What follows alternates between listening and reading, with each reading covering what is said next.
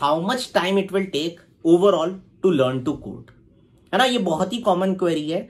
क्यों? क्योंकि यार सब लोग पाथ बता देते हैं कि ये ये करना है, इस ऑर्डर में करना है। अब उसमें टाइम कितना लगेगा वो नहीं बताते। है ना? एंड फेयर क्वेश्चन है सबका। यार मुझे ये तो बता दो कि मुझे अगले छह महीने इन्वेस्ट करने हैं, मुझे चार महीने इन्वेस्ट करने हैं, जिससे कि मेरे को प्लानिंग करने में आसानी हो कि उसके बाद मैं क्या करूँगा? या मेरे को पता हो कि यार इतना तो मुझे टाइम देना ही देना है। राइट बिल्कुल ही फेयर क्वेश्चन है। एंड मैं इसी को पूरा कवर करने वाला हूँ कि तुम्हें टॉपिक्स तो हमें पता है, ये ये करने हैं। हर टॉपिक में कितना टाइम देना है। एंड एक एवरेज बंदा कितना टाइम देता है और एक स्मार्ट बंदा कितना टाइम देता है। एंड कितने क्वेश्चंस करने चाहिए हमें पर टॉपिक वो सब कुछ मैं बताने वाला हूँ। तो एंड तक रहना and you will get to know all of these things and अगर पसंद आए वीडियो तो लाइक एंड शेयर भी कर देना अपने फ्रेंड्स के साथ। उनके लिए भी बहुत यूजफुल होगी ये चीज़। And definitely subscribe our channel तो स्टार्ट करते हैं। Sure so this is our sheet अगर तुम ध्यान से देखोगे तो सबसे पहले ना मैं यहाँ पर एक क्लियर करना चाहता हूँ, मैंने एज्यूम करा है राइट कि तुम वीकडे पे तीन से चार घंटे पर डे दे रहे हो। Since you are college student तो कॉलेज का भी टाइम जाता है। तो तीन से चार घंटे हमें तब देने पड़ेंगे एंड उसके बाद वीकेंड पे हम छह से सात घंटे आराम से दे सकते हैं। इससे ज़्यादा दे दोगे तो बहुत ही अच्छी बात है बट अगर इतना दे रहे हो तो उस हिसाब से तुम्हारा ये कवर हो जाएगा। ठीक है, यहाँ पर एक लिंक है जहाँ पर तुम जाके सीख सकते हो चीज़ें प्रैक्टिस कर सकते हो। यू कैन एक्सप्लोर दैट ये मेरा एक टॉपिक है, यहाँ मैंने सारे के सारे टॉपिक लिख रखे हैं सो ये सारे के सारे टॉपिक वाली चीज़ें हैं। मैंने हर टॉपिक के आगे कि उसमें कितने मिनिमम डेज़ लगेंगे for a very smart person जो बहुत तेज है जिसका दिमाग, उसको कितने दिन लगेंगे and for an ordinary person maximum दिन उसमें कितने लगेंगे। हमें उस टॉपिक में कितने नंबर ऑफ़ क्वेश्चन करने हैं, वो मैंने इस कॉलम में लिखा है। ठीक है? तो एक परफेक्ट सी शीट है, ये टॉपिक्स हैं, इतने मिनिमम दिन लगेंगे ही लगेंगे for a very smart person अगर मैक्सिमम डेज़ हैं तो मतलब ऑर्डिनरी पर्सन के लिए इतने में हो जाना चाहिए। ठीक है?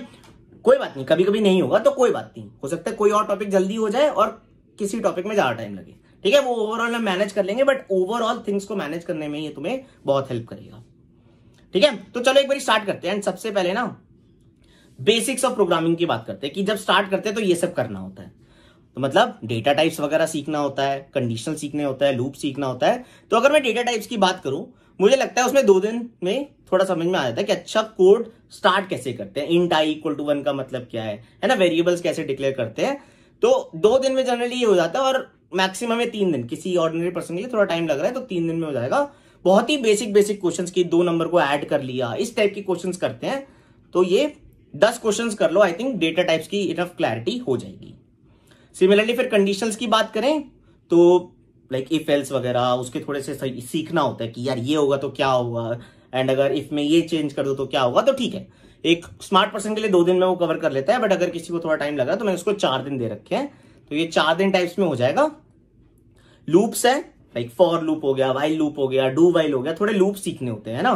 कि यार अगर एक ही मतलब प्रिंट करने हैं वन टू टेन नंबर्स या वन टू हंड्रेड नंबर्स तो कैसे होता है?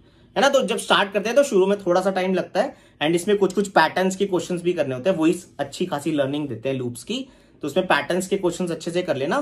तो चार दिन लगेंगे एक मिनिमम एक स्मार्ट पर्सन को करने में और उसको छह दिन लगेंगे।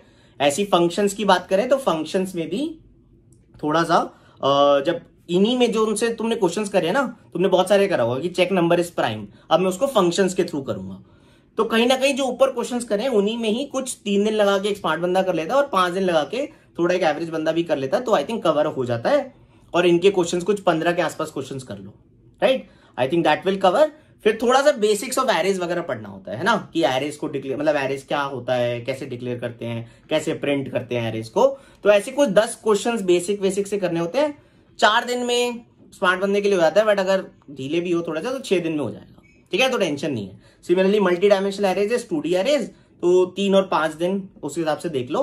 And this will be done strings का अगर तुम देखोगे स्ट्रिंग में बहुत ज़्यादा मुश्किलें आती नहीं है, क्योंकि अगर बेसिक एरेज आ जाता है तो string is just for characters है ना? तो ज़्यादा मुश्किल नहीं आती तो दो दिन में हो जाता है। और अगर कोई थोड़ा सा ऑर्डिनरी है तो वो चार दिन में कर लेगा। एंड सात क्वेश्चन के आसपास कर लो स्ट्रिंग्स में क्लैरिटी हो जाएगी। ये एक इंपॉर्टेंट है ऊप्स कॉन्सेप्ट ये बहुत अच्छे से कर लेना। ऊप्स कॉन्सेप्ट से मतलब समझ में आता है कि यार क्लासेस कैसे डिक्लेयर करते हैं ना? पॉलीमॉर्फिज्म क्या होता है? ये सब थोड़ी बहुत चीज़ें समझ में आनी चाहिए तो जाके हम थोड़ा अच्छा कोड कर पाते हैं, जो डेटा स्ट्रक्चर्स में बहुत काम आएगा। है ना? तो अगर हम उसको यहाँ पर पाँच दिन भी दे दे, थोड़ा अच्छा खासा मेहनत करके करना होता है और एक लाइक ऑर्डिनरी पर्सन के लिए आठ दिन दे देगा। और कुछ क्वेश्चन ज़्यादा नहीं करने होते, थोड़ा कॉन्सेप्ट सीखना होता है तो पाँच क्वेश्चन भी कर लोगे। उसके बाद एक कॉन्सेप्ट है ब्रेक एंड रिवाइज का। ब्रेक एंड रिवाइज का मतलब क्या है? यार ब्रेक मतलब अब मैंने इतना कुछ सीख लिया राइट तो थोड़ा सा हमारे को ब्रेक लेना है। मतलब एक साथ सारा नहीं सीखना है। थोड़ा सा ब्रेक देंगे, थोड़ा सा लाइट हो जाएँगे। और जो भी सीखा था, उसको एक बार रिवाइज करेंगे। कि ऊपर कौन कौन से क्वेश्चन नहीं हुए हैं। या कौन सा टॉपिक हार्ड रखा था, उसका दो तीन क्वेश्चन और कर लिया। है ना? वैसे वाला करना होता है तो पाँच दिन का ब्रेक ले लो फॉर वेरी स्मार्ट पर्सन और एक ऑर्डनरी पर्सन आठ दिन का ले सकता है। है ना? कि यार, बहुत ज़्यादा मेहनत करी थी तो इसका ये नहीं, पूरा खाली बैठ जाओ। है ना? तो अगर जैसे स्पीड ब्रेकर होता है ना, कि यार थोड़ा सा रुक जाओ राइट स्पीड थोड़ी कम कर लो। मतलब जिससे कि आगे थोड़ा सा अच्छे से गाड़ी और अच्छे से चल पाए। सिमिलरली यहाँ पर है कि थोड़ा सा यार ब्रेक दे दो खुद को, थोड़ा सा रिवॉर्ड दे दो। पुरानी जो चीज़ें सीखी है, वही वही एक बार देख लो और दस क्वेश्चंस कर लो। तो ओवरऑल अगर तुम देखोगे यहाँ पर, तुम्हारा तीस दिन में total days and question up till now ये अगर तुम मैं बात करूँ तो मिनिमम तीस दिन में बेसिक्स ऑफ़ प्रोग्रामिंग तो हो जाएगा। अगर कोई ऑर्डनरी पर्सन है तो उसका पचास दिन में हो जाएगा, है ना? And total number of question उसने कुछ 87 मतलब 90 के आसपास कर लिए होंगे which is a great start है ना? मतलब तो एक डेढ़ महीने में ओवरऑल तुम अगर एवरेज हो तो एक डेढ़ महीने में बेसिक्स ऑफ़ प्रोग्रामिंग कर लोगे। ठीक है? This was about the basics of programming अब नेक्स्ट पार्ट आता है basics of data structures and algorithms है ना? Basics of data structure algorithms करने के लिए सबसे पहले हमें टाइम एंड स्पेस कॉम्प्लेक्सिटी सीखना होता है। देखो, ऊपर जो कर रहे थे वो हम बस कोड लिखना सीख रहे थे। हम कैसे ऑप्टिमाइज कोड लिखते हैं वो अब सीखेंगे डेटा स्ट्रक्चर्स एंड एल्गोरिथम्स पे। तो इसका वेट करना होगा एंड अब सीखेंगे टाइम एंड स्पेस कॉम्प्लेक्सिटी जो भी ऊपर कोड करा था, उसमें भाई कितना टाइम लगता है वो सब सीखेंगे। जैसे एरेज में तुमने सिलेक्शन सॉर्ट करा होगा तो सिलेक्शन सॉर्ट एन स्क्वायर क्यों होता है? है ना? बबल सॉर्ट एन स्क्वायर क्यों होता है? तो वो जो भी चीज़ें सीखी है, वो यहाँ पर अप्लाई करके हमें पता लगेगा कि हमने जो भी ऊपर कोड करा था, उसमें कितना टाइम लग रहा था। है ना? तो आई थिंक दो दिन में हो जाता है फॉर स्मार्ट पर्सन और ये तीन दिन में हो जाएगा फॉर एन ऑर्डिनरी पर्सन दस क्वेश्चन के आसपास कर लो, तुम्हें इनफ क्लैरिटी हो जाएगी। फिर उसके बाद हम करते हैं एरेज एंड स्ट्रिंग्स के हार्ड क्वेश्चन है ना? उसमें थोड़ा सा टाइम लगता है बिकॉज़ तुम पहली बारी कॉम्प्लेक्सिटी वाइज सोच रहे होते हो तो चार दिन लग जाते हैं स्मार्ट पर्सन के लिए भी, और थोड़ा सा जो ऑर्डिनरी पर्सन होता है, उनके लिए छह दिन लग जाएँगे। कोई बात नहीं, बढ़िया है वर्थ इट है। है ना? पंद्रह क्वेश्चन के आसपास करेंगे, हमें समझ में आ जाएगा अच्छा ऑप्टिमाइज कोड ऐसे सोचते हैं। राइट फिर हम बेसिक रिकर्जन करेंगे। रिकर्जन बहुत इंपॉर्टेंट कॉन्सेप्ट होता है, आगे के डेटा स्ट्रक्चर सीखने के लिए। तो पहले बेसिक रिकर्जन करेंगे रिकर्जन सीखेंगे कि होता क्या है। है ना? तो चार दिन लगते हैं, थोड़ा मुश्किल कॉन्सेप्ट होता है, एकदम नया सा लगता है। तो ठीक है, चार दिन उसको देंगे एंड जो ऑर्डिनरी होगा वो छह दिन देगा। दस क्वेश्चन करेंगे बेसिक अच्छे से समझेंगे इसके पीछे क्या हो रहा है। और फिर हम एडवांस रिकर्जन की प्रॉब्लम्स करेंगे थोड़ी सी हार्डर प्रॉब्लम्स जिसमें काफ़ी टाइम लगेगा। तो स्मार्ट पर्सन को भी सात दिन लग जाते हैं और लाइक ऑर्डिनरी पर्सन के लिए तो काफ़ी ज़्यादा दिन लग सकते हैं। तो ग्यारह दिन के आसपास लग सकते हैं। एंड नंबर ऑफ़ क्वेश्चन हमें पंद्रह के आसपास करने हैं। उनमें अच्छे से क्लैरिटी से करना है कि यार अच्छा ये वाले क्वेश्चन है, इसमें ऐसे करते हैं। राइट और उसके बाद तुम फिर अब ब्रेक ले लोगे। ठीक है भाई, थोड़ा अच्छे से रिकर्जन सीख लिया। एरेज एंड स्ट्रिंग्स का हार्ड क्वेश्चन है। खुद को ब्रेक देते हैं, थोड़ा रिवाइज करते हैं। तो यहाँ पर मैंने पिछली बार पाँच दिन का दिया था, यहाँ पर मैं सात दिन का दे रहा हूँ। कोई बात नहीं, थोड़ा टाइम ले लो, अच्छे से ग्रास्प कर लो कॉन्सेप्ट और ये ऑर्डिनरी पर्सन यहाँ दस दिन ले सकता है।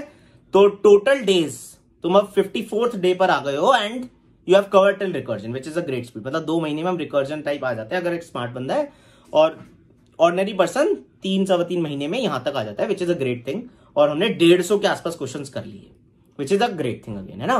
कि हम अच्छी स्पीड से चल रहे हैं एंड अच्छा खासा कवर कर पा रहे हैं। ठीक है? ये basics of data structure and algorithms हो गया। देखो, यहाँ लिंक पे जाके तुम हमेशा प्रैक्टिस कर सकते हो, वो मैंने टॉप पे डाल रखा है। ठीक है? फिर अब बात करते हैं जो इंपॉर्टेंट डेटा स्ट्रक्चर्स होते हैं कि पढ़ने ही पढ़ने है ना? इसके बिना तो काम ही नहीं होगा। तो वो कौन से होते हैं? एक होता है लिंक लिस्ट एक होता है स्टैक्स एंड क्यूज एक होता है बाइनरी ट्रीज बीएसटी अगर तुम देखोगे लिंक लिस्ट थोड़ा नया कॉन्सेप्ट लगता है तो उसमें चार दिन लगते हैं। स्टैक्स एंड क्यूज मैं यहाँ स्मार्ट पर्सन की बात कर रहा हूँ तो उसी के रेशियो में तुम ऑर्डनरी पर्सन भी ले सकते हो। स्टैक्स एंड क्यूज में मिनिमम तीन दिन लगेंगे ही लगेंगे। बाइनरी ट्रीज में चार दिन लगते हैं बिकॉज़ नया कॉन्सेप्ट आता है रिकर्जन से। बीएसटी के थोड़े हार्ड क्वेश्चन होते हैं तो पाँच दिन लग जाते हैं मिनिमम है ना? और कोई ऑर्डनरी पर्सन होगा तो उसी रेशियो में यहाँ देख सकते हो तुम। और क्वेश्चन हमें लिंक लिस्ट के बीस क्वेश्चन करने चाहिए राइट अच्छा खासा इंपॉर्टेंट कॉन्सेप्ट है। स्टैक्स एंड क्यूज का, ठीक है, बहुत ज़्यादा क्वेश्चन आते नहीं है तो पंद्रह क्वेश्चन भी कर लिए तो हमें समझ में आ जाता है। बाइनरी ट्री और बीएसटी सिमिलर से कॉन्सेप्ट है तो ओवरऑल अगर तुम देखोगे fifteen plus twenty thirty five question के आसपास हम ट्रीज में कर रहे हैं। अच्छा खासी चीज़ें सीख गए हैं। ये सबसे इंपॉर्टेंट डेटा स्ट्रक्चर्स है आफ्टर एरेज एंड स्ट्रिंग जो इंटरव्यूज़ में आते हैं। है ना? तो ये तो अच्छे से कर ही लेने चाहिए। इसको करने के बाद हम फिर से ब्रेक देंगे खुद को। स्मार्ट पर्सन सात दिन का देगा, ये दस दिन का देगा। और थोड़े पंद्रह क्वेश्चन कर लेंगे, जो अलग से क्वेश्चन होंगे, वरना पुराने क्वेश्चन ही रिवाइज कर लेंगे। है ना? तो अगर तुम देखोगे तो टोटल अभी तक तुम 77 डेज़ तक स्मार्ट पर्सन आ चुका है। 137 डेज़ ऑर्डनरी पर्सन दे चुका है और हमने 232 क्वेश्चंस कर लिए हैं। है ना? कितनी अमेजिंग फीलिंग है यार, इतने सारे क्वेश्चंस कर लिए और मोस्ट इंपॉर्टेंट चीज़ें तुमने यहाँ तक कर ली है। है ना? अब उसके बाद आते हैं जो एडवांस डेटा स्ट्रक्चर्स होते हैं। है ना? जो करने राइट दीज आर इंपॉर्टेंट ये तो करने मतलब इसको स्किप नहीं कर सकते। हैश मैप्स हो गया प्रायोरिटी क्यूज एंड हीप्स हो गया एंड एल्गोरिथम भी है डायनेमिक प्रोग्रामिंग बहुत ही इंपॉर्टेंट टॉपिक है इंटरव्यूज़ के प्रोस्पेक्टिव से भी और कॉम्पिटेटिव प्रोग्रामिंग के प्रोस्पेक्टिव से भी। एंड एज अ प्रोग्रामर तो आना चाहिए। है ना? तो हैश मैप इज़ समथिंग जिसमें ना इंप्लीमेंटेशन ऑफ़ हैश मैप वगैरह करते हैं और एरेज में बहुत सारे क्वेश्चंस में हमने हैश मैप यूज़ करा होता है। तो थोड़ा उन क्वेश्चंस के अराउंड रहते हैं। तो तीन दिन लगते हैं इसमें किसी के लिए भी और पाँच दिन तक दे सकते हो। प्रायोरिटी क्यूज एंड हीप्स में वही पाँच दिन लगते हैं बिकॉज़ थोड़ा मुश्किल कॉन्सेप्ट होता है। एकदम ग्रास करना मुश्किल लगता है। तो पाँच दिन लगते हैं और डायनेमिक प्रोग्रामिंग तो बहुत ही इंपॉर्टेंट कॉन्सेप्ट है। वहाँ पर नौ दिन तो लगेंगे किसी स्मार्ट पर्सन को भी और अगर कोई थोड़ा ऑर्डनरी है, उसको अट्ठारह दिन लगेंगे। तो मैंने दिए हैं उसको अट्ठारह दिन, है ना? और क्वेश्चन यहाँ बीस के आसपास करने पड़ेंगे। उसी रेशो में क्वेश्चन है। उसके बाद खुद को ब्रेक देंगे। यहाँ पर मैंने लंबा ब्रेक दिया दस दिन का ब्रेक दिया क्योंकि तुम केवल हो, ये ये टॉपिक्स नहीं, कुछ पुराने टॉपिक्स भी रिवाइज कर रहे हो राइट तो थोड़ा सा पुराने टॉपिक रिवाइज करो तो दस दिन का ब्रेक लो। एंड मैंने यहाँ पर मैक्स ऑर्डनरी पर्सन को भी दस दिन का ब्रेक दे दिया बिकॉज़ अब वो एक ऐसी स्टेज पर आ गया है कि यार कर सकता है राइट अब वो कंपेरेटिवली सही स्टेज पर आ गया यहाँ तक ठीक है। बट यहाँ पर आने के बाद अब वो डिसेंट लेवल की स्टेज पर आ जाता है दोनों में मानता हूँ बराबर हो जाते हैं। तो ठीक है, उतना ब्रेक की ज़रूरत नहीं है है ना? और नंबर ऑफ़ क्वेश्चन हमने पंद्रह के आसपास कर लिए उसमें। तो अगर तुम देखोगे 104 डेज़ में और 178 डेज़ में तो यहाँ छह महीने में आसपास और यहाँ सवा तीन महीने में आसपास तुम्हारा जो डेटा स्ट्रक्चर्स में चाहिए इंटरव्यूज़ के लिए मोस्टली वो तुम्हारा कवर हो चुका है। अब नीचे जो है ना वो एक्स्ट्रा टॉपिक्स है, जो इसकी बात करेंगे है ना? बट यहाँ तक अगर कर लिया तो तुम देखो छह महीने में जो ऑर्डनरी पर्सन है, वो भी कवर हो गया और सवा तीन महीने में आसपास एक स्मार्ट पर्सन भी कवर हो गया है। ना? और हमने 287 क्वेश्चंस कर लिए गुड अमाउंट ऑफ़ क्वेश्चंस कर लिए कि हमारा कॉन्फिडेंस अच्छा हो जाना चाहिए। ठीक है? इसके अलावा कुछ अदर इंपॉर्टेंट टॉपिक्स है, जैसे ट्राइज होता है ग्रीडी एल्गोरिथम सीखना बाइनरी सर्च की काफ़ी सारी एप्लीकेशंस होती है, वो कर सकते हो bit manipulation D Q D Q बहुत हॉट टॉपिक हो गया है। ये कुछ एक्स्ट्रा टॉपिक्स है, मैंने उसके भी डेज़ लिख दिए अकॉर्डिंगली है ना? तो अगर तुम देखोगे, अगर इनको भी करोगे तो 124 दिनों में ये ओवरऑल हो जाएगा और ये 218 दिनों में ये वाला खत्म हो जाएगा एक ऑर्डिनरी पर्सन के लिए और ओवरऑल हमने 337 क्वेश्चंस कर लिए होंगे। तो अगर हम ओवरऑल आउटपुट की बात करें तो एक स्मार्ट पर्सन अगर वो सब कुछ करता है, यहाँ तक करता है तो तीन सवा तीन महीने में और यहाँ तक करता है तो ये वाला छह महीने में, बट अगर ये वाले टॉपिक्स भी करते हो तो एक महीना और दे दिया मतलब यहाँ चार महीने हो गए, यहाँ सात महीने में और ओवरऑल हमने साढ़े तीन सौ के आसपास क्वेश्चंस कवर कर लिए। मैं गारंटी लेता हूँ, तुम्हें कोडिंग करनी आ गई, तुम्हें डेटा स्ट्रक्चर एल्गोरिथम्स अच्छे से आ गया, तुम्हारा बेस सेटअप हो गया इंटरव्यू में डीएस एंड एल्गो बहुत अच्छे से कर लोगे, है ना? तो इतना टाइम देना है, इतना टाइम तुम्हें इन्वेस्ट करना पड़ेगा। मैंने यहाँ बोला था वीकडे पे तीन से चार घंटे देने पड़ेंगे पर डे और वीकेंड पर छह से सात घंटे पर डे देने पड़ेंगे, है ना? तो अगर ओवरऑल ये फॉलो कर लेते हो, अच्छे से तुम्हारे को कोड करना आ जाएगा। तुम्हारे को पता है कहाँ से प्रैक्टिस कर सकते हो, यहाँ से प्रैक्टिस कर सकते हो, कहीं और से कर रहे हो, वहाँ से कर लो। बट ये सारे topics within this time कर लो, तुम्हारे को अच्छे से कोड करना आ जाएगा। है ना? तो आई थिंक इस शीट से तुम्हारा आंसर सॉल्व हो गया है that how long does it take to learn coding मैं ये शीट का लिंक डिस्क्रिप्शन में अटैच कर दूँगा। पूरा ढंग से अपने टाइम टेबल में सेट कर लो and try to follow this ठीक है? अच्छे से डीएसएन को कर लेंगे एंड फोड़ देंगे। Okay great thank you what help me becoming good at data structures and algorithms and तुम लोग रिलेट भी कर पाओगे because I am the one जिसने जैसे इलेवंथ एंड ट्वेल्थ में कंप्यूटर साइंस नहीं पढ़ी थी, है ना? एंड कॉलेज के फ़र्स्ट ईयर में वही यशवंत कानेतकर की एक लेटेस्ट सी बुक आती है और कॉलेज में जो हो रहा होता है वही करा था। बट उसके बाद I have followed some path और मैंने कुछ रूल्स के साथ अपनी तैयारी करी थी which help me becoming great at data structures and algorithms तो मैं ऐसी आज दस चीज़ें बताने वाला हूँ, जो अगर तुम भी फॉलो करोगे तो तुम्हारी जर्नी में भी बहुत हेल्प होगा और तुम भी फोड़ दोगे डेटा स्ट्रक्चर्स एंड एल्गोरिथम्स ठीक है? तो एंड तक रहना and you will know all of these things और अगर पसंद आए वीडियो तो लाइक एंड शेयर कर देना अपने फ्रेंड्स के साथ and definitely subscribe our channel ठीक है? तो पहले फ़र्स्ट पॉइंट से स्टार्ट करते हैं.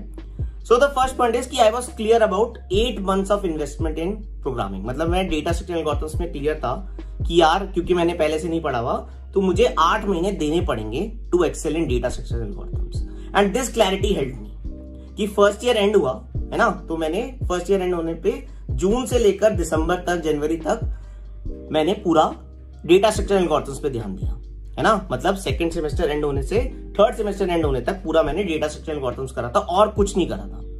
So that help me really well because उस टाइम मैंने कुछ दिमाग नहीं लगाया कि मैं कुछ और करूँगा नहीं करूँगा but data structures and algorithms ही करूँगा, ठीक है? So this clarity help me a lot and तुम लोग भी जब तैयारी कर रहे हो डेटा स्ट्रक्चर एल्गोरिथम्स की, कुछ और मत करना, केवल डीएस एंड एल्गो पे ध्यान देना। ठीक है? मतलब second point is I made my fundamentals very strong देखो, मैं शुरू में बहुत स्लो था। मुझे बहुत धीरे से समझ आती थी चीज़ें। बट मेरे को एक चीज़ का ध्यान था, यार बेसिक अच्छे से करने होते हैं, तभी तुम एडवांस चीज़ें समझ पाते हो। तो जो बेसिक फंडामेंटल्स होते हैं फ़ंक्शंस हो गए लूप्स हो गए पैटर्न्स के क्वेश्चंस हो गए ऊप्स के कॉन्सेप्ट्स हो गए, वो मैंने बहुत अच्छे से करे थे। और मैं बता रहा हूँ, तुम्हें बेसिक में ही मुझे दो महीने लग गए थे। मुझे टाइम लगता था, बहुत सारे एरर्स आते थे, मैं रिजोल्व करता था। बट आई वॉज़ क्लियर कि यार बेस स्ट्रांग रखना पड़ेगा और तभी मैं एडवांस चीज़ें कर पाऊँगा।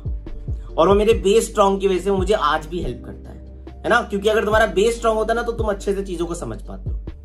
तो शुरू में दो महीने टेंशन मत लेना। बेसिक्स जो है, उनको बहुत अच्छे से कर लेना। है ना? कि तुम्हें पता होना चाहिए कि मेमोरी एलोकेशन पीछे कैसे हो रहा है। पूरी क्लैरिटी होनी चाहिए दिमाग में। That will help you in later on advance data structures like trees graph जब पढ़ रहे होंगे ना तो ये जो बेसिक वाली चीज़ें अगर अच्छी होती है तो वहाँ पर भी अच्छे से समझ आ पाता है। ठीक है? तो मैंने फंडामेंटल स्ट्रॉन्ग करने पे बहुत ज़्यादा अच्छे से ध्यान दिया था। Third point is very under rated point है। लोग इसमें आलस कर देते हैं dry run I think this help me really becoming great in data structure algorithms मैं हर टॉपिक के शुरू के दो क्वेश्चन में पूरा ड्राई रन करता था कि ये क्वेश्चन सॉल्व कैसे हुआ। चाहे वो रिकर्जन का क्वेश्चन हो, चाहे वो बाइनरी ट्री का क्वेश्चन हो, चाहे वो एरे का क्वेश्चन हो, हर टॉपिक के शुरू के दो क्वेश्चन में पेन एंड पेपर को यूज़ करता था। आई इक्वल टू वन के लिए कैसे चल रहा है? आई इक्वल टू टू के लिए कैसे चल रहा है? आई इक्वल टू थ्री के लिए क्या हो रहा है? उसने मेरा बेस बहुत अच्छा कर दिया और मेरे को पूरी क्लैरिटी हो जाती थी कि ये क्वेश्चन कैसे सॉल्व हुआ है। So I will highly recommend you इसमें आलस मत करना। हर टॉपिक के जो तुम दो क्वेश्चन करते हो ना शुरू के, उसको ड्राई रन अच्छे से कर लेना कि इसके पीछे क्या क्या हुआ है। है ना, लोग कंपाइलर पे भी कर पाते हैं बट मेरे को लगता है मेरे लिए पेन एंड पेपर ने बहुत हेल्प करी थी। पूरा मैं लिख लिख के करता था and that help me really well कि मेरे को हर टॉपिक की क्लैरिटी हो गई थी। ठीक है? तो ड्राई रन को तुम छोड़ना मत, बहुत इंपॉर्टेंट टेक्निक है, जो तुम्हें हर बारी हेल्प करेगी। ठीक है? तो fourth point is slow speed of writing code but effective तो मतलब मैं जब कोड लिखता था तो मैं बहुत स्लो था, है ना? क्योंकि मैं फालतू का कोड नहीं लिखता था। ऐसा नहीं है कि मुझे नहीं समझ में आ रहा मैं वो लिखे जा रहा हूँ। मैं जो कोड लिखता था, जो भी मैंने लाइन लिखी है, उसके पीछे मेरा दिमाग रहता था अच्छा अगर मैंने इंट एर इक्वल टू न्यू इंट एर करा है तो इसके पीछे क्या हुआ है? मैंने एक एरे बना लिया इतने साइज़ का। तो I was able to visualize कि अच्छा ये हो रहा होगा। तो मैं रिकमेंड करूँगा, जो कोड लिख रहे हो, उसके पीछे सोचो। फालतू का कोड मत लिखो। अगर तुम्हें नहीं समझ में आया, वहीं रुक जाओ। स्लो इज़ ओके बट अगर शुरू में वो पूरा क्लैरिटी से कोड लिख लोगे ना तो बाद में तुम तेज भी लिख पाओगे। क्योंकि वो क्लैरिटी शुरू में होना बहुत ज़रूरी है। तो स्लो स्पीड से मत डरना बट जो लिख रहे हो, उस पर पूरा ध्यान दे देना कि मुझे समझ में आ रहा है कि इसके पीछे क्या हो रहा है। ठीक है? I think that help me really well as well तो फिफ्थ पॉइंट ये मुझे सबसे इंपॉर्टेंट पॉइंट लगता है अपनी जर्नी में नो कंपैरिजन विद अदर्स तो अगर मैं अपने दोस्तों की बात करूँ, बहुत सारे लोगों ने इलेवंथ एंड ट्वेल्थ में पढ़ के आए हुए थे, बहुत सारे लोग कॉलेज के फ़र्स्ट ईयर में प्रोग्रामिंग कर रहे थे, मैंने उसकी बात स्टार्ट करी थी। ऑब्वियसली वो मुझसे बहुत आगे थे। एंड जो लोग लर्निंग भी करते क्योंकि मैं स्लो था राइट मैं एरे पे होता था, वो लोग इंग्लिश पढ़ रहे होते थे। बट मैं उनसे कंपेयर नहीं करता था बिकॉज़ जैसे मैंने फ़र्स्ट वन में बोला कि भाई आठ महीने के लिए मैं रेडी था आई वॉज़ क्लियर कि मैं थोड़ा स्लो हूँ बट सीखूँगा और अच्छे से सीखूँगा। है ना? तो मैं किसी और से कंपैरिजन नहीं करता था कि उसने कितने क्वेश्चन सॉल्व कर लिए, उसका क्या चल रहा है। कंपैरिजन मत करो, जान लो कि वो क्या क्या कर रहा है। बट कंपेयर मत करो अपनी जर्नी से। अगर तुमने अपने माइंड में दिमाग लगा लिया कि मैं आठ महीने इसी को दूँगा, अब अपने पे ध्यान दो, अपने आप को इंप्रूव करते रहो, दूसरों से कंपैरिजन मत करो। This will help you really well because अगर तुम दूसरे से कंपेयर करोगे, वो तुम्हारी प्रिपरेशन को हैम्पर ही करेगा। है ना? वो नुकसान ही करेगा। फ़ायदा नहीं होगा उससे। तो अपने पे ध्यान दो, अपना कोड करो और अपनी चीज़ें अच्छे से सीखो। ठीक है? ना तो सिक्स पॉइंट इज़ कि यार मैं रेगुलर ब्रेक्स लेता था after some time I think that help me really well as well breaks का मतलब क्या है कि जैसे मैंने एरेज एंड स्ट्रिंग्स पढ़ लिया मतलब जैसे मैंने बेसिक्स पढ़ लिए थे शुरू के दो महीने तो मैंने दो दिन अब चिल मारा था। कि यार ठीक है, सीख लिया, बहुत कुछ सीख लिया, नई चीज़ें सीख लिया, दो दिन चिल मारो। That is help that is very helpful for you mentally है ना? वो थोड़ा सा इंपॉर्टेंट होता है बिकॉज़ नहीं तो फ्रस्ट्रेशन हो जाती है। यार, ये लगे हुए, हो ही नहीं रहा। है ना? उसके बाद जैसे कुछ एडवांस टॉपिक्स आते हैं, वहाँ पर तो रेगुलर ब्रेक बहुत ज़रूरी हो जाता है। जैसे लिंकलेस पढ़ लिया स्टैक्स एंड क्यूज पढ़ लिया ब्रेक दे दो। है ना? एक दिन अब छोड़ दो, कुछ नहीं करूँगा चिल मारूँगा मूवी वगैरह देखूँगा बट अभी कुछ नहीं करूँगा। है ना? और लंबा ब्रेक मत देना, वरना सारा फ्लो टूट जाता है। एक दिन का ब्रेक दे दो मैक्सिमम दो दिन का ब्रेक दे दो। ठीक है? ऐसे करना होता है। That will help you like in preparation की यार अच्छे से तैयारी भी हो रही होती है और रेगुलर ब्रेक्स भी मिल रहे होते हैं। है ना? ऐसी एडवांस टॉपिक जब आते हैं ग्राफ्स हो गया। ग्राफ्स का पूरा टॉपिक पढ़ने के बाद इतना सब कुछ पढ़ चुके होते हो। ब्रेक चाहिए यार। मैं ही पढ़ूँगा अब कुछ। है ना? तो वो ज़रूरी है। Regular breaks low and that will help you in your preparation ठीक है? ना the seventh point is balance between old topics and new topics तो देखो, एक जो हेल्प करी है मेरे को कि मैं ऐसा नहीं है लिंक लिस्ट पढ़ रहा हूँ तो उसकी पे अटका हुआ उसके पंद्रह बीस क्वेश्चन कर लिए, अब मैं अगले टॉपिक पे चले जाता था ठीक है स्टैक्स एंड क्यूज पे चला गया ट्रीज पे चला गया बट लिंक अगर रिवाइज करना है तो बीच में एक टेस्ट दे दिया जिसमें लिंक लिस्ट का क्वेश्चन आ गया। नहीं समझ में आया तो लिंक लिस्ट को एक बार दिमाग लगा लिया और फिर उस क्वेश्चन को सॉल्व कर लिया। बट ऐसा नहीं है कि टॉपिक पे अटका हूँ, है ना? तो नए टॉपिक्स भी पढ़े जा रहा हूँ और ओल्ड टॉपिक्स को रिवाइज कर रहा हूँ थ्रू टेस्ट ठीक है? तो अटकना मत, पढ़ते रहना पढ़ते रहना और ओल्ड टॉपिक्स को रिवाइज करते रहना थ्रू टेस्ट ठीक है? आई थिंक ये गलती हो जाती है कि हम लोग आगे बढ़ ही नहीं पाते, रुक जाते हैं। यार लिंक लिस्ट में बीस क्वेश्चन में भी कॉन्फिडेंस नहीं आ रहा। चलना होता है आगे है ना? रुकना नहीं है। तो चलते रहो और पुराने क्वेश्चंस को रिवाइज करो बिकॉज़ आगे वाले डेटा स्ट्रक्चर में भी लिंक लिस्ट कहीं ना कहीं काम आएगी। या आगे वाले डेटा स्ट्रक्चर में ट्रीज कहीं ना कहीं काम आएगा। तो वहाँ पर रिविजन भी हो जाएगी। ठीक है? तो चलते रहो चलते रहो and that will help you in your preparation Now the next point is, I think that helped me really well as well कि सिंगल सोर्स मैं केवल एक ही सोर्स से पढ़ता था। है ना? मैंने ये नहीं करा कि मैं ये चीज़ यहाँ वेबसाइट से पढ़ लेता हूँ, यहाँ वेबसाइट से पढ़ लेता हूँ। उससे बहुत हैम्पर होती है प्रिपरेशन मेरे को क्लियर था। मेरे को आठ महीने देने हैं और मैं इसी सोर्स से पढ़ूँगा। तुम लोगों को भी क्लैरिटी होनी चाहिए। कोई भी सोर्स सुन लो बट अब उसी पे पढ़ूँगा। इधर उधर मत जाना बिकॉज़ कोई चीज़ किसी तरीके से एक्सप्लेन करी हुई है, किसी और ने, किसी और ने किसी और तरीके से करी हुई है। नहीं समझ में आता। है ना? अगर कोई भी एक सोर्स पकड़ लिया है, उसी से सीखूँगा, उसी से पूरे आठ महीने लगाऊँगा। उसके बाद देख लूँगा कि अगर मुझे कुछ इंटरव्यू के क्वेश्चन करने अच्छा ये ज़्यादा बेटर प्लेटफॉर्म है। बट जब मैं सीख रहा हूँ, जब मैं लर्निंग के फॉर्म में हूँ तो मैं केवल एक सिंगल सोर्स से ही करूँगा, बाकी सोर्सेज पे ध्यान उस टाइम पे बिल्कुल नहीं दूँगा। ठीक है तो single source really help now the next point is no placement mindset देखो, एक चीज़ मेरे दिमाग में क्लियर थी, मैं पढ़ाई तो प्लेसमेंट के लिए कर रहा हूँ, है ना? बट जब मैं लर्निंग कर रहा हूँ, तब मैं प्लेसमेंट की बारे में नहीं सोचूँगा। या टाइम है ना, अभी तो मैं लर्निंग कर रहा हूँ, अभी तो मैं सीख रहा हूँ। क्वेश्चन अच्छे से करूँगा, तभी तो अच्छी नौकरी निकाल पाऊँगा। तो मैंने आठ महीने ऑब्वियसली मैं प्लेसमेंट के लिए पढ़ रहा था बट लर्निंग के फोकस था कि मैं डीएस एंड एल्गो की प्रॉब्लम सॉल्विंग में अच्छा हो जाऊँ। मैं नहीं दिमाग लगाता था, ये अमेजोन के क्वेश्चन है गूगल का क्वेश्चन है, नहीं। मैं केवल और केवल तैयारी पे ध्यान देता था, मुझे ये टॉपिक्स करने हैं, ये ये क्वेश्चंस करने हैं एंड मैं इससे फिर और बेटर हो जाऊँगा। फिर उसके बाद मैंने कुछ और क्वेश्चंस कर लिए, मैं उससे और बेटर हो जाऊँगा। प्लेसमेंट माइंडसेट से नहीं करता था ऑब्वियसली आफ्टर एट मंथ्स मेरे को क्लैरिटी हो गई थी कि मेरे पास कॉन्फिडेंस आ गया है। अब मैं डीएस एंड के क्वेश्चंस तो पक्का सॉल्व कर लूँगा। अब उससे बेस्ट कंपनी निकलेगी, नहीं निकलेगी, वो बात की बात है। बट मैं उसमें ध्यान नहीं देता था। I think that help me really well because तुम्हारा फोकस पूरा लर्निंग पे होता है और तुम इधर उधर की चीज़ों के बारे में नहीं सोच रहे होते हो। And the last point but not the least like eight months was for learning but ऐसा नहीं है, मैंने उसके बाद छोड़ दिया। है ना? उसके बाद भी मैं रेगुलर प्रैक्टिस करता रहा कि पाँच से छह क्वेश्चन पर वीक कर रहा हूँ। मैंने और स्किल सीखी एंड्रॉइड डेवलपमेंट सीखा वेब डेवलपमेंट सीखा but data structures and algorithms नहीं छोड़ा।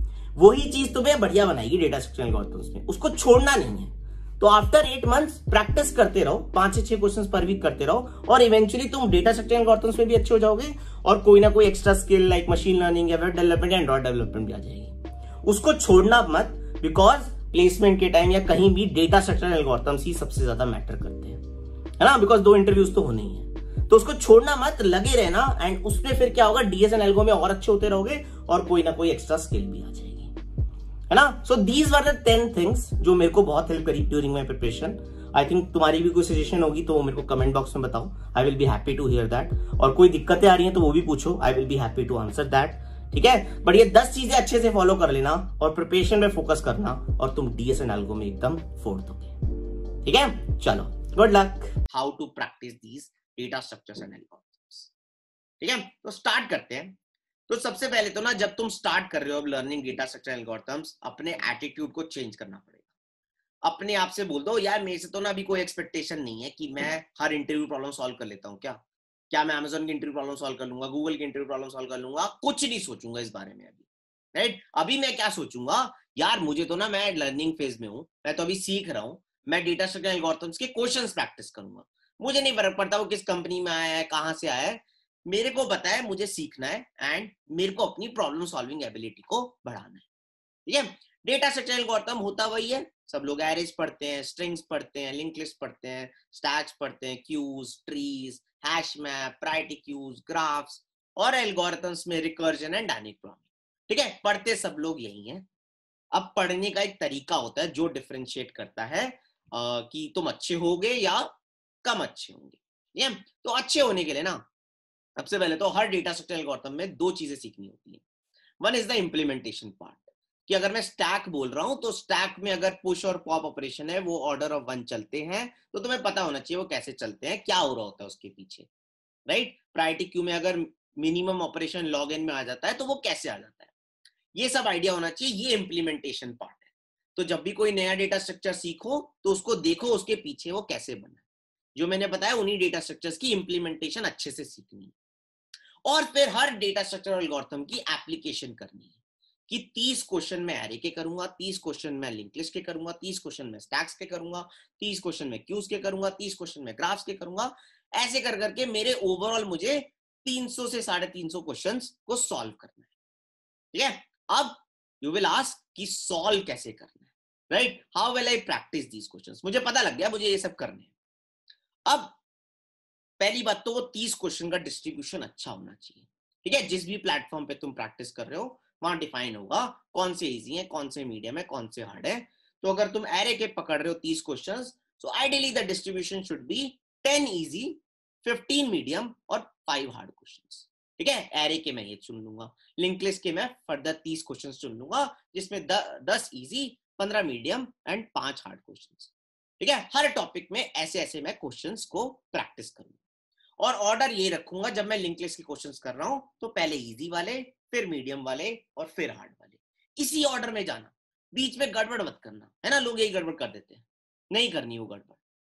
ठीक है? अब अगर मैं क्वेश्चन कर रहा हूँ, जो क्वेश्चन मुझसे पहली बारी में ही हो जाता है, मैंने सोच लिया इसको कैसे करना, मैंने कोड भी कर लिया सबमिट हो गया, बहुत अच्छी बात है। ठीक है? मुझसे हो गया, अब मैंने सबमिट हो गया तो मेरे ये क्वेश्चन मुझसे कभी भी हो जाएगा। नहीं हुआ क्वेश्चन दो घंटे अच्छे से दो अगर सुबह बैठे हो तो सुबह दो घंटे अच्छे से दो लगाओ पेन एंड पेपर के साथ क्वेश्चन को सॉल्व करो। पेन एंड पेपर के बिना मत करना, नहीं होगा क्वेश्चन सॉल्व ठीक है? पेन एंड पेपर के साथ करो। दो घंटे अच्छे से दिए। हो गया, बहुत अच्छी बात है। नहीं हुआ तो रुक जाओ। अब ना तो कोई दूसरी क्वेश्चन को ट्राई करो। उस क्वेश्चन को रात को ट्राई करो अब आफ्टर ट्वेल्व आवर्स और समथिंग और एकदम फ्रेश माइंड से सोचने की कोशिश करो, दो घंटे और। उन दो घंटों में अच्छा हो जाता है तो बहुत अच्छी बात है, हो गया। नहीं हुआ तो उसको अब छोड़ दो। अगले दिन सुबह पकड़ो और अब तुम सॉल्व नहीं करोगे, तुम उसका सॉल्यूशन देखोगे, तुम उसको पूरा देख के, समझ के, कोड करोगे, अच्छे से दिमाग में बैठा लोगे अच्छा इसको ना ऐसे ऐसे करना होता है और अब हमें आ गया। और एक जगह बुक मार्क कर दिया कि मैं इस क्वेश्चन को ना अब बीस दिन बाद दोबारा करूँगा। वो बहुत ज़रूरी है। ये इस चीज़ में आलस मत करना। ये आलस आलस मत करना, यही तुम्हें ग्रेट और गुड में डिफ्रेंशिएट करेगी। ठीक है? तो तुम जब 20 दिन बाद उस क्वेश्चन को जब बुक मार्क करोगे और तब दोबारा करोगे तो तुम्हें मोस्ट लाइकली वो एक नई प्रॉब्लम की तरह ही लगेगा। क्योंकि तुम, हमारा माइंड इतनी तेज नहीं चलता 20 दिन बाद भूल जाता है। फिर से वही स्ट्रैटेजी फॉलो करो। हो सकता है नहीं हो। मुझसे नहीं होते थे 80 परसेंट क्वेश्चन फ़र्स्ट टाइम में। 50 परसेंट क्वेश्चन सेकंड टाइम में भी नहीं होते थे। तो फिर से वही, दो घंटे दिया, नहीं हुआ। रात को फिर से दो घंटे दिए हो गया, बहुत अच्छी बात है। नहीं हुआ तो अगले दिन सुबह देख के फिर से सॉल्यूशन देखा, फिर से कोड करा, देख के करा और बुक मार्क कर दिया कि मैं इसको ट्वेंटी डेज़ बाद दोबारा करूँ। क्यों? क्योंकि it's not about the quantity of questions it's about the quality of learning you are gaining from the questions है ना? हमें लर्निंग करनी है। हमें बहुत सारे क्वेश्चंस नहीं, हमें एक्चुअली जितने भी क्वेश्चंस कर रहे हैं, उससे जितनी लर्निंग ले सकते हैं, वो ले लेंगे ठीक है? तो ये हर डेटा स्ट्रक्चर एंड एल्गोरिथम के क्वेश्चंस में हमें हर तीस क्वेश्चंस में ये फॉलो करना पड़ेगा। और जब तुम्हारे पास वो 300 क्वेश्चंस का बैंक हो जाएगा तो तुम्हारे पास कॉन्फिडेंस होगा। अब क्या आएगा इसमें? कि यार, मेरे को ना अभी भी लिंक लिस्ट में कॉन्फिडेंस नहीं आ रहा। या मुझे बाइनरी ट्री में कॉन्फिडेंस नहीं आ रहा। तो उसके दस क्वेश्चन और कर लो। राइट जिस भी टॉपिक तुम्हें पता होगा कि यार, मुझे ना इस टॉपिक में कॉन्फिडेंस नहीं और इस टॉपिक में कॉन्फिडेंस है। तो उन टॉपिक्स में जिनमें कॉन्फिडेंस नहीं, उसमें थोड़े और क्वेश्चन करो, उसमें दस पंद्रह क्वेश्चन और कर लो। नहीं होते दस पंद्रह क्वेश्चन में भी कॉन्फिडेंस नहीं आता दस पंद्रह और कर लो। एक स्टेज आएगी तो मैं आ जाएगा, यार, इतने सारे क्वेश्चन कर लिए, अब तो मैं पक्का अच्छा हो जाऊँगा एंड मैं इसके क्वेश्चंस को सॉल्व कर एंड ऐसे ही करना होता है। सबके अपने स्ट्रॉन्ग पॉइंट होते हैं, सबके अपने वीक पॉइंट होते हैं। अपना स्ट्रॉन्ग पॉइंट अपना स्ट्रॉन्ग पॉइंट रखो वीक पॉइंट पे काम करते रहो and you will eventually become great in data structures ठीक है? ग्रेट बनोगे। ऐसा कभी स्टेज नहीं आएगी कि यार बोल दो, मेरे को तो कोई भी प्रॉब्लम दे दो और मैं सॉल्व कर दूँगा। ठीक है? वो तो यार विराट कोहली है, सचिन है, अब दस में से छह मैचों में हंड्रेड बनाते हैं राइट बट दो मैचों में तो ज़ीरो भी बनाते हैं ना वो। कोई नहीं बोल सकता कि मैं हर मैच में हंड्रेड बना दूँगा। कोई नहीं बोल सकता कि मैं हर प्रॉब्लम को सॉल्व कर दूँगा।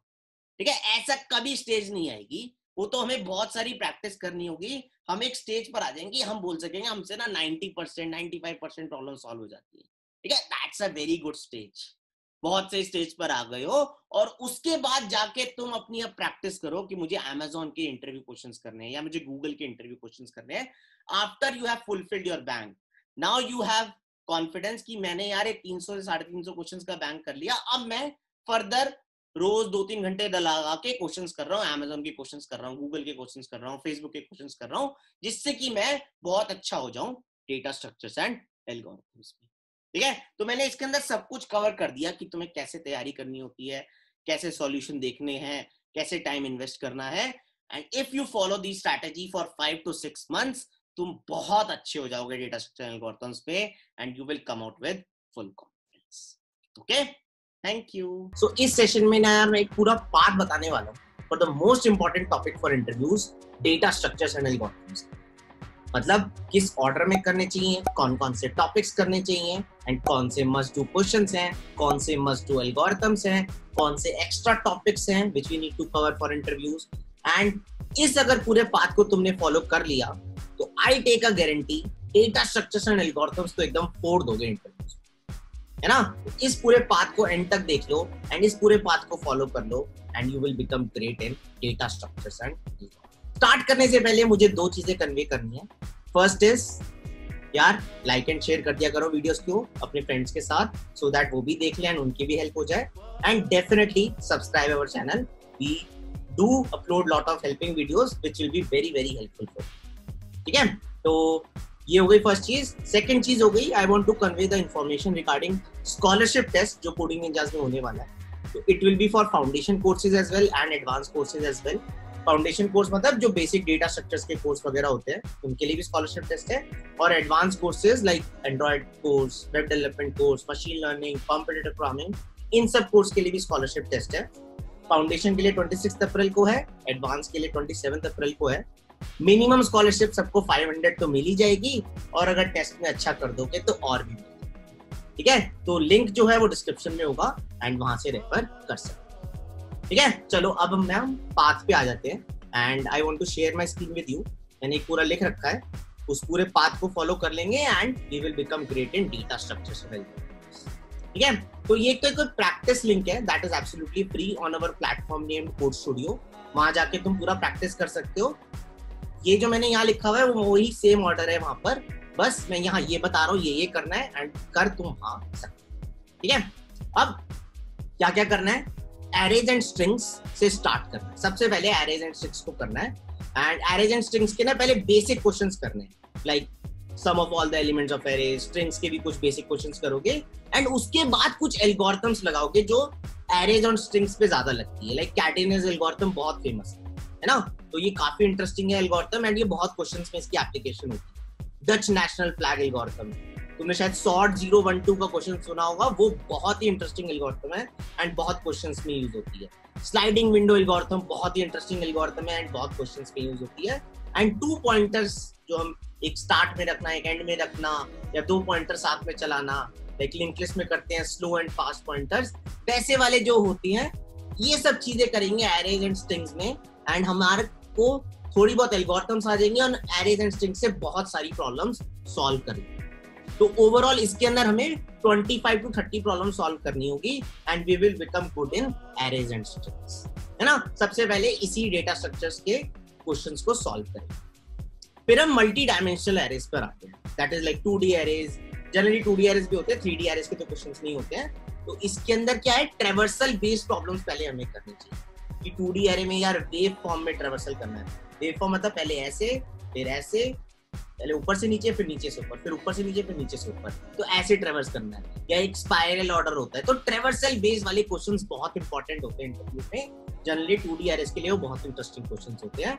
उसके बाद रोटेशन बेस्ड प्रॉब्लम्स होती है। कि मेरे को एक मैट्रिक्स जीवन है, उसका ट्रांसपोज निकालना है। तो ये सब मैं कैसे करूँगा? तो मुझे कुछ रोटेट वगैरह करना हो है ना? तो इस टाइप के क्वेश्चन भी टू डी आर एस में बहुत इंटरेस्टिंग होते हैं। एंड उन क्वेश्चन को हमें प्रैक्टिस करना चाहिए। उसके बाद हमें रिकर्जन एंड बैक ट्रैकिंग के क्वेश्चंस करने चाहिए। पहले बेसिक रिकर्जन के क्वेश्चंस करो, है ना? बिल्कुल बेसिक फैक्टोरियल फिबोनाची वगैरह, इन सब में अच्छे हो जाओ। फिर डिवाइड एंड कॉन्कर एक एल्गोरिथम है, जो generally merge sort quick sort में लगती है। उन एल्गोरिथम्स को अच्छे से करो। रिकर्जन का हार्ड पार्ट मैं बताऊँगा, थोड़ी देर बाद कर है ना? जो उसका हार्ड पार्ट है, जो हार्ड क्वेश्चन है, वो थोड़ी देर बाद करने होते अभी नहीं करेंगे। है ना?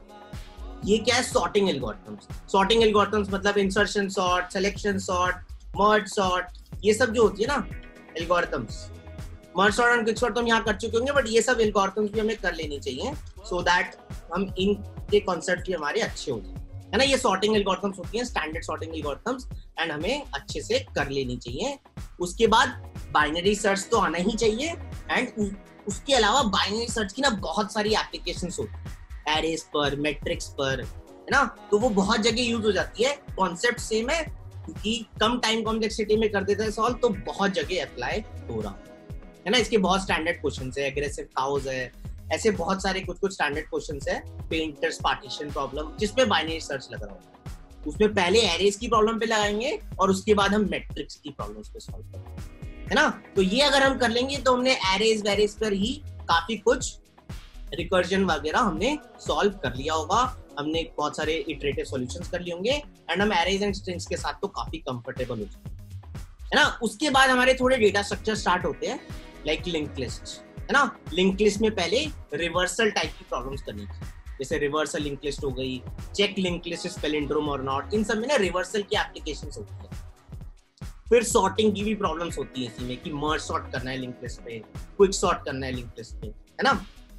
इन सब में क्या क्या करना होगा, मैं अगेन रिपीट कर रहा हूँ, ये प्रैक्टिस लिंक पे चले जाओ, तुम्हें पूरा पता लग जाएगा कि किस किसमें क्या करना है।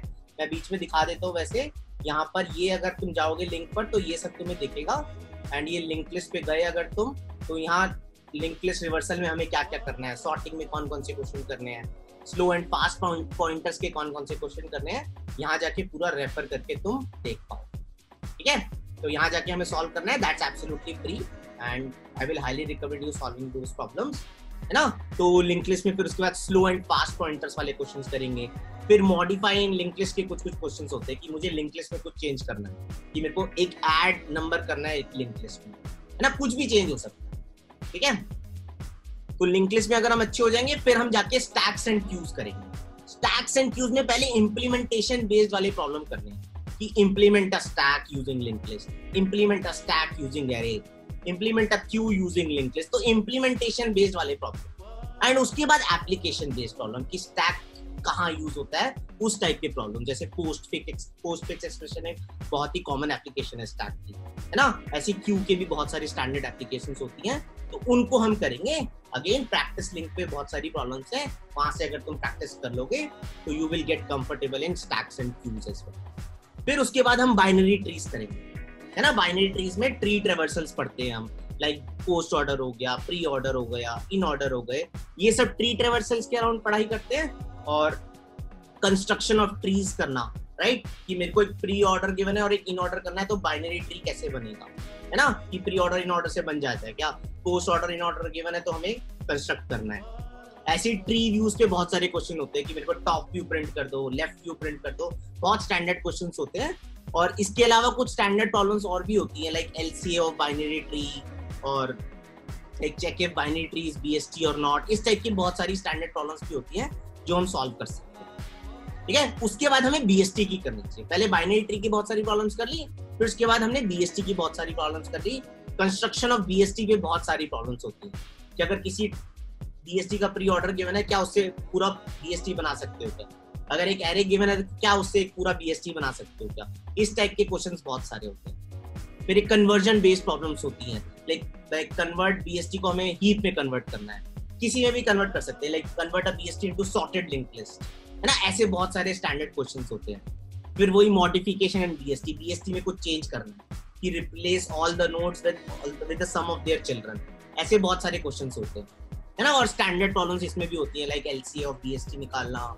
या एक होता है kth largest element in BST निकालना। ऐसे बहुत सारी स्टैंडर्ड प्रॉब्लम्स होती हैं। तुम इस लिंक पे जाओगे, तुम्हें सारी प्रॉब्लम्स मिल जाएगी। कौन कौन सी कर है? ना? फिर उसके बाद हमें प्रायोरिटी क्यूज एंड हीप्स वाले डेटा स्ट्रक्चर के बारे में पढ़ना चाहिए। उसके अंदर भी पहले इम्प्लीमेंटेशन बेस्ड प्रॉब्लम्स करते कि प्रायोरिटी क्यू बनाना, बनता कैसे है ना? अगर हमें कोई बोले इम्प्लीमेंट अ प्रायोरिटी क्यू क्या हम वो बना सकते हैं?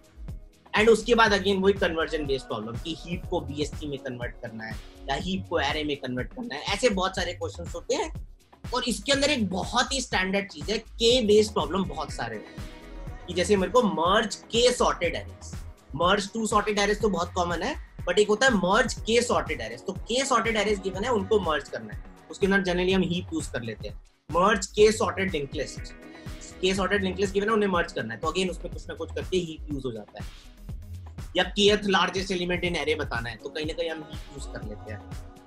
ऐसे बहुत सारी एप्लीकेशन है की बेस्ड प्रॉब्लम्स हमें अच्छे से कर लेनी चाहिए। उसमें बहुत जगह प्रायोरिटी क्यूज एंड हीप्स लगते उसके बाद हमें ग्राफ्स पढ़ना पड़ेगा, है ना?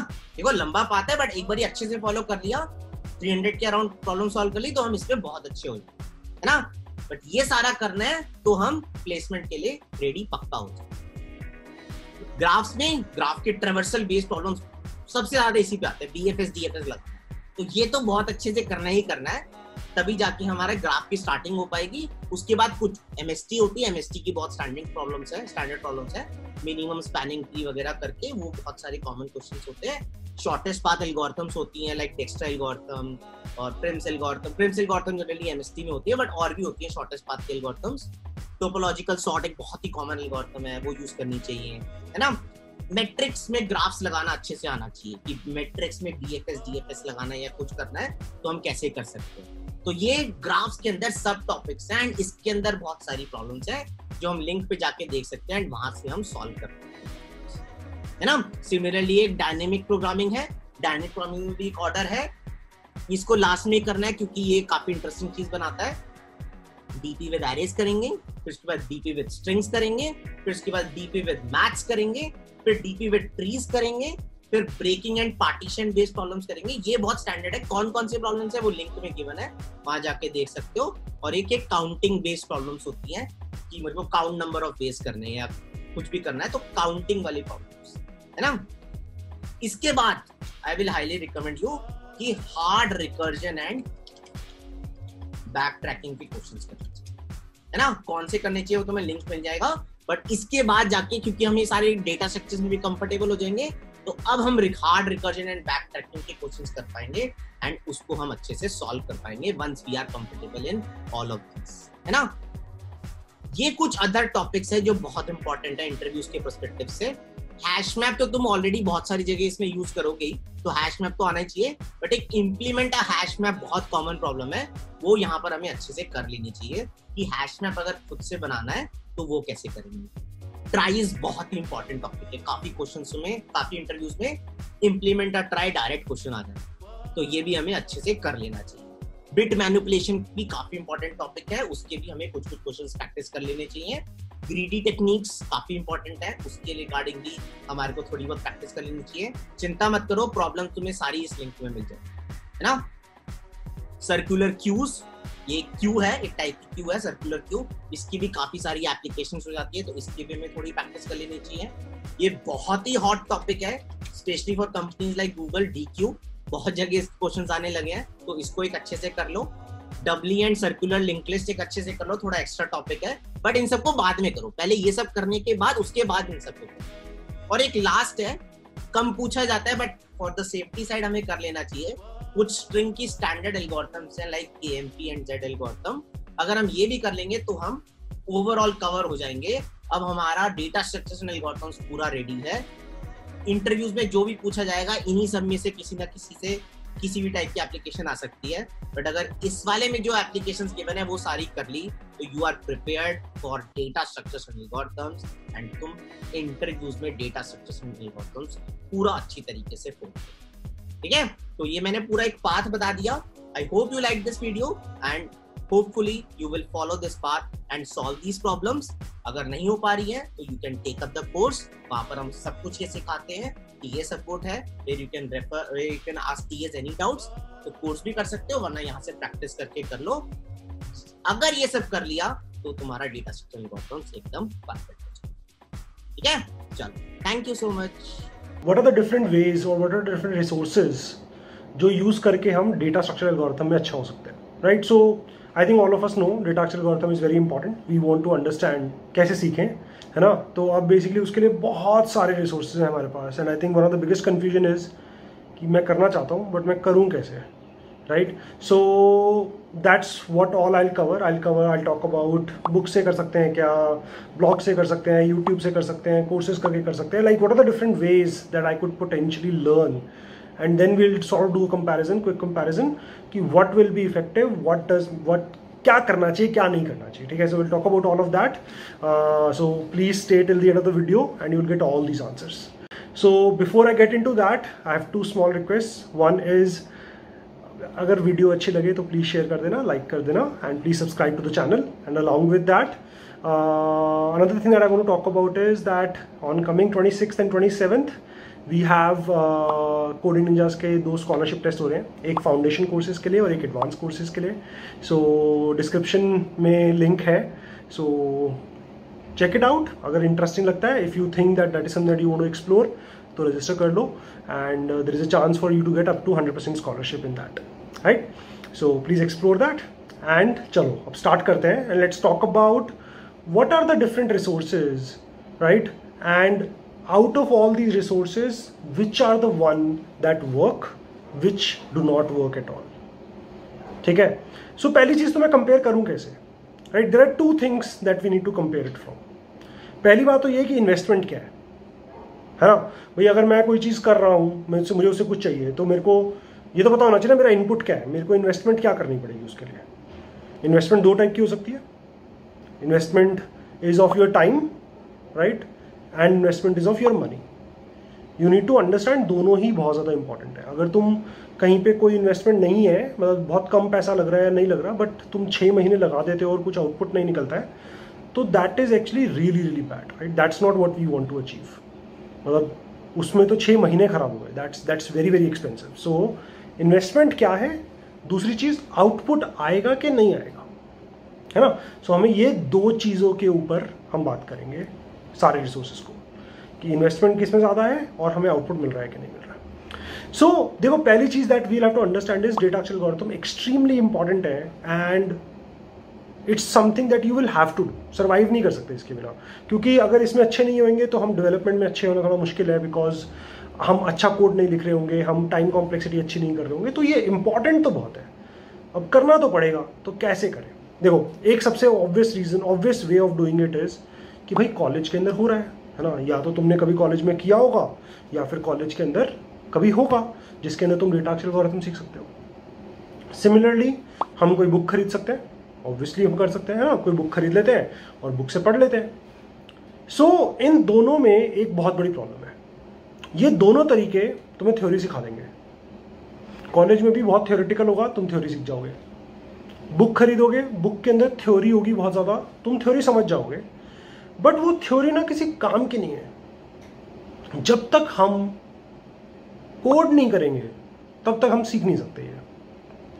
अगर मैं तुम्हें बोलूँ मैथ सीख लो और मैं तुम्हें कॉपी पेन नहीं दूँ, सिर्फ़ पढ़ पढ़ के मैथ सीख लो तो यार बहुत मुश्किल है ना? बिकॉज़ करने से आता है। सिमिलरली प्रोग्रामिंग करने से आती है। So we need to find a way जिसमें हम एक्चुअली कर पाए। So problem with both of these देखो कॉलेज में तो कोई इन्वेस्टमेंट नहीं है। अब कॉलेज के लिए तो जो हम पैसे दे रहे हैं, वो तो हमें दे नहीं है। जो टाइम देना है, वो तो हम दे ही रहे हैं। सो इन्वेस्टमेंट कुछ नहीं है but the problem is output नहीं आएगा। सिमिलरली बुक के अंदर बुक तो सस्ती आएगी बहुत ज़्यादा महँगी नहीं आएगी। बट टाइम तो देना पड़ेगा बुक को एंड उसमें भी आउटपुट नहीं आएगा बिकॉज़ जब तक हम एक्चुअली कोड नहीं करेंगे इनसे आउटपुट नहीं आने वाला। एंड एक चीज़ मैं बता रहा हूँ देखो हर चीज़ के एक्सेप्शन होते हैं है ना? सौ बच्चों में से पाँच बच्चे शायद इनसे सीख सकते हैं शायद सीख भी लेंगे। मैं एक जनरल सबके लिए बता रहा हूँ ठीक है? सो so, मुझे ऐसा लगता है कॉलेज एंड बुक्स बहुत ज़्यादा लोगों के लिए इफ़ेक्टिव नहीं रहती हैं। दो परसेंट, चार परसेंट, पाँच परसेंट के लिए रह सकती हैं तो प्लीज़ नाराज़ मत होना, तुम्हारे लिए है इफ़ेक्टिव तो बहुत बढ़िया है। बट उससे ज़्यादा के लिए नहीं होती। इसके बाद हमारे पास और क्या ऑप्शन है? अब हम आते हैं इंटरनेट की दुनिया में, है ना? हमारे पास दुनिया भर के ब्लॉग्स हैं, हमारे पास दुनिया भर के यूट्यूब चैनल्स हैं वीडियोस हैं, हम बहुत सारी जगह सीख सकते हैं। हमें क्या चाहिए होगा? हमें चाहिए होगा, भाई मेरे को दस टॉपिक चाहिए, मैं हर एक हर एक टॉपिक पे ब्लॉग पढ़ लूँगा, हर एक टॉपिक पे वीडियो देख लूँगा और मैं सीख जाऊँगा। यार सेम प्रॉब्लम है। अब देखो यहाँ पे इन्वेस्टमेंट पैसा तो नहीं खर्च हो रहा है ना? फ्री है। बट टाइम तो जा रहा है। बहुत ज़्यादा टाइम जा रहा है।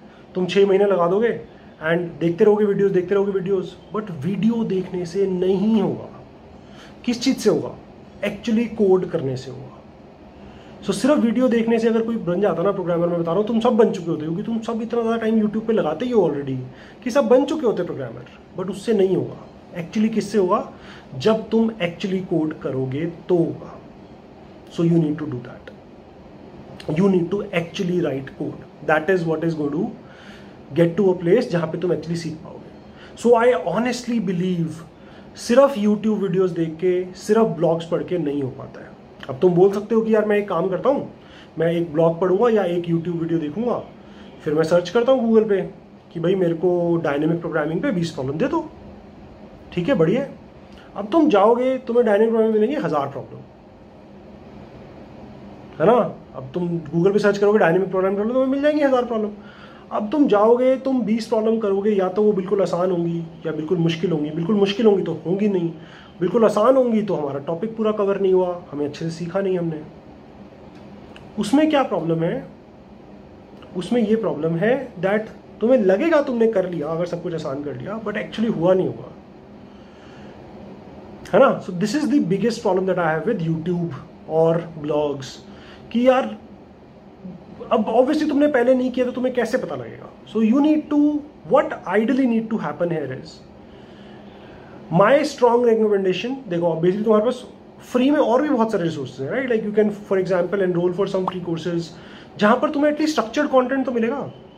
तुम्हें मिलेगा कि यार ये वीडियो देख ले, फिर ये प्रॉब्लम कर, फिर ये प्रॉब्लम कर, फिर ये प्रॉब्लम कर, फिर ये वीडियो देख, फिर ये प्रॉब्लम कर right like at least you get a path what I am trying to get to is कि यूट्यूब से भाई नहीं हो पाएगा, सच में नहीं हो पाएगा, कहाँ से हो पाएगा, वहाँ से हो पाएगा, जहाँ पर एटलीस्ट हमें स्ट्रक्चर्ड पाथ मिलेगा। हमें पता होना चाहिए कि भाई ये वीडियो देखनी है, उसके बाद ये प्रॉब्लम्स करनी है। एंड मैं फिर से बता रहा हूँ, होंगे दो चार पाँच परसेंट लोग जो यूट्यूब से भी सीख लेंगे। तो प्लीज़ नाराज़ मत होना। मेजोरिटी के लिए इट डज नॉट वर्क तुम्हें मोटिवेशन चाहिए, तुम्हें मोटिवेशन की वीडियोज़ मिल जाएँगी। तुम्हें, जैसे मैं अभी तुम्हें बता रहा हूँ कि भाई कैसे कैसे करना चाहिए, तुम्हें ऐसी काम की वीडियोज़ भी मिल जाएँगी। बट एक्चुअल कॉन्टेंट अनलेस मैं प्रॉब्लम कर रहा हूँ, मेरे को करते करते एक स्पेसिफिक प्रॉब्लम में डाउट आ रहा है, मैं यूट्यूब पे जाऊँगा, मेरे को बढ़िया सोल्यूशन मिल जाएँगे, मैं उसको जाके कर सकता हूँ। That is something that I can do that is not a problem at all but अगर मैं सोचूं, मुझे कुछ नहीं आता। और अब मेरे को करना है यूट्यूब से तो बहुत प्रॉब्लम है। अगर मुझे अब करना है ब्लॉग से तो बहुत प्रॉब्लम है। So my strong recommendation that you please realise सिर्फ़ पैसा इन्वेस्टमेंट नहीं हो रहा है टाइम भी इन्वेस्टमेंट हो रहा है एंड तुम्हारे छः आठ महीने बहुत इंपॉर्टेंट है। इसमें जितना सीख सकते हो, उससे जो इवेंचुअली पैसा कमाओगे, उसका जितना अभी इन्वेस्टमेंट तुम्हें करना पड़ेगा, उस बहुत कम है अभी investment compare to that okay so now what to do my recommendation you should follow a structure path उसके अंदर भी हाउ डू आई डिसाइड कि कहाँ से करो? देखो, उसमें भी तुम्हें फ्री ऑप्शंस मिल जाएँगे पेड ऑप्शंस मिल जाएँगे, बहुत सस्ते ऑप्शन मिल जाएँगे, थोड़े महँगे ऑप्शंस मिल जाएँगे, बहुत महँगे ऑप्शंस मिल जाएँगे। तीन तीन लाख चार चार लाख वाले ऑप्शन भी मिल जाएँगे राइट स्टार्टिंग फ्रॉम पाँच सौ रुपये से लेके तीन चार लाख रुपए तक के तुम्हें सारी रेंज मिल जाएगी जो तुम्हें बोलेंगे कि तुम्हें सिखा देंगे। अब हम कैसे इवेल्युएट करें कि हम ये कैसे कर सकते हैं?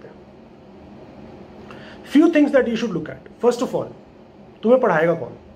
Who are your teachers right you should feel inspired by them teacher का काम सिर्फ़ पढ़ाना नहीं है टीचर का काम है इंस्पिरेशन भी। So you should feel inspired by them that यार ये ऐसे लोग हैं जिनसे मैं एक्चुअली पढ़ना चाहता हूँ। दीज आर द पीपल जिन्होंने खुद किया हुआ है कुछ ज़िंदगी में, जिनसे मैं कुछ करना चाहता हूँ right like these are the people who inspire that is extremely important they should be good teachers सिर्फ़ कॉन्टेंट आने से कुछ नहीं होता, पढ़ाना भी आना चाहिए। So that is one very important part second is it has to be structured content ऐसा नहीं होना चाहिए यार, पाँच वीडियो है, अभी पचास प्रॉब्लम है, जाके कर ले। It has to be structured content you should know ये वीडियो देखनी है, फिर मुझे ये प्रॉब्लम्स करनी है, फिर मुझे कुछ प्रॉब्लम्स करनी है, फिर मुझे कुछ very very practical has to be extremely practical right so ये दो चीज़ें पहले हमें पक्का बेसिक है, जो होनी चाहिए। टीचर बढ़िया होना चाहिए और कंटेंट बहुत ही स्ट्रक्चर्ड होना चाहिए। अब देखो, अब पता क्या होता है? बहुत सारे लोग ऑनलाइन पढ़ना शुरू करते हैं और नहीं कर पाते पूरा। उसके दो मेन रीजन होते हैं। तो हम जब किसी भी प्लेटफॉर्म को इवेल्युएट करेंगे, हम ये दो चीज़ें पक्के से देखेंगे। पहली चीज़, बहुत सारे लोगों की मोटिवेशन चली जाती है बीच में। यार, मेरे को आज लग रहा है मैं करना चाहता हूँ बट फिर हो नहीं पाता। है ना? क्योंकि मेरे को पंद्रह दिन के बाद मेरी मोटिवेशन थोड़ी कम हो गई। दूसरी चीज़, मेरे को एक डाउट आ रहा है। अब वो कोई सॉल्व नहीं कर रहा। मेरे पास कोई नहीं है जिससे मैं पूछ पाऊँ और वो सॉल्व हो जाए तुरंत। Now this is again a big reason people drop out of courses complete नहीं करते। सो so, हम अगर कोई भी ऑनलाइन कोर्स करेंगे तो we have to make sure कि हमें जब डाउट्स हो हमारी कोई हेल्प करेगा। हमारे डाउट सॉल्व होने चाहिए अच्छे से सॉल्व होने चाहिए दैट इज़ एक्सट्रीमली इंपॉर्टेंट ठीक है? वन मोर थिंग बहुत रेयर जगह पे तुम्हें ये मिलेगा but if there is a place which will keep you motivated right which will take care of you in the sense that तुम नहीं एंथू आ रहा, तुम्हें कोई मोटिवेट कर दे, तुम्हें कोई समझा दे राइट जनरली गाइड लाइक अगर तुम फॉर एग्ज़ाम्पल किसी क्लासरूम में जाते हो तो टीचर तुम्हें मोटिवेट भी करता है ना? सिर्फ़ पढ़ाता नहीं है, वो तुम्हें बोलता है भाई, ऐसे कर, वैसे कर, ये ज़रूरी है, इसलिए ज़रूरी है right like this is the motivation that is extremely important so अगर हमें कहीं पे ये चार चीज़ें मिल जाए टीचर बढ़िया हो कॉन्टेंट स्ट्रक्चर्ड हो, ज़्यादा लंबी वीडियोज़ ना हो बोरिंग ना हो इंटरेस्टिंग हो हमें डाउट सॉल्व हो जाए और हमें मोटिवेशन जनरली मिल जाए। तो I am telling you that is what we should go for थोड़ा सा पैसा स्पेंड करने से मैं बता रहा हूँ फाइनली जो तुम्हारा आरओआई होने वाला है फ्रॉम दिस जो तुम्हें actually the kind of jobs you can get by learning data algorithms really well कोई कंपैरिजन नहीं है। थोड़ा बहुत पैसा अगर तुम्हें भी पे करना पड़ेगा। जेन्यूनली बता रहा हूँ and I am coding founder but मैं उसको बिल्कुल साइड में रख के बता रहा हूँ, अभी तक जो मैंने तुम्हें सब बताया है। कोई फ़र्क नहीं पड़ता उससे। थोड़ा बहुत अगर हमें पैसा खर्च करना पड़ता है तो you should do it because छः महीने, आठ महीने वेस्ट नहीं होंगे स्ट्रक्चर्ड कंटेंट मिलेगा, ढंग के लोग मिलेंगे। कहीं से भी करो, कहीं से भी I am not saying coding इंजर से करो, कहीं से भी करो बट प्लीज़ ये चीज़ों को दिमाग में रखते हुए अच्छे से करो। एक्सट्रीमली इंपॉर्टेंट देखो, अगर तुम्हें गिटार सीखना होता एंड तुम्हें नहीं पता कि तुम्हें इवेंचुअली सीखना है कि नहीं सीखना तो मैं बोलूँगा कमिटमेंट मत करो। दो चार यूट्यूब वीडियोस देखो देखो तुम्हें मज़ा आ रहा है कि नहीं आ रहा, तुम कुछ करना चाहते नहीं करना गिटार किसी से उधार ले लो, फिर कर लो। फिर लगे कि हाँ बढ़िया है, ये तो मैं करना चाहता हूँ। अब उसके लिए थोड़ा पैसा खर्च करो। गिटार भी खरीदो, कहीं से क्लासेस भी लो right like do all of that but ये गिटार नहीं है ना, इससे तो करियर बनेगा ना। पता है ना कि data algorithm is going to get us the job हमें वो जॉब चाहिए। तो प्लीज़ यहाँ पर हमें थोड़ा ढंग से स्ट्रक्चर्ड तरीके से करना है। This is not a hobby this is something that is going to get you what you want to achieve in your life so please अच्छे से मेहनत करके करेंगे। Now just in this last section I want talk about coding teachers देखो, हमने I hope तुम you can evaluate teachers कैसे हैं स्ट्रक्चर कॉन्टेंट है नहीं है right like all of you can evaluate you you can read reviews you will find doubts में क्या हो रहा है, क्या नहीं हो रहा all of that we have like we have we have managers who are literally there to look at people जो अभी काम नहीं कर रहे हैं, उनको कॉल करके, उनको समझाना कि भाई पढ़ लो, ज़रूरी है, क्यों ज़रूरी है? All of that will be done all of that is done here and one thing that I again want tell you that I told you in the beginning as well do look out for opportunities like जैसे अभी scholarship test हो रहा है। There is a chance you will get hundred percent scholarship effectively you will get all of these things without paying much and hundred percent नहीं भी मिलेगी तो कम मिलेगी तो but you still will be able to get that what you want to achieve right so do check that out and 10 15 percent of are users are students actually learn for free anyways क्योंकि यार teaching assistant बन जाते हैं। सबसे अच्छा जो सीखता है, वो टीचिंग असिस्टेंट बन जाता है, बाकियों को सिखाता है और अच्छे से सीख पाता है बिकॉज़ बाकियों के डाउट सॉल्व कर करके उसके डाउट्स उसके अंदर का कोड बेसिकली वो बहुत ज़्यादा सही हो जाता है कोडिंग के अंदर। है ना? एंड इवेंचुअली जो स्टाइपेंड मिलता है that is actually more than what they pay as a fee so effectively you make money अगर तुम बहुत अच्छे से करोगे तो you will actually end up making money rather than spending ठीक है? So you just need to be resourceful you need to know कि कहाँ पर क्या करना है. And even if you want to ignore what I said in the last one minute, absolutely do. Feel free to do that. But please evaluate correctly how you want to achieve what is very very important how you want to learn please dhyan se acche se karo. Okay? Thank you. How do i make sure that all the effort that i put in into learning data algorithms let's say i did this in second year now how do i make sure that i'm revising it the right way before my placements? Right? Whether that is an internship or placement interviews how do i revise it at the right moment? So i'll talk about all of that what you should do in between this journey during the placement period what how you should revise what are the right steps to do how many problems you should solve uh, what are the right way to basically practice and revise right? I'll talk about all of that. Please stick till the end of the uh, video and you'll get all these answers. Just one more request. Please like the video subscribe to the channel and do share it with friends who you feel this will be valuable for. Okay? So in this video i want to talk about a problem that a lot of students face. So you have done enough in data algorithm and now you didn't do it for a while now you want to revise it. Right? So you want to get back into that zone of solving problems. So first of all any preparation of data structure algorithms requires you to understand the concepts but more importantly put them into practice. You should have solved enough problems. And if you've done that when you were learning data structure algorithm you will be absolutely fine now. You just need to practice for some time and you will very quickly get back into that zone in that groove of solving problems. You will be absolutely fine. In case when you actually learned, you did not solve enough problems, you did not practice, sadly, I'll have to tell you that you are not prepared for data structures that much at all. That is the problem that people face when, let's say, they have done a data structure course in college. Because and they have not practiced otherwise right like because sometimes in a lot of colleges they will you not practice a lot. You will learn the concepts but you will not practice enough. And that is not that much useful. You need to write code to actually get into this problem solving get the understanding of problem solving and do well in the interviews. Anyways assuming that you have done that practice now it's not going to be a big deal. in an ideal scenario, what I would suggest to somebody who is learning data algorithms right now is to not lose touch with data algorithm for a long period. In an ideal scenario, just stay in touch with data algorithm. Spend five to six hours a week. Maybe you spend one hour a day, or maybe you spend every Saturday doing it. Make it a ritual, right? Like this is exactly what I'm going to do, and just stick to that because if you stick to it you will not just only stay in touch with it you will keep improving your skills you will keep solving better and better problems and your overall skill level will go to a very different level. Right? So i would highly recommend you to stay in touch. Even if you did not let's say but you solved enough problems i'm telling you you will be absolutely fine. If you would ask me how to design your revision now my first suggestion to you would be that if you followed let's say a structured path of solving or learning data algorithm my recommendation to you would be just go back and redo all the problems.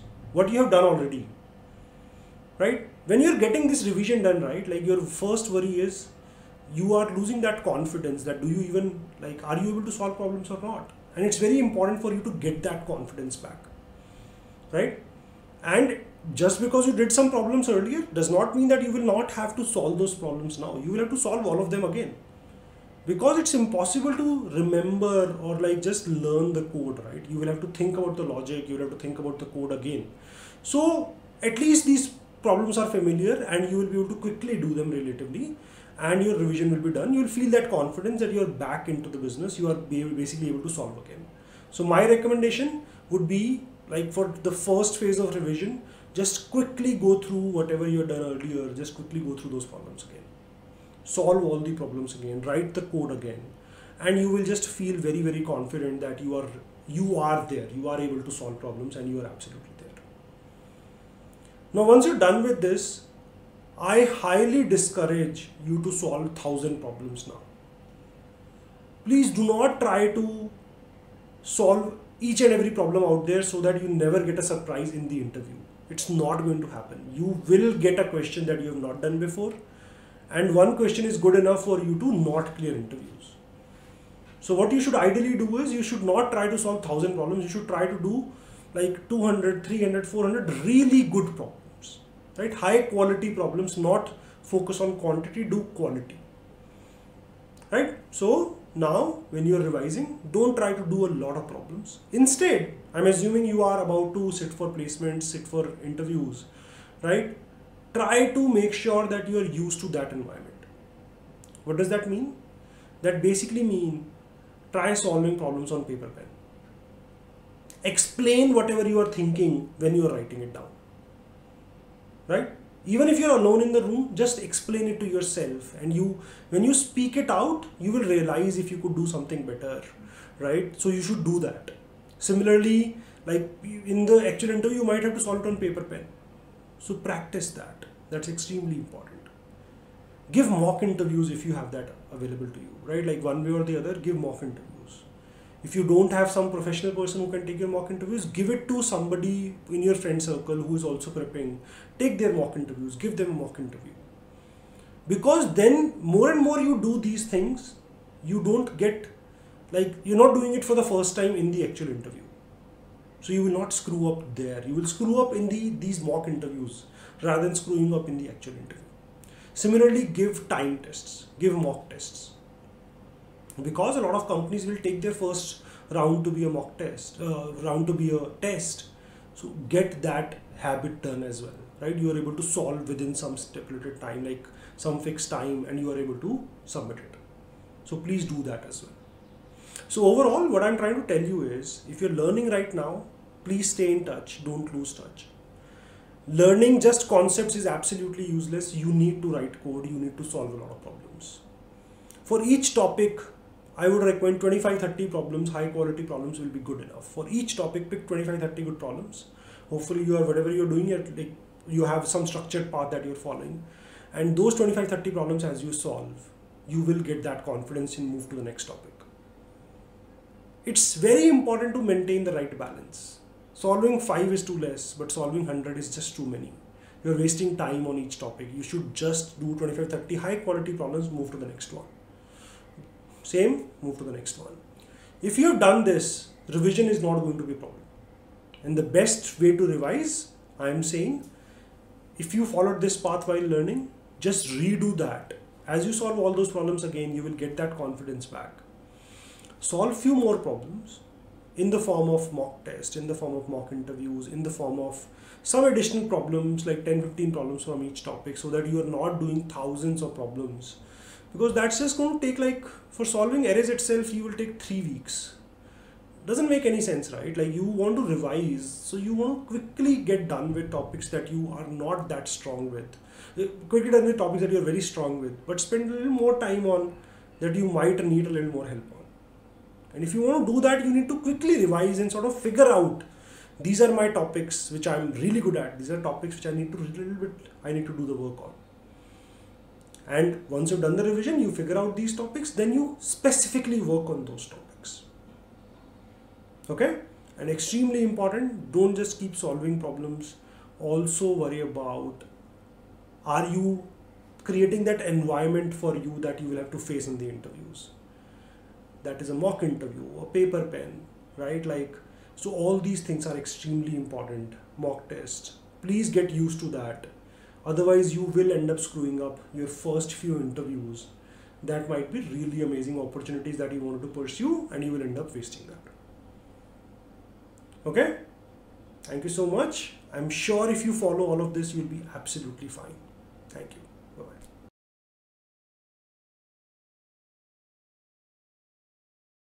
Guys, this is Ankush.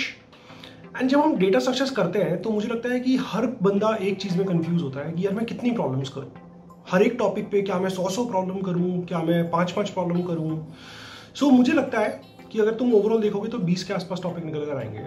हर एक data structures को कर लो एल्गोर like algorithm में DP हो गया है ना? कुछ ग्राफ्स के एल्गोरिथम होगी तो तुम्हें टोटल 20 बाईस टॉपिक निकल कर आएँगे। अगर तुम हर एक टॉपिक पे 15 से 20 प्रॉब्लम करते हो तो I think that's an optimal number बस वो चॉइस ऑफ़ क्वेश्चन अच्छी होनी चाहिए। ईजी से शुरू करके हार्ड पे जाना चाहिए। Different type of aspect of the topic cover हो जाना चाहिए।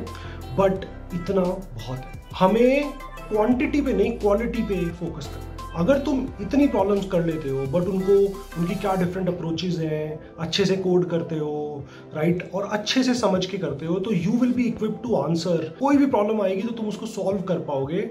हमें रटना नहीं है प्रॉब्लम्स को हम नई प्रॉब्लम को सॉल्व कर पाएँगे। Okay thank you must do data structures and algorithms के questions for big product based companies like Amazon, Microsoft Google है ना? तो मैं ऐसे सारे हॉट क्वेश्चंस बताने वाला हूँ जो इन कंपनीज़ में जनरली पूछ लिए जाते हैं। या तो सिमिलर क्वेश्चन ही आ जाते हैं, या इन क्वेश्चन में जो टेक्निक लग रही होती है ना, वो उसी टाइप की टेक्निक तुम्हारे इंटरव्यू क्वेश्चन में लगेगी। है ना? तो मैं हर टॉपिक के लाइक एरेज के टॉप हॉट क्वेश्चन स्ट्रिंग्स के टॉप हॉट क्वेश्चन जो करने ही करने हैं, उसके बिना हम इंटरव्यू में जाएँगे नहीं। तो हर टॉपिक वाइज उनके जो कॉरस्पॉन्डिंग हॉट क्वेश्चन है, वो बताने वाला हूँ and I will highly recommend you to practise them उनको तो प्रैक्टिस कर ही लेना, बाकी क्वेश्चंस करो या ना करो। ठीक है? तो एंड तक रहना and you will get to know all of these questions and if you like this video please like and share with your friends है ना? And definitely subscribe our channel हम लोग ऐसी हेल्पिंग वीडियोस डालते रहते हैं and obviously you get the path of learning तो start करते हैं and let me share the screen with you and उससे हमें क्लैरिटी हो जाएगी। ठीक है? सो so, या yeah.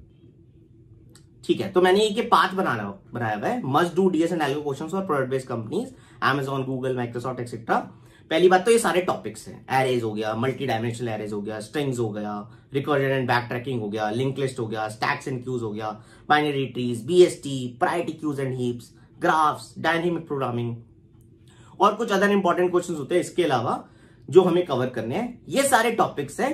अब हर टॉपिक के कॉरस्पॉन्डिंग हम क्वेश्चन देखेंगे कि कौन से करने ही करने हैं।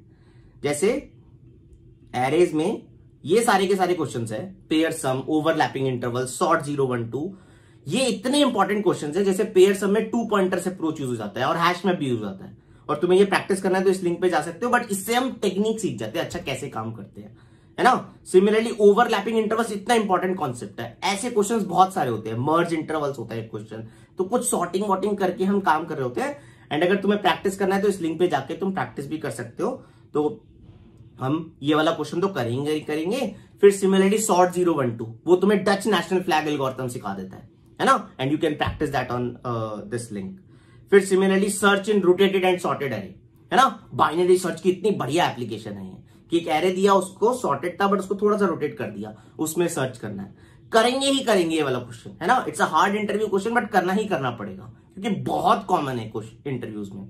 Similarly smallest subarray with K distinct elements इसमें स्लाइडिंग विंडो की टेक्निक यूज़ हो जाती है। तो तुम क्वेश्चन सॉल्व करते हो एंड स्लाइडिंग विंडो एल्गोरिथम समझ में आ जाती है है ना? एंड जाके इस क्वेश्चन को तुम प्रैक्टिस भी कर सकते हो। ये मैंने पाँच हॉट क्वेश्चन लिखे हैं। कुछ और, थोड़े बहुत और क्वेश्चन होते हैं पाँच छह जो काफ़ी हॉट है बट इस लेवल के हॉट क्वेश्चन नहीं है। तो you can practice that on this link ठीक है? तो यहाँ जाके प्रैक्टिस कर लेना एंड एरेस के मस्ट डू क्वेश्चन तुम्हारे पक्का हो जाएँगे, ठीक है? Similarly two D arrays multi dimensional arrays इसके दो तीन तो इतने इंपॉर्टेंट क्वेश्चन है जो जनरली इंटरव्यूज़ में आई जाते हैं। जैसे search in row wise and column wise sorted matrix है ना? बहुत ही इंपॉर्टेंट कॉन्सेप्ट है, जिसमें बाइनरी सर्च लग रहा होता है। इन प्लेस रोटेट मैट्रिक्स में 90 डिग्री करना ही करना है। ऐसे क्वेश्चन में ट्रांसपोज यूज़ होता है बिकॉज़ ये क्वेश्चन ना याद नहीं रहते। वहाँ जाके हमेशा सोचना पड़ता है। तो तुम रट भी लोगे, तब भी जाके वहाँ फ्रेश तरीके से सोचता होगा इसलिए इतने इंपॉर्टेंट क्वेश्चन है। सिमिलरली मैट्रिक्स में मीडियन निकालना राइट बाइनरी सर्च के थ्रू करते हैं। इतना इंपॉर्टेंट क्वेश्चन है है ना? फिर कुछ और क्वेश्चन है टू डीआरएस के जो तुम इस लिंक पे जाके प्रैक्टिस कर सकते हो। But these are the top interview question for product based companies in terms of to ठीक है? अब टू की बात हो गई तो अब स्ट्रिंग्स की बात करेंगे। जैसे होता है longest substring without repeating characters इतनी बढ़िया एप्लीकेशन है स्लाइडिंग विंडो की, कि ये क्वेश्चन भी आ जाता है। तो स्लाइडिंग विंडो तुम्हें स्ट्रिंग में भी लगाना आ जाता है। है ना? सिमिलरली एनाग्राम डिफरेंस एनाग्राम इतना इंपॉर्टेंट कॉन्सेप्ट है स्ट्रिंग्स के क्वेश्चंस में तुम अगर सर्च करोगे तो बहुत सारे क्वेश्चंस में एनाग्राम वाली चीज़ मिलेगी। है ना? तो इसमें हैश मैप का यूज़ करना आ जाता है। राइट तो ये वाला क्वेश्चन भी करेंगे करेंगे। फिर shortest substring with all characters इसमें टू पॉइंटर्स की टेक्निक यूज़ आती है इन टर्म्स ऑफ़ स्ट्रिंग्स है ना? तो हमें ये भी अच्छे से लगाना आ जाता है। और minimum operations to make strings equal इसमें हैश मैप के थ्रू कुछ ना कुछ कर रहे होते हैं। तो हमें स्ट्रिंग्स के थ्रू हैश मैप लगाना आ जाता है। इसके अलावा कुछ और डू क्वेश्चन है वो इस, इस लिंक पे जाके प्रैक्टिस कर सकते हो। यहाँ पर जाके तुम्हें स्ट्रिंग्स के एक्स्ट्रा क्वेश्चंस मिल जाएँगे। But these are the favourite question of product based companies है ना? इन कॉन्सेप्ट के अराउंड काफ़ी सारे पूछे जाते हैं।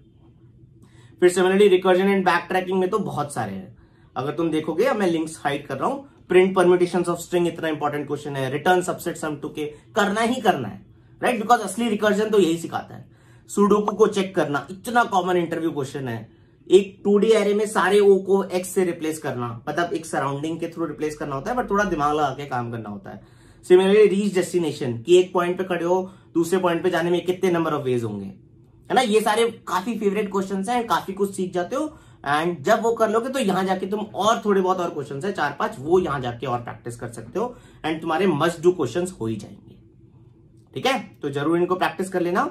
सिमिलरली लिंक लिस्ट में merge two sorted linked list करा ही करा होना चाहिए। अगर ये नहीं करा तो फिर भाई नहीं जाऊँगे इंटरव्यू में।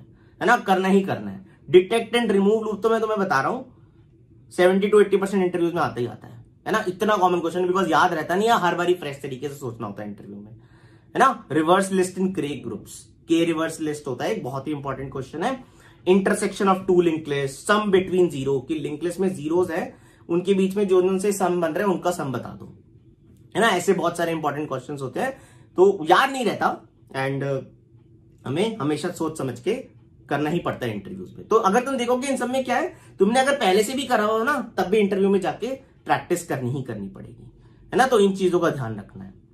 तो लिंक लिस्ट का हो गया, फिर स्टैक्स एंड क्यूज में हो गया implement stack using linked list हम स्टैक के एप्लीकेशन करते रहते हैं बट इंप्लीमेंटेशन में ध्यान नहीं देते। वो काफ़ी इंपॉर्टेंट क्वेश्चन होता है इंटरव्यूज़ में।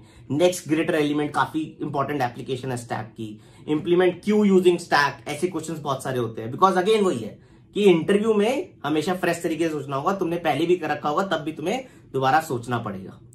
एल आर यू कैश तो मैं तुम्हें बता रहा हूँ, पता नहीं कितने इंटरव्यूज़ में पूछा गया और हर बार ही पूछा जाता है। है ना? Evaluation of postfix expression बहुत ही कॉमन क्वेश्चन है स्टैक्स का। ये तो कॉलेज में भी पढ़ाया जाता है। है ना? और कुछ अगर इसके अलावा अदर क्वेश्चन है, वो यहाँ जाके तुम प्रैक्टिस आराम से कर सकते हो। ठीक है? फिर बाइनरी ट्रीज की बात आ जाती है। तो बाइनरी ट्री को प्रेजेंट एरे से बनाना, ये मैंने पहले भी डिस्कस करा है, काफ़ी इंपॉर्टेंट क्वेश्चन है। Maximum sum path from root to leaf कि रूट से लेकर लीफ में किसमें मैक्सिमम सम बन रहा है है ना? हमेशा कॉन्सेप्ट लगाओगे लॉजिकल क्वेश्चन है हर टाइम इंटरव्यू में सोचना ही सोचना पड़ेगा। Print node at distance K from a given node एक नोड गिवन है, उससे के डिस्टेंस पे कितने नोड्स है? केवल नीचे नहीं, ऊपर भी हो सकता है है ना? ऐसे क्वेश्चंस बहुत सारे पूछे जाते हैं। Maximum width in a binary tree कि ऐसे वाली विड्थ हाइट नहीं हॉरिजॉन्टल डिस्टेंस में किसकी मैक्सिमम विड्थ है? है ना? टाइम टू बर्न ट्री मैंने तो पता नहीं इतने सारे इंटरव्यू एक्सपीरियंसेस में देख लिया है टाइम टू बर्न ट्री इतना कॉमन क्वेश्चन है कि पूरे ट्री को बर्न करने में कितना टाइम लगेगा। है ना? और इसके अलावा कुछ और कॉमन क्वेश्चन है, वो यहाँ प्रैक्टिस लिंक पे जाके तुम प्रैक्टिस कर सकते हो। ठीक है? सिमिलरली बीएसटी बीएसटी में डिलीट करना हमेशा एक फ्रेश थिंकिंग से सोचना होता है तो हमेशा इतना इंपॉर्टेंट क्वेश्चन बन जाता है इंटरव्यू परस्पेक्टिव से। एक सॉर्टेड लिंक लिस्ट को बैलेंस्ड बीएसटी में कन्वर्ट करना, काफ़ी इंपॉर्टेंट क्वेश्चन है। बीएसटी में के स्मॉलेस्ट एलिमेंट निकालना, है ना? इसमें काफ़ी सारा तुम्हारा क्लास यूज़ हो जाती है एंड जावा में अगर करते हो तो इंपॉर्टेंट क्वेश्चन हो जाता है। बाइनरी ट्री को बीएसटी में कन्वर्ट करना पेयर सम इन एरे करा था पेयर सम बीएसटी में करना। अगर तुमने करा हुआ है ना ये स्टैक्स के थ्रू होता है, हमेशा फ्रेश तरीके से सोचना होता है। है ना? तुमने पहले कितनी बारी भी कर लिया हो सौ बारी भी कर लिया तो हंड्रेड एंड वन बारी जब जाओगे, तब भी तुम्हें फ्रेश तरीके से सोचना होगा। है ना? इसलिए इंपॉर्टेंट क्वेश्चन बन जाते हैं। है ना? इन सबको तुम यहाँ जाके प्रैक्टिस कर सकते हो। हर की कॉरस्पॉन्डिंग लिंक अटैच है। वहाँ जाके प्रैक्टिस कर लेना। फिर आता है प्रायोरिटी क्यूज एंड हीप्स अब इसमें रनिंग मीडियन है ना? प्रायोरिटी क्यू जो करता है, उसको रनिंग मीडियन वाला क्वेश्चन तो सॉल्व करना ही होता है। क्योंकि उसमें मैक्स हीप भी यूज़ आता है मिन हीप भी यूज़ हो जाता है। तो इतना फेवरेट क्वेश्चन हो जाता है इंटरव्यूअर्स का। एक मिन हीप को मैक्सिमम मैक्स हीप में कन्वर्ट करना Kth largest element in unsorted array निकालना। के वाले वर्ड तो generally priority queues and heaps में ही आ जाते हैं ना तो वो तो करने ही करने पड़ेंगे। के मोस्ट फ्रीक्वेंट वर्ड्स निकालना, एक टेक्स्ट दिया हुआ है, उसमें के मोस्ट फ्रीक्वेंट वर्ड्स कौन से हैं, है ना? लास्ट टोन वेट काफ़ी कॉमन प्रॉब्लम है, इस लिंक पे जाना, तुम्हें समझ में आ जाएगा कि इसमें हीप्स कैसे यूज़ हो रहा है। है ना? इसके अलावा थोड़े बहुत और क्वेश्चन है, वो इस लिंक पे जाके तुम प्रैक्टिस कर सकते हो। ठीक है? ग्राफ्स की बात करें इस ग्राफर ट्री बहुत ही कॉमन क्वेश्चन है। है ना? एम कलरिंग प्रॉब्लम सुना ही सुना ही होगा। स्नेक एंड लेटर डीएफएस के थ्रू करते हैं, या बीएफएस के थ्रू करते हैं ना? तो वो तुम अच्छे से सोच सकते हो कि स्नेक एंड लेटर में कैसे कर सकते हैं। है ना? आई थिंक बीएफएस का काफ़ी इंपॉर्टेंट एप्लीकेशन है। Shortest path in unweighted graph shortest path के बहुत सारे क्वेश्चन आते हैं। एक एलियन डिक्शनरी क्वेश्चन है, वो जाके ज़रूर प्रैक्टिस करनी चाहिए हमें। है ना? तो ये कॉमन ग्राफ्स के क्वेश्चन है, और इसके अलावा थोड़े बहुत और क्वेश्चन है, वो इस लिंक पे जाके तुम प्रैक्टिस कर सकते हो। सिमिलरली डायनेमिक प्रोग्रामिंग में तो एडिट डिस्टेंस हो गया रॉड कटिंग प्रॉब्लम हो गया, इतने कॉमन क्वेश्चन ना सुनने ही सुने होंगे, है ना? बट ये करने ही करने हैं, क्योंकि ये एज इट इज़ क्वेश्चन भी आ जाएगा ना इंटरव्यू में तो तुम्हें फ्रेश परस्पेक्टिव से सोचना ही होगा। नैपसेट प्रॉब्लम पेलिंड्रोमिक पार्टीशनिंग है ना? इन सब क्वेश्चन को तो प्रैक्टिस कर ही लेना। इसके अलावा ये अदर क्वेश्चन है, कुछ पाँच पाँच, छह क्वेश्चन उनको जाके और प्रैक्टिस कर लेना।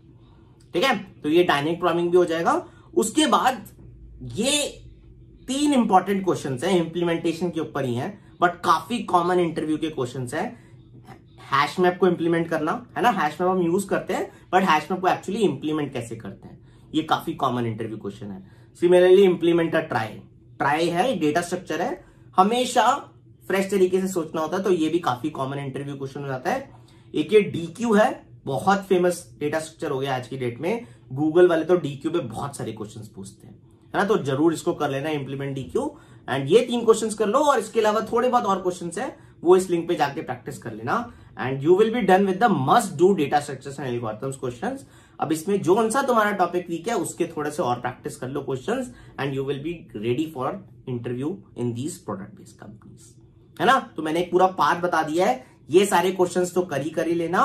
कहाँ से करना है वो भी दे दिया है. बस कर लेना एंड रेडी हो जाना for these interviews so all the best for your preparation and thank you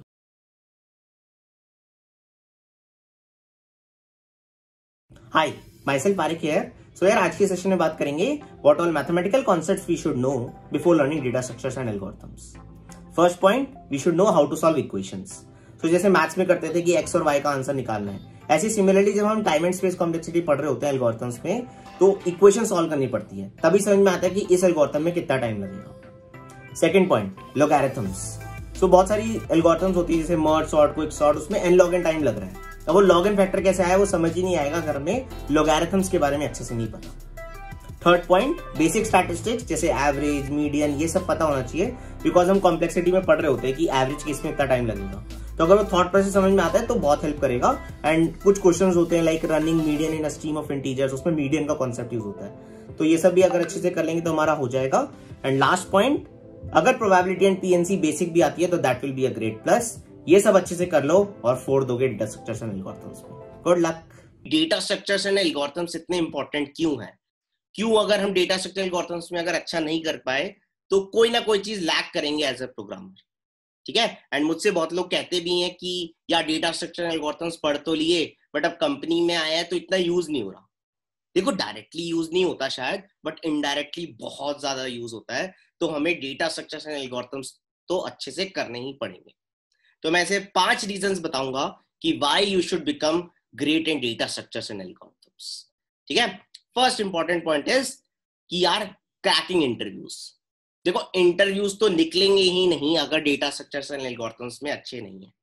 जो बिग प्रोडक्ट बेस्ड कंपनीज़ है लाइक गूगल एमेजॉन माइक्रोसॉफ्ट वो तो जो डेटा स्ट्रक्चर एल्गोरिथम्स में अच्छा होता है, उसको डायरेक्टली ले लेते हैं। उन्हें बाकी चीज़ों से इतना फ़र्क नहीं पड़ता। उन्हें बस चाहिए, यार प्रॉब्लम सॉल्विंग स्किल्स अच्छी हो लॉजिकल स्किल्स अच्छी हो that means DS and algo में अगर बंदा अच्छा है so we will hire him और हर ठीक है? इवन स्टार्टअप्स ठीक है? तो स्टार्टअप्स भी, देखो, उन्हें कुछ एक्स्ट्रा स्किल्स चाहिए वेब डेवलपमेंट चाहिए या एमएल चाहिए एंड्रॉइड चाहिए। बट दो इंटरव्यूज़ अगर वो वेब डेवलपमेंट के कर रहे हैं तो दो इंटरव्यूज़ डीएस एंड एल्गो के भी करेंगे। क्योंकि अल्टीमेटली कोड तो करवाना ही है अल्टीमेटली अच्छे सॉल्यूशन तो चाहिए ठीक है? तो वो वही कर पाएगा जो डीएस एंड एल्गो में अच्छा होगा।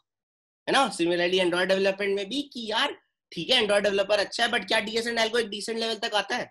शायद उतना हार्ड लेवल नहीं बट डिसेंट लेवल तो चाहिए।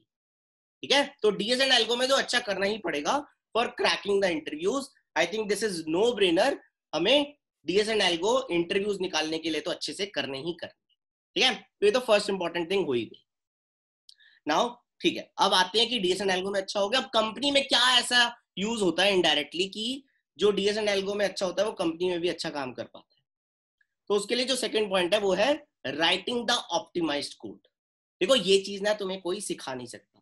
ये चीज़ तुम खुद सीख कर आओगे जब तुम डीएस एंड एल्गो के बहुत सारे क्वेश्चंस प्रैक्टिस करके आओगे ना तो तुम्हारे अंदर खुद एक बिहेवियर आ जाएगा कि यार मैं गंदा कोड नहीं लिखू। मैं अगर मेरे मैं लिखने से पहले सौ बार ही सोचूँगा कि इस, अच्छा इसका ऐसे भी सॉल्यूशन हो सकता है इसका एन स्क्वायर भी हो सकता है इसका ऑर्डर ऑफ़ एन भी हो सकता है तो मैं बेस्ट सॉल्यूशन लिखने की कोशिश करूँगा।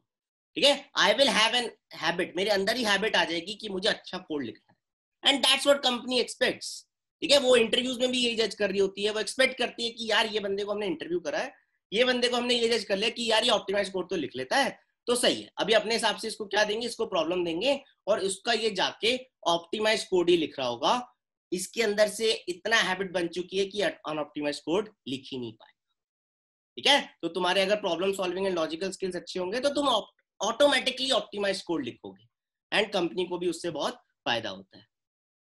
ठीक है? अब जो थर्ड इंपॉर्टेंट थिंग है, वो है डिज़ाइनिंग एल्गोरिथम्स ठीक है? जब तुम किसी चीज़ में काम करते हो ना, किसी प्रोजेक्ट में काम करते हो एज ए प्रोग्रामर ऑनेस्टली बता रहा हूँ twenty to thirty percent party होता है कोड का। सेवेंटी टू एट्टी परसेंट तो तुम्हारा एल्गोरिथम के अराउंड दिमाग जाता है कि इसको कैसे सॉल्व करूँगा। जैसे तुम प्रॉब्लम सॉल्व करने के टाइम सोचते हो ना, यार इसको सॉर्ट कर लूँगा बाइनरी सर्च लगा लूँगा।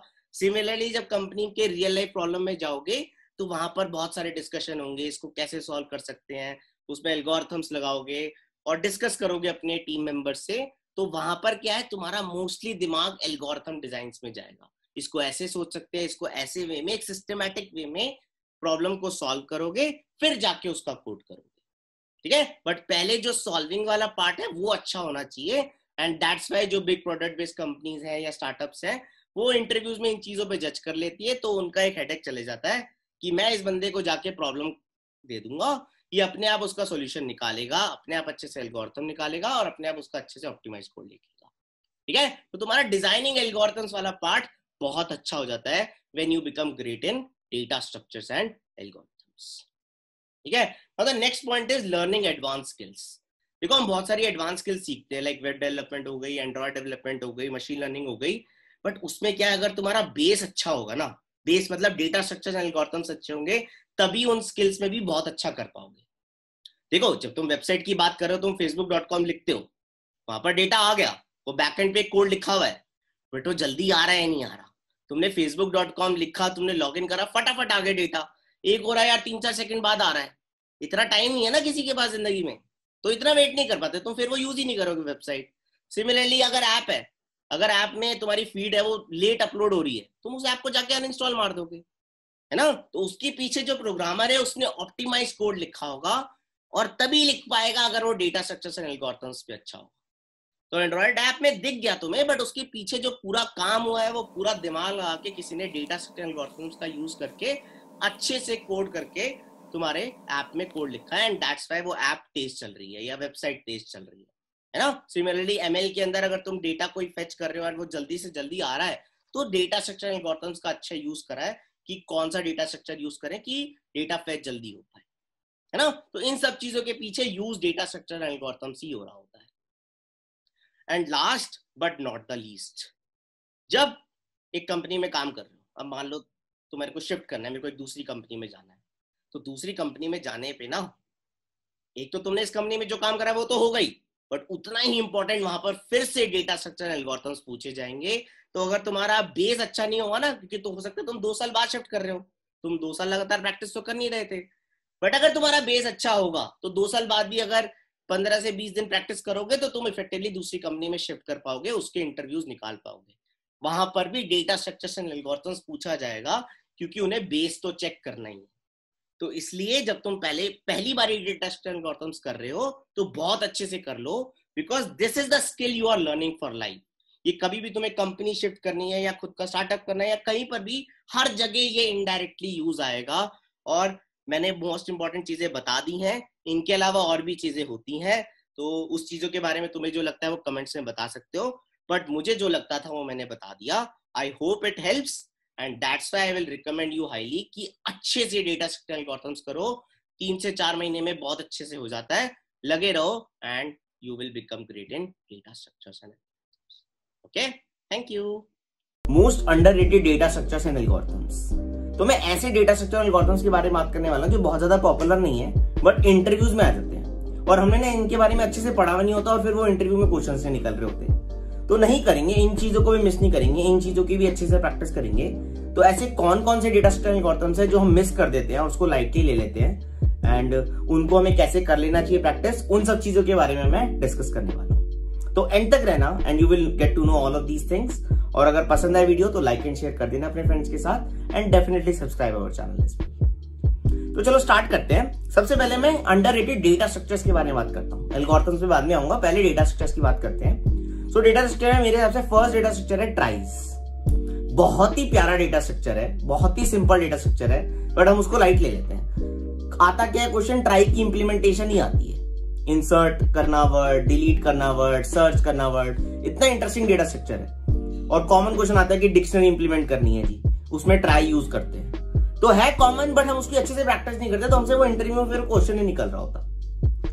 ऐसी कुछ कुछ प्रिफिक्स निकालने में हमारे ट्राई के यूज़ होते हैं। तो कुछ दो तीन ही एप्लीकेशन है एंड एक ट्राई की इंप्लीमेंटेशन है जो हमें करनी है अच्छे से। तो इसको हमें अच्छे से कर लेना चाहिए बिकॉज़ बहुत पॉपुलर इंटरव्यू क्वेश्चन है। और मैं एक डॉक शेयर करूँगा, उसमें पूरा है कि ट्राई हमें कहाँ से क्या क्या करना चाहिए तो उसको तुम रेफर कर सकते हो। To learn all the data I will be talking about उसमें से ट्राई के बारे में भी। ठीक है? तो ट्राई की इंप्लीमेंटेशन और एप्लीकेशन अच्छे से हम कर लेंगे। Second point is hash map तो हैश मैप की प्रैक्टिस हम बहुत अच्छे से करते हैं, बहुत सारे क्वेश्चन में यूज़ करते हैं बट हैश मैप की ना इंप्लीमेंटेशन मिस कर देते हैं। तो वो लिंक लिस्ट से इंप्लीमेंट होता है और बहुत ही कॉमन इंटरव्यू क्वेश्चन है डायरेक्ट हैश मैप की इंप्लीमेंटेशन पूछी जाती है। है ना? तो उसमें वो लिंक लिस्ट कैसे यूज़ होता है, उसमें हैशिंग कैसे कर रहे होते हैं हम कोलिजन हैंडलिंग कैसे हो रहा होता है, ये सब कॉन्सेप्ट हमें अच्छे से आने चाहिए बिकॉज़ यही तुम्हारे बेस सेटअप करेगा कि तुम्हें पता है कि हैश मैप के पीछे कैसे होता है। कि इंसर्ट डिलीट ये सब ऑर्डर वन में कैसे चल रहा है, उसकी कॉम्प्लेक्सिटी के बारे में अच्छे से आइडिया होना चाहिए। ठीक है? तो हैश मैप की एप्लीकेशन तो ऑब्वियसली हम बहुत जगह करते हैं बट इंप्लीमेंटेशन को हम मिस नहीं करेंगे। तो third point is tree map तो ट्री मैप होता है या बेसिकली सी प्लस प्लस में ऑर्डर्ड मैप होता है ना? तो हैश मैप में क्या होता है? इंसर्ट डिलीट ऑर्डर वन में हो रहा होता है बट ऑर्डर मेंटेन नहीं करता वो राइट अनऑर्डर्ड मैप या हैश मैप जो जावा में होता है, वो ऑर्डर मेंटेन नहीं करता। बट ट्री मैप और ऑर्डर मैप क्या होता है? ऑर्डर में मेंटेन करता है कि हमें इस ऑर्डर में चाहिए। तो जब भी वो क्वेश्चन में बहुत जगह आ जाता है कि ऑर्डर की काम आ रहा है, कि वो सॉर्टिंग ऑर्डर में चाहिए तो उसमें ट्री मैप वगैरह काम का होता है बिकॉज़ उसमें इंसर्ट डिलीट सर्च वगैरह लॉग इन में हो रहा होता है। बट क्योंकि ऑर्डर मेंटेन करता है तो वो बहुत सारे क्वेश्चन में काम आ जाता है। तो हम हैश मैप की बहुत सारी एप्लीकेशन कर लेते हैं बट ट्री मैप की एप्लीकेशन नहीं कर पाते। तो हमें इसको मिस नहीं करना। ट्री मैप की एप्लीकेशन भी और इम्प्लीमेंटेशन भी।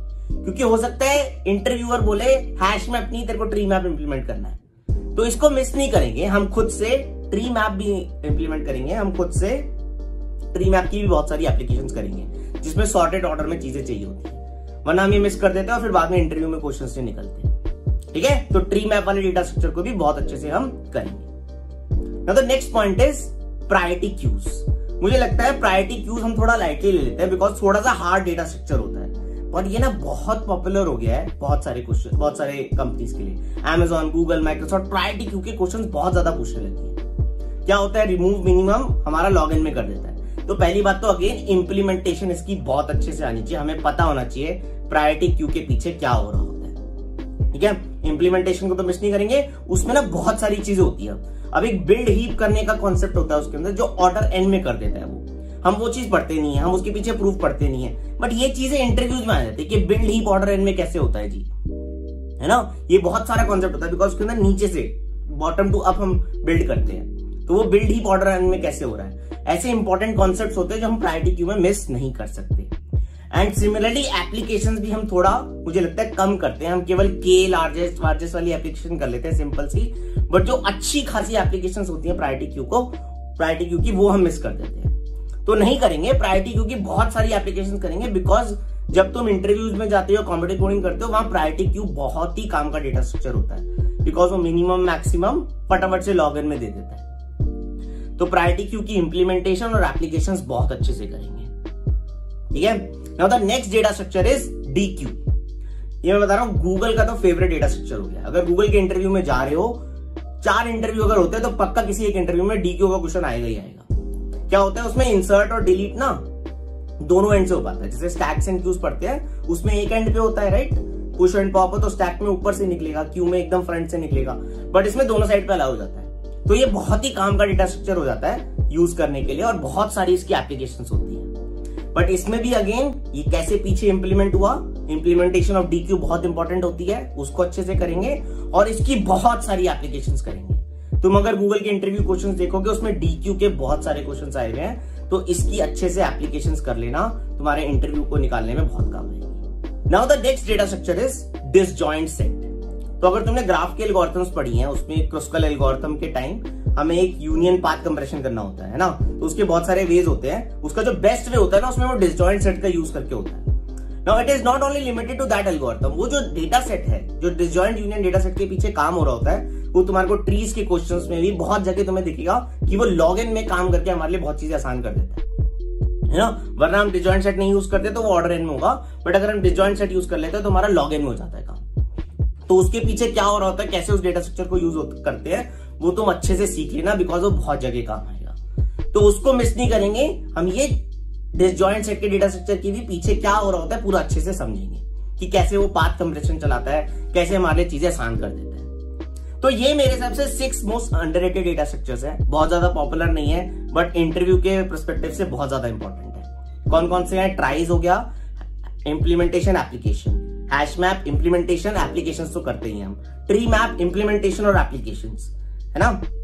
Next is priority queue implementation और बहुत सारी एप्लीकेशन डी क्यू इंप्लीमेंटेशन और एप्लीकेशन डिसजॉइंट सेट की भी इंप्लीमेंटेशन और एप्लीकेशन हमें अच्छे से करनी है। ठीक है? ये तो होगा डेटा स्ट्रक्चर्स इन लोग इन चीज़ों को अच्छे से कर लेना, बहुत ज़्यादा काम आएँगे। ना अब बात करते हैं हम एल्गोरिथम्स की। कौन से ऐसे थोड़े अंडर रेटेड एल्गोरिथम्स है जिसको हम बहुत ज़्यादा प्रैक्टिस नहीं करते मैं सबसे पहले नाम लूँगा बाइनरी सर्च ऐसा नहीं कह रहा हूँ मैं कि बाइनरी सर्च तुम सीखते नहीं हो। बाइनरी सर्च तो सब कोई सीखता है एज ए प्रोग्रामर कि वो लॉग में कैसे चलता है। बट उसके नाम एप्लीकेशन कम करते हैं। हम बाइनरी सर्च को अप्लाई नहीं कर पाते।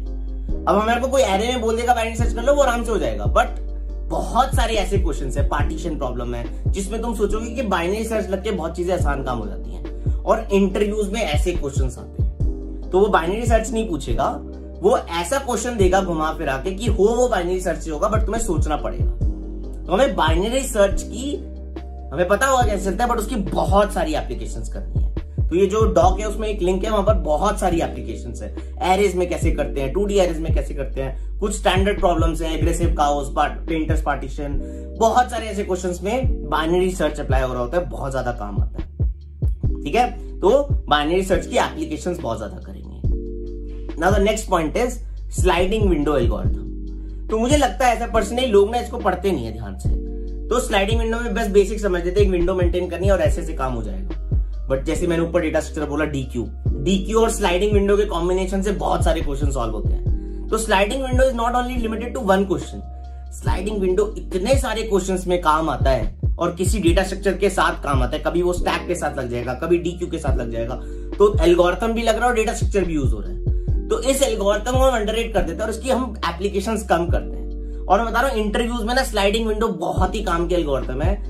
डायरेक्ट एप्लीकेशन आती है स्लाइडिंग विंडो वो तुमसे एक्सपेक्ट करते हैं तो मैं आता हूँ। तो स्लाइडिंग विंडो की आई थिंक हमें एप्लीकेशन बहुत अच्छे से कर लेनी चाहिए मिस नहीं करना चाहिए। जो भी तुम्हें प्रैक्टिस करनी है, वो डॉग गिवन है, वहाँ पर बहुत सारी क्वेश्चन प्रैक्टिस करो और तुम्हारा स्लाइडिंग विंडो भी बहुत अच्छे से होने लग जाएगा। है ना? तो sliding window is a great algorithm to do now the next point is दो स्ट्रिंग की एल्गोरिथम्स हैं, ये हम पढ़ते नहीं है जनरली बहुत मिस कर देते हैं। तो पैटर्न सर्चिंग की एल्गोरिथम है K M P algorithm and Z algorithm मुझे लगता है बहुत काम की एल्गोरिथम तो तुमसे ना कभी कोई वो एल्गोरिथम एज इट इज़ नहीं पूछेगा। बट उसमें ना एक कॉन्सेप्ट है कि जेड एरे बनाना के एम पी का एरे बनाना, वो एलपीएस एरे होता है प्रिफिक्स एरे करके काम की चीज़ होती है, वो बनाना होता है। वो जो कॉन्सेप्ट है ना, वो बहुत जगह काम आता है। कि ये ये एरे कैसे बन रहा है? और वो चीज़ किसी और एप्लीकेशन में काम आ जाएगी। है ना? तो ऐसे बहुत सारे क्वेश्चन होते हैं कि दो स्ट्रिंग गिवन है, उनको मिलके बेस्ट पेलिंड्रोम कौन सी कौन सी बन रही है? उसमें वो केएमपी एल्गोरिथम में जो तुम यूज़ कर रहे थे ना, वो चीज़ काम आती है।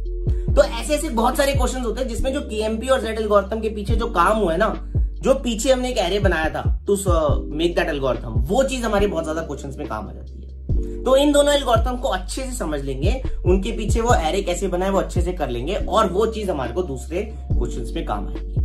है ना? एल्गोरिथम्स के टर्म्स में मेरे हिसाब से यही है, हम थोड़ा अंडररेट कर देते हैं। बाइनरी सर्च की एप्लीकेशंस स्लाइडिंग विंडो की एप्लीकेशन थोड़ी कम करते हैं हम, और जो केएमपी एंड जेड एल्गोरिथम को हम पढ़ते ही नहीं है, उसको मिस नहीं करेंगे, उसके पीछे क्या हुआ है, क्या कॉन्सेप्ट यूज़ हुआ है, उसको अच्छे से पढ़ लेंगे and that will help us a lot in our interviews ठीक है? तो ये सारे डेटा स्ट्रक्चर एल्गोरिथम्स की अच्छे से प्रैक्टिस कर लेना डॉग गिवन है, वहाँ जाके लिंक पे जाओ, और बहुत सारे क्वेश्चन प्रैक्टिस करो, और फोड़ दो ठीक है? चलो good luck hi myself Parikh here so यार आज के सेशन में बात करेंगे top five check boxes that we should fill to become a software engineer first point is data structure and OOPs concepts ये तो हमें अच्छे से कर ही लेने चाहिए, इनकी अच्छे से प्रैक्टिस कर लेनी चाहिए बिकॉज़ यही हमारा बेस बनाएगा एज प्रोग्रामर एंड यही मोस्टली इंटरव्यूज़ में पूछा जाएगा। द नेक्स्ट पॉइंट इज़ हमारा थॉट प्रोसेस बहुत क्लीन होना चाहिए। जितना क्लीन होगा, उतना फ़ायदा होगा। मतलब जो हम सोल्यूशन बता रहे हैं, हमें पता है वो क्यों चलेगा। जो हम सोल्यूशन नहीं बता रहे, वो पता है हमें क्यों नहीं चलेगा। जितना अच्छा होगा, उतना फ़ायदा होगा। द नेक्स्ट पॉइंट इज़ हमारे पास प्रोजेक्ट होना चाहिए एक रिज्यूमे पे। एक हो बट अच्छा हो, चाहे एंड्रॉइड ऐप हो, चाहे वेबसाइट हो, चाहे मशीन लर्निंग हो, एक हो बट सॉलिड हो। Next point is communication skills ठीक ठाक होनी चाहिए। मतलब ऐसा ना हो कि हम बस सॉल्यूशन सोच पाते हैं, हम बता भी पाते हैं, हम कम्युनिकेट कर पाते हैं इंटरव्यू के साथ। That will help us a lot last point but not the least programming fundamentals like O S D B M S computer network इनके बेसिक नॉलेज होनी चाहिए कंसेप्चुअल नॉलेज होनी चाहिए। इंटरव्यू में पूछा जाता है तो जितना अच्छा होगा, उतना फ़ायदा होगा। तो इन सब चेक बॉक्सेस को फिल कर लो और बढ़िया सॉफ्टवेयर इंजीनियर बनोगे। Good luck interesting project ideas के बारे में बात करने वाला हूँ, जिनमें केवल डेटा स्ट्रक्चर्स एंड एल्गोरिथम्स की नॉलेज चाहिए। तो केवल डेटा स्ट्रक्चर एल्गोरिथम से भी काफ़ी काफ़ी इंटरेस्टिंग प्रोजेक्ट्स बनाए जा सकते हैं, और मैं वही बताने वाला हूँ आज। तो एंड तक रहना and you will get to know all of these projects और अगर पसंद आए वीडियो तो अपने फ्रेंड्स के साथ भी शेयर कर लेना। वो भी अच्छे खासे प्रोजेक्ट बना लेंगे एंड डेफिनेटली सब्सक्राइब और जानी ठीक है? तो चलो स्टार्ट करते हैं with our first project ideas तो पहला आइडिया है यार बोर्ड गेम्स जिसमें बहुत ज़्यादा data structures advance data structures नहीं चाहिए। टू डी की नॉलेज चाहिए, थोड़ी बैक ट्रैकिंग की नॉलेज चाहिए। तो जैसे two zero four eight game बना सकते हो। बहुत ही इंटरेस्टिंग गेम होता है। आई थिंक ऐप में खेला होगा। नहीं खेला तो खेलो जाके और उसको खुद से बनाने की कोशिश करो। And these minute ideas are language independent तुम सी प्लस में बना सकते हो जावा में बना सकते हो जावा स्क्रिप्ट में बना सकते हो, किसी में भी बना सकते हो। जावा स्क्रिप्ट में फ़ायदा होता है, थोड़ा यूआई अच्छा मिल जाता है, वरना किसी में भी बना सकते हो। ठीक है? तो लैंग्वेज की टेंशन मत लेना लॉजिक पे फोकस करना। तो टू ज़ीरो फोर एट का ना एक फ़ंक्शन होता है कि एक मूव चली तो क्या होगा? जैसे वो टू प्लस टू कंबाइन कर देता है फोर प्लस फोर को एट बना देता है, वो सब कैसे हो रहा है, वो काफ़ी इंटरेस्टिंग होता है टू ज़ीरो फोर एट में। और कभी कई बार नहीं भी पता तो इंटरव्यू बोल देता है, क्या तुमने two zero four eight game खेली है? अगर खेली है तो वो बोलेगा, यार, एक मूव कैसे होता है, उसके पीछे लॉजिक बता दो। है ना? तो इंटरेस्टिंग इंटरव्यू क्वेश्चन हो सकता है बिकॉज़ उसी टाइम तुम्हें उस टाइम सोचना पड़ेगा। तो ये two zero four eight game तो हम सबको बना लेनी चाहिए, काफ़ी इंटरेस्टिंग होता है to implement a single move ठीक है? इसके अलावा बोर्ड गेम्स में हम सुडोकू बना सकते हैं, है ना? कि सुडोकू को एक फिल करना है, हम नंबर्स फिल करेंगे। That will be there but उसमें इंटरेस्टिंग क्या कर सकते हैं कि हर पॉइंट पे इज़ वैलिड सुडोकू जो एक कॉमन बैक ट्रैकिंग का क्वेश्चन है, वो यूज़ कर सकते हैं। Since we have that knowledge तो जैसे कोई यूज़र एक फिल कर रहा है नंबर हम इस वैलिड सुडोकू पीछे से कॉल कर देंगे और उसको बता देंगे, भाई भाई, तू सही कर रहा है, नहीं कर रहा। है ना? उसको बता देंगे अच्छे से। So that will be there काफ़ी इंटरेस्टिंग बन जाएगा। ठीक है? तो हम इंटरेस्टिंग इंटरेस्टिंग बोर्ड गेम्स बना सकते हैं इसके अलावा माइंड स्वीपर भी बना सकते हो। जो तुम्हारा मन करे बना सकते हो but interesting board games we can implement for sure with knowledge of two D arrays and little bit of backtracking ठीक है? Now the next project ideas पे चलते हैं। सो so, नेक्स्ट मेरे हिसाब से हफमैन कोडिंग है। Huffman coding is the compression algorithm जैसे हम फ़ाइल में लिखते हैं और जब वो स्टोर होती है तो फ़ाइल कंप्रेशन होता है। है ना? कम बाइट्स लेते हैं। तो जनरली करेक्टर्स एक या दो बाइट ले रहे होते हैं depending on the language but जब हम उसको कंप्रेस करते हैं तो वो करेक्टर्स की कम स्पेस लग रही होती है। अब उसके पीछे एल्गोरिथम है हफमैन कोडिंग की। और ये एल्गोरिथम सबको इंप्लीमेंट करनी चाहिए बिकॉज़ इसमें सारे डेटा डेटा स्ट्रक्चर्स यूज़ होते हैं। ट्रीज यूज़ हो जाता है प्रायोरिटी क्यू यूज़ हो जाता है हैश मैप यूज़ हो जाता है। दो तीन बारी दो बारी हैश मैप यूज़ हो रहा होता है तो काफ़ी इंटरेस्टिंग एल्गोरिथम हो जाती है। तो हमने जो भी सीखा है उसको हम इंप्लीमेंट कर पाते हैं। ठीक है? तो ये हफमैन कोडिंग वाली चीज़ तो बहुत अच्छे से करनी चाहिए। तुम्हें समझ में आ जाता है कि जब हम फ़ाइल को जिप करते हैं तो वो क्या हो रहा होता है उसके पीछे? उसके पीछे हफमैन कोडिंग लग रही होती है और वो कैसे हो रही होती है? ठीक है? तो ये प्रोजेक्ट आइडिया तो मस्ट है for every one who is learning data structure and algorithms Huffman coding से बहुत सही लर्निंग होगी। ठीक है? The next idea you can work on is phone directory जैसे कॉन्टैक्ट लिस्ट होती है अपनी, है ना? कि पहले ए से है, फिर बी से है, फिर सी से है। ऐसे हमारी कॉन्टैक्ट लिस्ट है। तो वो अगर हमें कॉन्टैक्ट लिस्ट बनानी है, हमारे को अपनी फ़ोन डायरेक्टरी बनानी है तो उसके अंदर हम डब्ल्यू लिंक लिस्ट से बनाते हैं जनरली है ना? क्योंकि उसमें क्या क्या फ़ंक्शन हो? सकता है अपडेट करना है, कोई कॉन्टैक्ट डिलीट करना है। तो डिलीट करना लिंक लिस्ट में आसान होता है ना? सिमिलरली कुछ ऐड करना है। कहीं पर भी ऐड करना पड़ सकता है। तो काफ़ी इंटरेस्टिंग ऑपरेशन आ जाते हैं, है ना? और उसमें बहुत सारी चीज़ें कर सकते हो वेरिएशन बना सकते हो कि यार लाइक पारिक के नाम से तीन फ़ोन नंबर हो सकते हैं तो वो एक ही में स्टोर कर लेंगे हम, है ना? ऐसे ऐसे डिफरेंट डिफरेंट चीज़ें हो सकती है। अपडेट करना पड़ सकता है कि यार ये वाला फ़ोन नंबर अपडेट करना है। तो you can implement different different operation in the phone directory और काफ़ी इंटरेस्टिंग होता है यूजिंग डब्ल्यू लिंक लिस्ट और उसमें ट्री सेट का भी यूज़ कर सकते हो हैश सेट का भी यूज़ कर सकते हो सो दैट तुम्हारी चीज़ें ऑप्टिमाइज रहे, है ना? एक ऑप्टिमाइज फ़ोन डायरेक्टरी का एक थोड़ा कम ऑप्टिमाइज है तो ऑप्टिमाइज वाली पे फोकस करो, है ना? इसके बाद इसमें तुम और इंटरेस्टिंग चीज़ें कर सकते हो, जैसे व्हाट्सएप में होता है फ्रीक्वेंटली कॉन्टेक्टेड लिस्ट आता है कि तुमने किससे रिसेंटली ज़्यादातर चैट कर रहे हो, है ना? उसके पीछे एलआरयू कैसे लग रहा होता है। है ना? एलआरयू कैशे में भी हम वो यूज़ कर रहे होते हैं लिंक लिस्ट वगैरह। तो वहाँ पर जो यूज़ हो रहा था, वो यहाँ पर भी अप्लाई कर सकते हो। तो एक फ़ोन डायरेक्टरी का पूरा अच्छे से कॉन्टैक्ट लिस्ट बनाना अच्छा खासा प्रोजेक्ट हो सकता है using only data structure and algorithms है ना? तो ये बिल्कुल अच्छे से ट्राई करना, तुम्हें मज़ा आएगा और काफ़ी सारी चीज़ें हैंडल करनी पड़ेंगी to implement a clean phone directory इसके अलावा नेक्स्ट चीज़ें क्या कर सकते हो? तुम ग्राफ की एल्गोरिथम से इंटरेस्टिंग इंटरेस्टिंग प्रोजेक्ट बना सकते हो। जैसे ग्राफ में जो बी एफ़ एस एल्गोरिथम होता है और एक हमने स्नेक एंड लेटर गेम खेला हुआ है ना? सब लोग खेला हुआ होता है। तो स्नेक एंड लेटर में क्या होता है कि हमें हर पॉइंट पे अगर हम बता सके कि मेरे को डाइस की क्या चाहिए वन चाहिए टू चाहिए थ्री चाहिए सो दैट मैं एंड पे फटाफट से पहुँच पाऊँ। है ना? तो वो बी एफ़ एस एल्गोरिथम में पता होता है minimum number of moves required कि हम इस पॉइंट पे हमें यहाँ जाना है तो कितने मिनिमम नंबर ऑफ़ मूव्स चाहिए सो दैट हम डेस्टिनेशन पे आराम से पहुँच जाए, जल्दी से जल्दी पहुँच जाए। Right that is what we require तो तुम जब गेम खेल रहे हो प्लेयर वन प्लेयर टू है अगर प्लेयर वन प्लेयर टू खेलते के टाइम तुम उसको ये बता सको, भाई, तू डाइस की ना ये वाली मूव ले आ तो तेरे को हेल्प होगी एंड तू फटाफट से डेस्टिनेशन में पहुँच पाएगा। अच्छा नहीं आई, फिर नेक्स्ट टाइम जब टर्न आई तो उस टाइम फिर बता दिया, भाई, तेरे को डाइस किए थ्रो चाहिए सो दैट तू जल्दी से जल्दी वहाँ पर पहुँच जाए। है ना? तो ये काफ़ी इंटरेस्टिंग प्रोजेक्ट बन सकता है। एंड तुमने एक अच्छा खासा स्नेक एंड लेटर गेम बना दिया और उसमें बता दिया, भाई, तेरे को अब क्या चाहिए डाइस का? है ना? तो तुम्हारी थोड़ी हेल्प हो जाएगी। ठीक है? इसके अलावा ग्राफ के एल्गोरिथम से और क्या कर सकते हो? स्प्लिट वाइज टाइप की ऐप जो होती है। है ना? स्प्लिट वाइज सब लोग यूज़ करते हैं कि मतलब मैंने किसी से पैसे लिए हैं, उसने किसी और से पैसे लिए हैं, फिर उसने किसी और से पैसे लिए ऐसे बहुत ज़्यादा लूप होल्स बन जाते हैं। तो स्प्लिट वाइज क्या करता है? एकदम से बता देता है, यार, तूने उससे लिया उसने उससे लिया तो एक काम कर, तू डायरेक्टली उसको दे दे। राइट कि जो भी अमाउंट लमसम बचा वो उधर की साइड दे दे। जिससे कि कैश फ्लो मिनिमम रहे। है ना? ऐसा ना मैं उसको दे रहा हूँ, फिर वो उसको दे रहा है। ये तो साइकिल बहुत लंबी हो जाएगी। है ना तो Splitwise handle it perfectly वो कैसे करता है?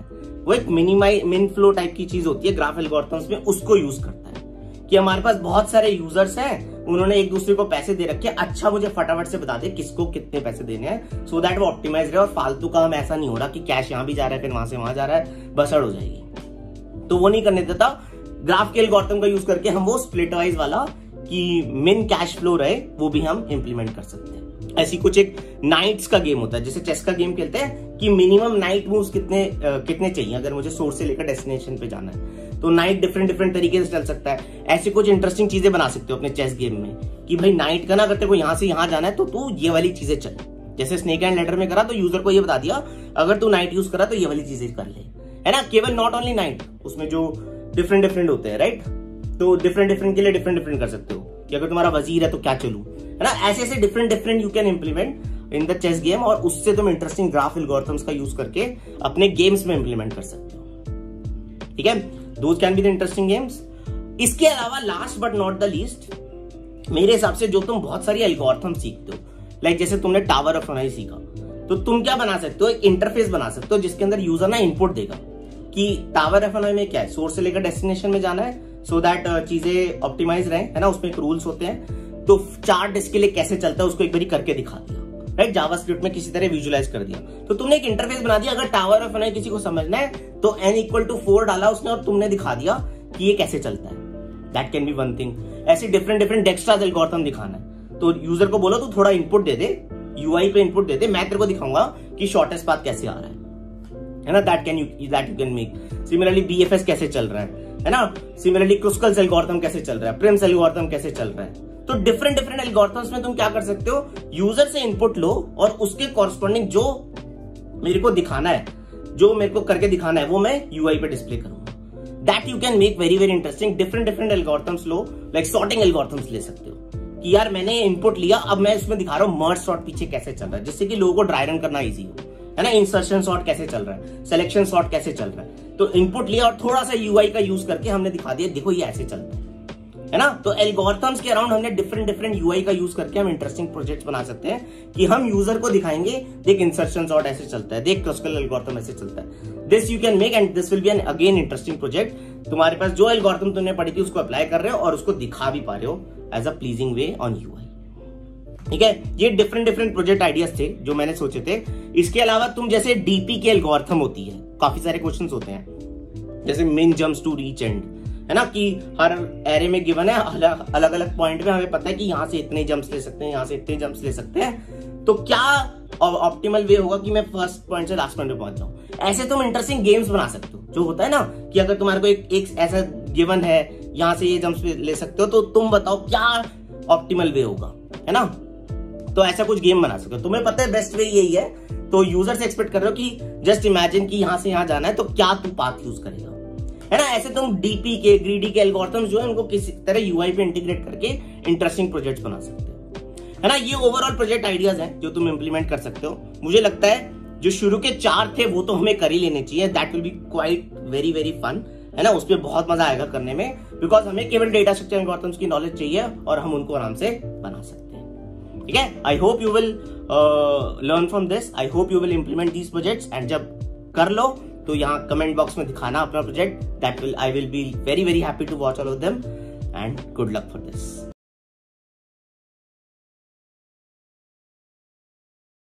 hi myself Farik here so यार, आज के सेशन में बात करने वाला हूँ three points to maintain right attitude while learning data structures and algorithms सबसे फ़र्स्ट पॉइंट है, पहले अपना टाइम बाउंड हटा दो। लोग क्या करते हैं, पहली प्रेशर बना देते हैं, मुझे तो छह महीने में सीखना है या चार महीने में सीखना है। अब उसकी वजह से लर्निंग अच्छी होती नहीं है, फिर बाद में इंटरव्यूज़ नहीं निकलेंगे। तो अपने ऊपर से टाइम बाउंड हटाओ। तुम एक टॉपिक्स कर रहे हो प्रॉब्लम सॉल्व कर रहे हो। पाँच से छह घंटे डेली दे रहे हो। वो ठीक है बट अब उसमें पूरा सीखने में आठ महीने लग रहे हैं, नौ महीने लग रहे हैं, चार महीने लग रहे हैं, उस पर फोकस नहीं करना। ठीक है? सेकंड पॉइंट इज़ अपना लर्निंग एटीट्यूड रखना है। प्रॉब्लम सॉल्व कर रहे हो प्रॉब्लम पे फोकस करो। वो अमेजोन की है गूगल की है, वो सब नहीं सोचना। मैं अभी सीख रहा हूँ, मैं दूसरों के सोल्यूशन से सीखूँगा। जितना सीखूँगा, उतना अच्छा बनूँगा डेटा स्ट्रक्चर एंड एल्गोरिथम्स में। Last point but not the least अगर तुम फ्रेंड्स वगैरह आपस में तैयारी कर रहे होते हैं तो अगर उसका कोई टॉपिक हो गया, ज़रूरी नहीं है वो तुम्हारा टॉपिक अच्छा हो गया। अपनी तैयारी पे फोकस करो, अपना, अपने आप को अच्छा करो इंटरव्यू तुम्हें देना है, उसे नहीं देना है, ठीक है? मेंटेन दीज थ्री पॉइंट्स और फोर दोगे। Good luck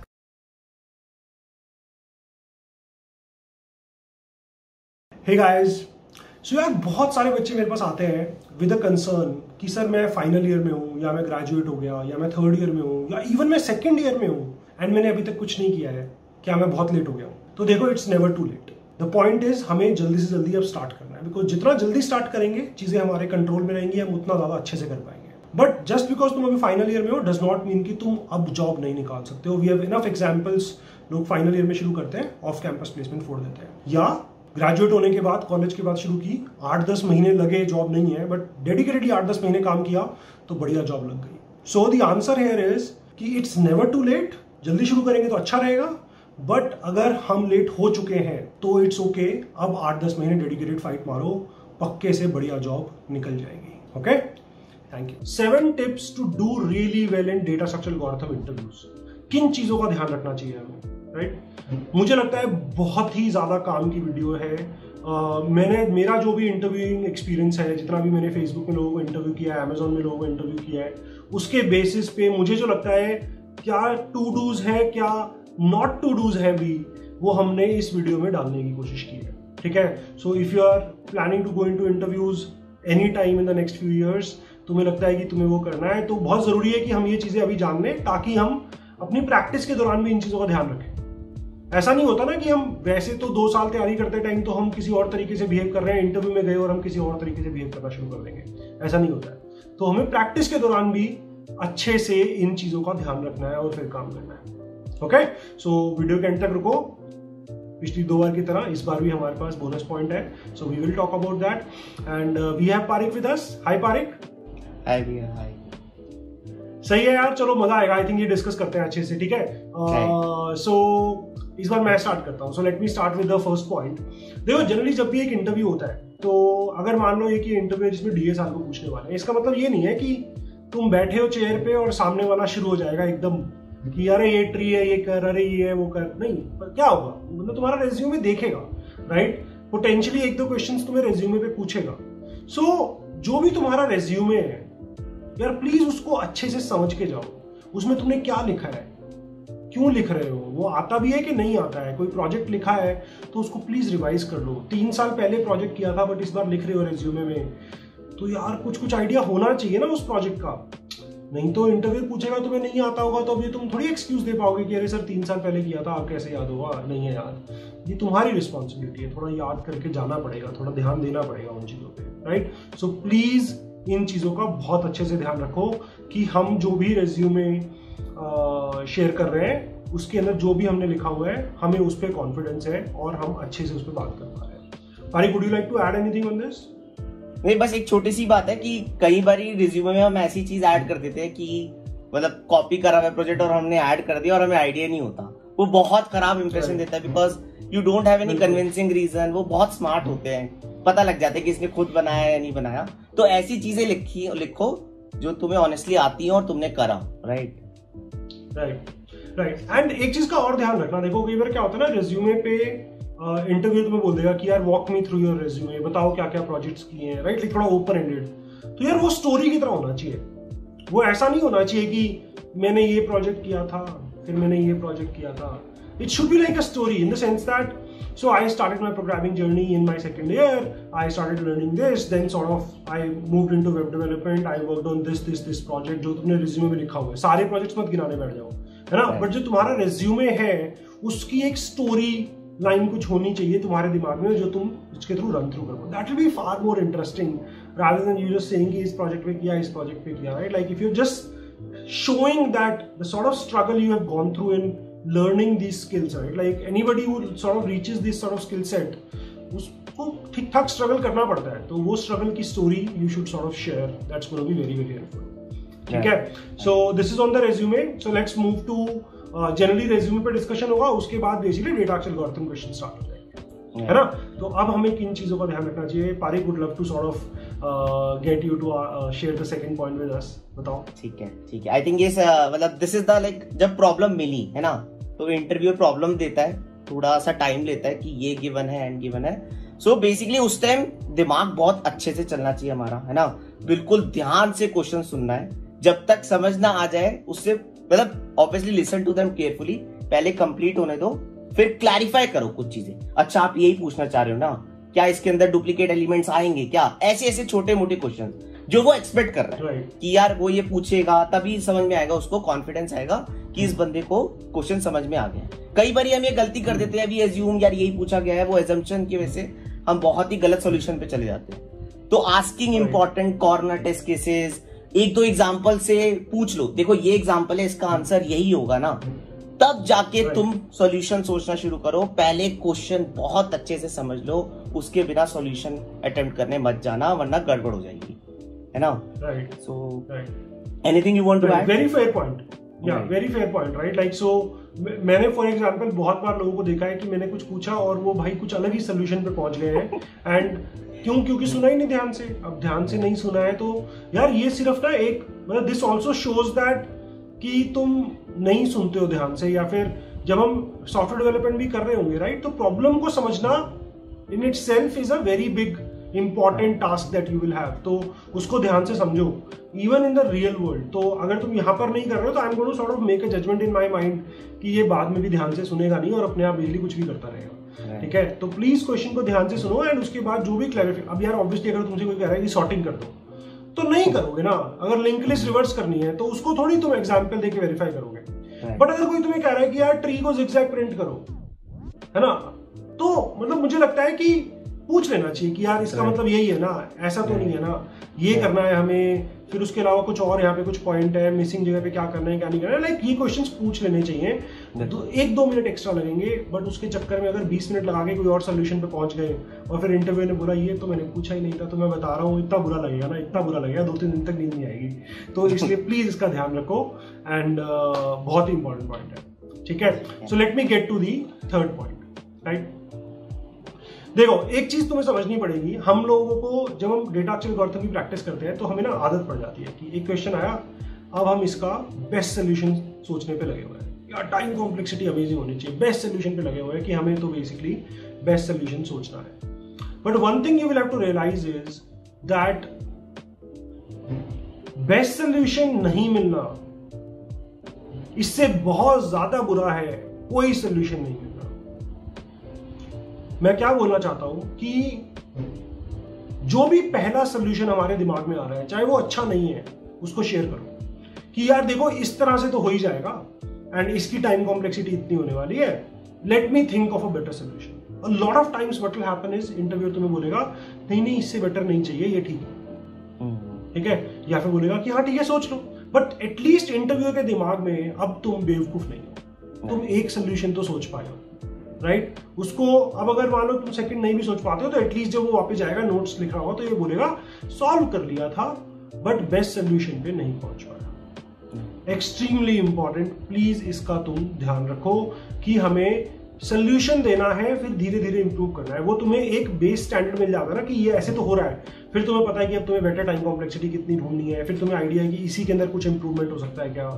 ये सब चीज़ें तुम सोच पाओगे कर पाओगे तुम्हारा दिमाग ज़्यादा चल पाएगा अगर एक बेस सोल्यूशन होगा तो। ओके सो प्लीज़ इसका ध्यान रखो।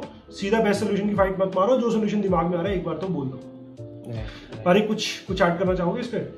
बस एक चीज़ ऐड करूँगा तो बेसिकली कई बार ही होता है कि इंटरव्यूअर मतलब इंटरव्यू को तो पता है कि ऐसे सॉल्यूशन होना था। बट तुम इंटरव्यू दे रहे हो and you come up with a new solution वो बहुत अमेजिंग इंप्रेशन देता है कि चलो बेस्ट सॉल्यूशन नहीं है बट यार इस बंदे ने कोई नया सॉल्यूशन निकाल दिया चाहे वो रिकर्जन से निकाल दिया कुछ निकाल दिया जो उसको एक्सपेक्टेड भी नहीं था। तो वो और ज़्यादा बेटर इंप्रेशन देता है कि बेस्ट सोल्यूशन से भी शायद बेटर दे दे कि बंदा न्यू सोल्यूशन hmm. सोच पाता है। सो जस्ट टू एड मतलब ऐसा नहीं है हर बार हमें बेस्ट सोल्यूशन पहुँचना है। They are open to discussion they are open to new solution and बहुत अमेजिंग फीलिंग आती है उन्हें अगर तुम कुछ नया सोल्यूशन बता पाते हो। Right right right fair fair ठीक है। ठीक है ठीक है. कूल है. So Parikh let's let's move to the next point what would you like to share with us ठीक। है. सो so, यार इसी में जैसे आपका प्रीवियस वाले में थोड़ा सा एडिशन है कि कई बार क्या होता है? लाइक वी डिस्कस सॉल्यूशन और कुछ लोगों ना आदत होती है कि कोड करना शुरू कर देंगे तब सोचना शुरू करेंगे अच्छा इसको ऐसे कर सकता हूँ अच्छा ये इस तरीके से सॉल्यूशन सॉल्व करना शुरू कर दिया। वो बहुत खराब इंप्रेशन देता है। जब तक इंटरव्यूअर बोले ना कि यार चलो इसको कोड करते हैं। तब तक तो तुम्हें कोड लिखना शुरू नहीं करना। बिकॉज़ उसके दिमाग में होता है मुझे इस स्टेज तक एक सोल्यूशन लेके जाना है तभी मैं उसको कोड करवाऊँगा। और उसके पहले हम्म। अगर तुम कोड करना शुरू कर दो उसने बोला नहीं है वो बहुत खराब इंप्रेशन देता है। है ना? सो so, जब तक सेटिस्फाइड नहीं है वो तुम्हारे सोल्यूशन से वो तुमसे कोड नहीं करवाएगा। So just make sure once we reach the solution तब हम उसको कोड करेंगे। और इसी में बेसिकली एक टाइम कॉम्प्लेक्सिटी वाला फैक्टर बहुत इंपॉर्टेंट होता है कि तुम्हारा कोई सोल्यूशन बोले वो नेक्स्ट पॉइंट बोलेगा कि यार इसकी टाइम कॉम्प्लेक्सिटी क्या है। तो तुम बताओगे और अगर हम्म। तुमने वो खराब बता दी कोड तो छोड़ो वो आगे जाएगा कि टाइम कॉम्प्लेक्सिटी कि टाइम कॉम्प्लेक्सिटी का आइडिया ये बंदे को मैं कैसे डिस्कस करूँगा इससे सॉल्यूशन है ना? तो first reach out to the solution और कोड की आई थिंक 10 से 15 मिनट मिलते हैं मैक्स और लास्ट पार्ट होता है। बट उससे पहले पूरा thought process reaching out to solution पे फोकस करो। कोड की जल्दी मत बचाओ राइट राइट नहीं ये टाइम कॉम्प्लेक्सिटी वाला तो यार बहुत ही ज़रूरी है। सो फॉर एग्ज़ाम्पल आई मेरे को अभी भी याद है मतलब दो तीन केसेस जब मेरे साथ ऐसा हुआ था कि बंदे ने कुछ सोल्यूशन दिया। मैं उम्मीद कर रहा था कि वो इवेंचुअली ऑर्डर एन पे पहुंचेगा। उसने ऑर्डर एन स्क्वायर सोल्यूशन दिया। और मैंने उससे पूछा टाइम कॉम्प्लेक्सिटी उसने बोला ऑर्डर एन ऑर्डर एन उसका सोल्यूशन ऑर्डर एन स्क्वायर है। उसने बोला ऑर्डर एन अब मैं यार सोच रहा हूँ मैं क्या करूँ अब? मैं तो चाहता हूँ कि ये ऑर्डर एन पे पहुँचे बट अभी तो ऑर्डर एन स्क्वायर है। अब मैं इसको कैसे बोलूँ कि इसको इम्प्रूव कर? लॉग इन में होगा नहीं। अब मैं उसको बोल ही नहीं पा रहा हूँ कि इम्प्रूव कर क्योंकि उसके खराब है तो बेसिकली मेरे को उसका टाइम स्पेंड करना पड़ा कि अरे नहीं है नहीं है तुम्हें क्यों लगता है सोचो। Right that is a very bad impression because you don't even know what you are doing effectively that's what it means right so इसका तो बहुत ही ज़्यादा ध्यान रखने की बहुत ज़रूरत है। ठीक है ठीक है। चलो so next point so this again something that I didn't realise जब मैं इंटरव्यूज़ देता था। बट जब मैंने इंटरव्यूज़ लेने शुरू किए ना तो ये पॉइंट मुझे बहुत क्लियर हुआ एंड एक्सट्रीमली इंपॉर्टेंट पॉइंट है। कि यार जब तुम कुछ सोच रहे हो जब तुम कुछ कर रहे हो अगर मान लो मैंने तुमसे एक क्वेश्चन पूछा और तुम पंद्रह मिनट के लिए चुप हो गए ब्लैंक हो गए मेरा कुछ नहीं जा रहा। मेरे को तो आधा पौना घंटा तुम्हें देना है मैं दे दूँगा। बट तुम पंद्रह मिनट के लिए ब्लैंक हो अब मुझे कुछ नहीं पता तुम्हारे दिमाग में क्या चल रहा है। अब पंद्रह मिनट के बाद क्या होगा? या तो तुम उठ के मुझे बोलोगे कि यार नहीं हो पा रहा। या फिर तुम मुझे क्या बोलोगे? हो गया इसको ऐसे ऐसे करके ऐसे ऐसे करके ऐसे ऐसे कर सकते हैं राइट सेकंड होगा तो बहुत ही बढ़िया है ठीक है। तुमने मेरे को बढ़िया सोल्यूशन दे दिया पंद्रह मिनट सोचने के बाद बहुत ही सही। बट फ़र्स्ट वाला जो है जो बहुत सारे केसेस में होता है उसको तुम थोड़ा अवॉइड कर सकते हो। अगर तुम बोलोगे कि तुम क्या सोच रहे हो ऑब्वियसली कुछ भी मत बोलो थोड़ा फ़िल्टर करके बोलो जो भी दिमाग में चल रहा है। बट जो भी तुम शेयर करोगे that is going be very very helpful because you need to understand तुम अकेले नहीं हो ना रूम में।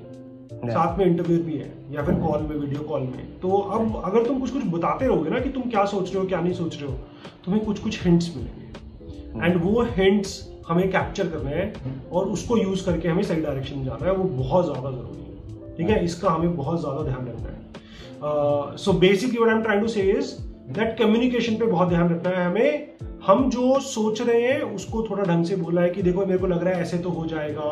For example I have seen people जो सोल्यूशन सोच लेते हैं ब्रूट फोर्स सोच लिया एक थोड़ा बेटर भी सोच लिया बट बता नहीं रहे। क्यों? बेस्ट की वेट कर रहे हैं। यार बेस्ट आएगा तो बताएँगे। है ना? ऐसे नहीं करना चाहिए। जो भी आ रहा है उसको शेयर करते रहो ताकि इंटरव्यू तुम्हें कुछ कुछ हिंट्स देता रहे। और अगर उसके दिमाग में कुछ चल रहा है तो तुम्हें कुछ बोल पाए कि तुम सही जा रहे हो नहीं जा रहे हो। हो सकता है उसको नहीं चाहिए बेस्ट हो सकता है उसको जो तुमने सोचा है वो ही माइट बी ही और she might be okay with and she might ask you कि यार इसको कोड कर दो। Right. so इनका ध्यान रखना बहुत ज़्यादा ज़रूरी है। पारी कैन यू टू ऐड बस छोटी सी कि यार इंटरव्यूअर हेल्प करने आया है राइट उसको उसके अंदर भी होता है जब तुम जब कंपनी में भी काम करते हो तो डिस्कस होके सॉल्यूशन में पहुँचते हो है ना?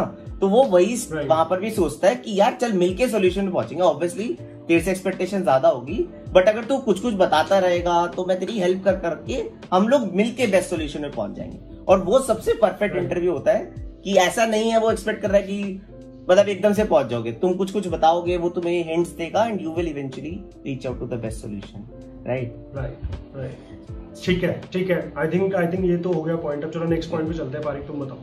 ठीक है. आई थिंक जैसे मैंने वो बोला था जब कोड करने की बारी आती है तो कोड क्वालिटी भी काफ़ी इंपॉर्टेंट पैरामीटर होता है इंटरव्यू में। मतलब जब वो लाइक आफ्टर इंटरव्यू मार्क्स देते हैं तो एक तो उस पर होता है प्रॉब्लम सॉल्विंग कैसी थी एंड ओवरऑल थॉट प्रोसेस कैसा था। एक इंपॉर्टेंट पॉइंट होता है कोड क्वालिटी वाला। और आई थिंक हो सकता है तुम बेस्ट सोल्यूशन पहुंचो बट अगर तुम्हारा कोड क्वालिटी अच्छा नहीं है तो बहुत खराब इंप्रेशन हो जाता है। एंड स्पेशली जैसे कॉम्प्यूटर प्रोग्रामिंग करते हैं उसके अंदर हम वेरिएबल नेम से बहुत ज़्यादा ध्यान नहीं देते तो बहुत गंदा गंदा कोड लिखना शुरू कर देते हैं। और जब इंटरव्यू में जाते हैं तुम्हारे वेरिएबल नेम्स कैसे यूज़ करे हैं तुमने रिपीटेटिव कोड तो नहीं लिखा मतलब अगर कोई इस पैलेंड्रोम यूज़ हो रहा है तुम्हारा पार्ट उसको फ़ंक्शन बना के यूज़ करो ना। That will give a great impression कि यार बंदा फ़ंक्शन के यूज़ कर करके हम प्रॉब्लम सॉल्व कर रहे हैं। और वो तुम्हारे को आसानी भी रहती है। अगर तुम फ़ंक्शंस का यूज़ करो बेसिक बेसिक लिख लो कई बार ऐसा होता है कि यार एज्यूम करो इस पैलेंड्रोम चलो ठीक है मैं एज्यूम करता हूँ तुम्हें आता होगा। एज्यूम करो एक स्पेलिंड्रोम फ़ंक्शन है तुम ऊपर उसको मत डिफाइन करो बट यूज़ दैट फ़ंक्शन तो अगर फंक्शनल कोड होता है ना वो बहुत अच्छे से तुम्हारा अच्छा लगता है code in terms of code quality and and indentation right मतलब ऐसा नहीं है कॉम्प्यूटर प्रोग्रामिंग में करते हैं लोग कि कैसे भी बस कोड लग के जल्दी होती है सबमिट करने की तो इंडेंटेशन में ध्यान नहीं देते. यार इंटरव्यूअर उन hmm. चीज़ों पे फोकस करेगा. इंडेंटेशन भी अच्छा खासा पैरामीटर होता है in terms of code quality right right right absolutely. And I think this sort of just go into the next step as well and अगर तुम कोड क्वालिटी बहुत अच्छे से मेंटेन करोगे तो नेक्स्ट स्टेप तुम्हारे लिए आसान हो जाएगा जो कि बहुत ज़्यादा इंपॉर्टेंट है। नेक्स्ट स्टेप इज़ क्या तुमने जो कोड लिखा तुमने उसको टेस्ट किया कि नहीं किया? मैं बता रहा हूँ एज एन इंटरव्यूअर बहुत ही अनोइंग होता है। जब एक बंदा कुछ नहीं बोल रहा है बहुत सारा कुछ लिखा उसने और लेके आगे कर देता है जी मेरा हो गया। एंड अब मैं टेस्ट करूँ बैठ के उसका कोड क्यों यार? मतलब मतलब मैं टेस्टर हूँ क्या तुम्हारे कोड के लिए? मतलब हाँ, हाँ। करो ना खुद से थोड़ा तो टेस्ट कर लो कुछ एक एग्ज़ाम्पल लेके रन करके देख लो कि ठीक चल रहा है नहीं चल रहा है। So please dry run your code right that's extremely important मैं बता रहा हूँ अगर तुम्हारी कोड क्वालिटी अच्छी होगी वेरिएबल्स के नाम सही होंगे थोड़ा मॉडुलर कोड होगा इन द सेंस की फ़ंक्शंस बने हुए होंगे, तुम्हारे लिए ड्राई रन करना भी बहुत आसान हो जाएगा। तुम सारे फ़ंक्शन से बोल पाओगे हाँ ये फ़ंक्शन एग्ज़ाम्पल लेते हैं, सही चल रहा है इस फ़ंक्शन में तो ये फ़ंक्शन भी सही चल रहा है तो अब मेरा जो कोड है वो तो सही चलेगा ही बिकॉज़ मैंने पहले ये फ़ंक्शन कॉल किया, ये फ़ंक्शन कॉल किया, फिर तो मैंने इतना ही काम किया, ये सही चल रहा है। तो ओवरऑल तुम्हारा पूरा का पूरा ड्राई रन करना बहुत आसान हो जाएगा। इंटरव्यूअर के लिए वो कोड समझना आसान हो जाएगा। इंटरव्यू के लिए एक जो टेस्ट केसेस पे वो खुद से ड्राई रन करेगा, उसके लिए वो आसान हो जाएगा। And you need to understand उसके लिए चीज़ें ऐसा आसान होंगी। पहली बात तो वो तुमसे खुश होगा कि उसको मेहनत नहीं करनी पड़ रही। दूसरी बात अगर उसको पाँच मिनट एक्स्ट्रा लग रहे हैं समझने में तो वो तुम्हारे पाँच मिनट जा रहे हैं। वो तो तुम्हें उतना ही टाइम देगा चालीस मिनट पैंतालीस मिनट। वो तुम्हें उससे ज़्यादा नहीं देगा।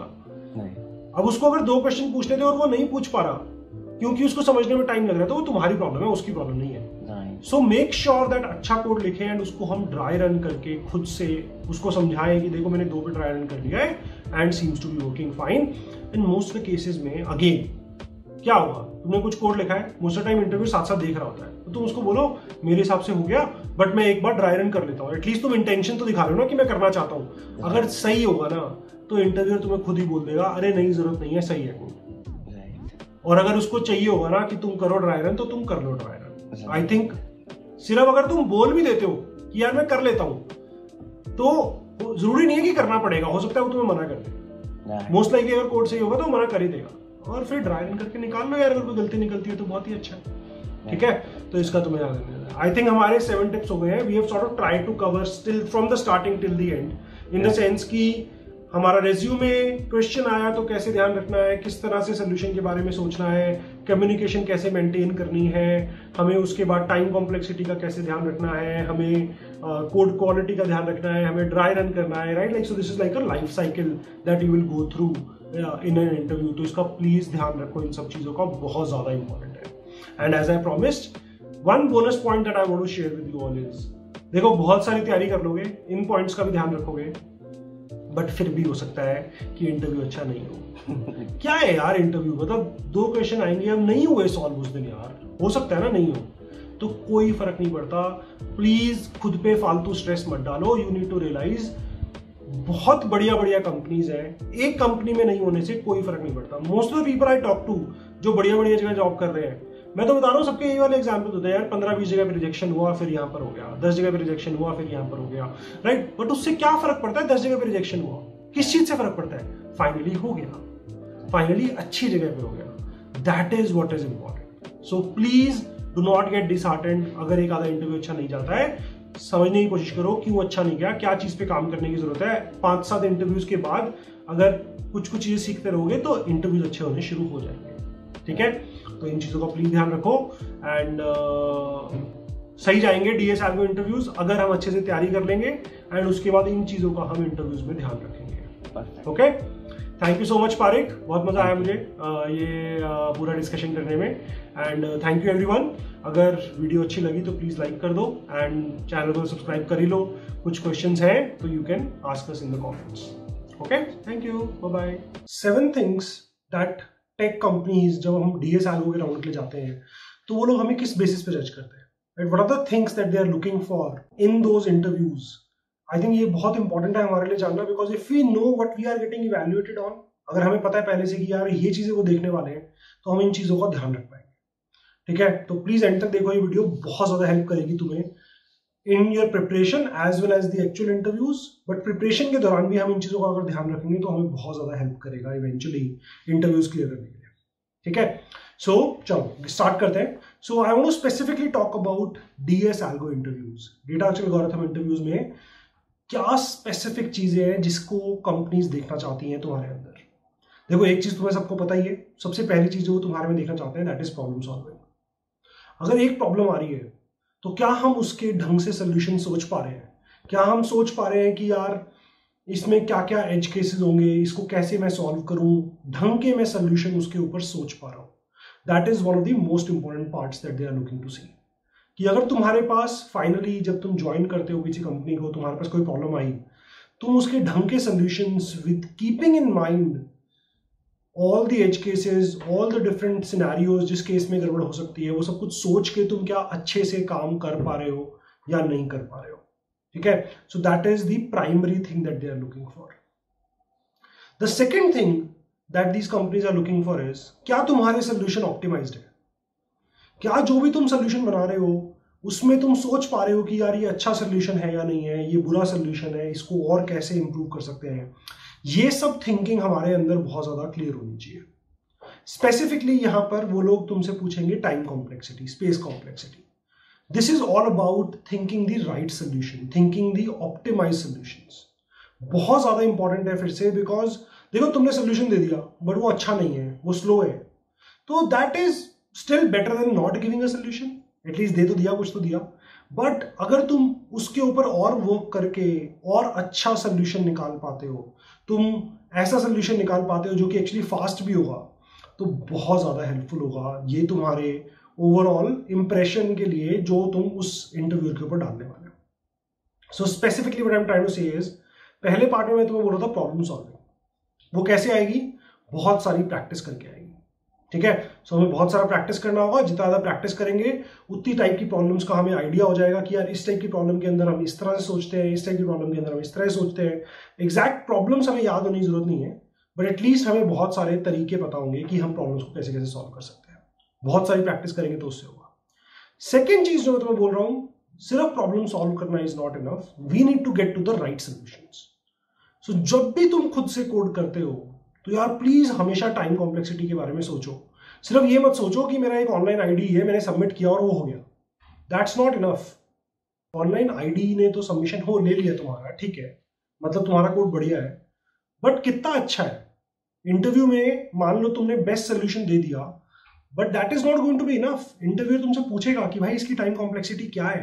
और तुम्हें पता होना चाहिए कि उसकी टाइम कॉम्प्लेक्सिटी क्या है ठीक है? सो so, सिर्फ़ अच्छे सोल्यूशन निकाल पाना इज़ नॉट इनफ हमें टाइम कॉम्प्लेक्सिटी का कॉन्सेप्ट बहुत ज़्यादा क्लियर होना चाहिए। उसके ऊपर हमें अच्छे से पकड़ होनी चाहिए हमारी कि हम उसको अच्छे से सॉल्व कर पा रहे हैं। So that is the second thing that we need to look at third thing that becomes very very important is basically taking feedback देखो, जब भी तुम इवेंचुअली कंपनी में जॉब काम करते हो जॉब करते हो तो तुम अकेले नहीं काम कर रहे हो तुम्हारे पास आसपास बहुत सारे लोग होते हैं।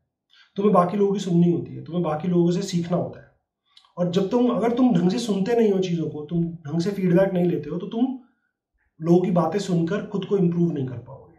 So that is an extremely important part that is being tested in these interviews as well क्या हो रहा होगा? तुम कुछ कर रहे हो? इंटरव्यू तुम्हें हल्का सा हिंट देगा। इससे ये भी हो जाएगा क्या? ये हैंडल हो जाएगा? अब लोग ना दो तरीके से रिस्पॉन्ड करते हैं। एक तो क्या करते हैं? डिफेंसिव हो जाते हैं। अरे नहीं नहीं, मैंने तो बढ़िया सोचा है, ये तो ऐसे हो ही जाएगा। दूसरा क्या होता है लोग उस टाइम पे एक बार पॉज लेते हैं और फिर सोचते हैं कि इंटरव्यूअर क्या बोल रहा है। फिर या तो इंटरव्यू को बोलते हैं नहीं मैंने इसके बारे में सोचा है आई थिंक ऐसे हैंडल हो जाएगा। Do you think that is correct या फिर बोलेंगे कि अरे thank you so much I think this make sense मैं ये कवर नहीं कर रहा let me think about this so by default तुम्हारा नेचर ये नहीं होना चाहिए कि यार मैं डिफेंसिव हो जाऊँ मैं लाइक like, मैंने जो बनाया है मैं उसको लेके इतना ज़्यादा प्रोटेक्टिव हो गया हूँ अब कि तू कुछ फीडबैक देगा तो मैं अपने गार्ड्स खड़े कर लूँगा और मैं तेरे को ढंग से रिस्पॉन्ड नहीं करूँगा। So it's extremely important that we take feedback the right way we are able to take feedback and take that feedback take those hints and move towards the right direction देखो interview तुमसे कुछ question पूछ रहा है तो obviously उसको तो आता है ना। अगर वो तुम्हें कुछ हिंट दे रहा है, कुछ फीडबैक दे रहा है तो प्लीज़ उसको लो फटाफट से और आगे की तरफ़ मूव करो। बहुत ज़्यादा ज़रूरी है। ठीक है? So it's very very important subtle होता है बहुत। But I have seen many interviewers के एंड में नोट्स में लिखा होता है कि ये बंदा फीडबैक को ढंग से रिसेप्टिव नहीं है ढंग से लेता नहीं है फीडबैक को। और वो बहुत बड़ा नेगेटिव पॉइंट हो जाता है। सो so, प्लीज़ इसका हमें ध्यान रखना है। ठीक है? So fourth thing that we need to take care of is the code quality ये ना जब तक तुम एक्चुअल इंटरव्यूज़ में नहीं जाते तुम्हें पता नहीं चलता है। ऑनलाइन काम कर करके क्या आदत पड़ गई है कि बस कोड चलना चाहिए चल गया तो बहुत बढ़िया है। बट उसके अंदर अब जो नाम रखे हुए वेरिएबल्स के, वो A B C D E I J K L I one I two I three K one K two K three ये सब चल रहे हैं? यार, ये सब नहीं चलेगा। ठीक है? ढंग से कोड लिखना पड़ेगा। इंटरव्यूअर को समझ में आना चाहिए। वेरिएबल नेम अच्छे होने चाहिए। फ़ंक्शंस ढंग से बने होने चाहिए। स्प्लिट करके लिखो, जितना ज़्यादा कोड को तुम कर सकते हो। तुम्हारे लिए भी आसान होगा समझना। उस कोड को समझाना बहुत आसान होगा तुम्हारे लिए। एंड ओवरऑल रीडेबिलिटी इंप्रूव हो जाएगी। ये बहुत ज़्यादा ज़रूरी है for an interview to feel कि तुम रेडी हो एक एक्चुअल ऑर्गेनाइजेशन में कोड करने के लिए।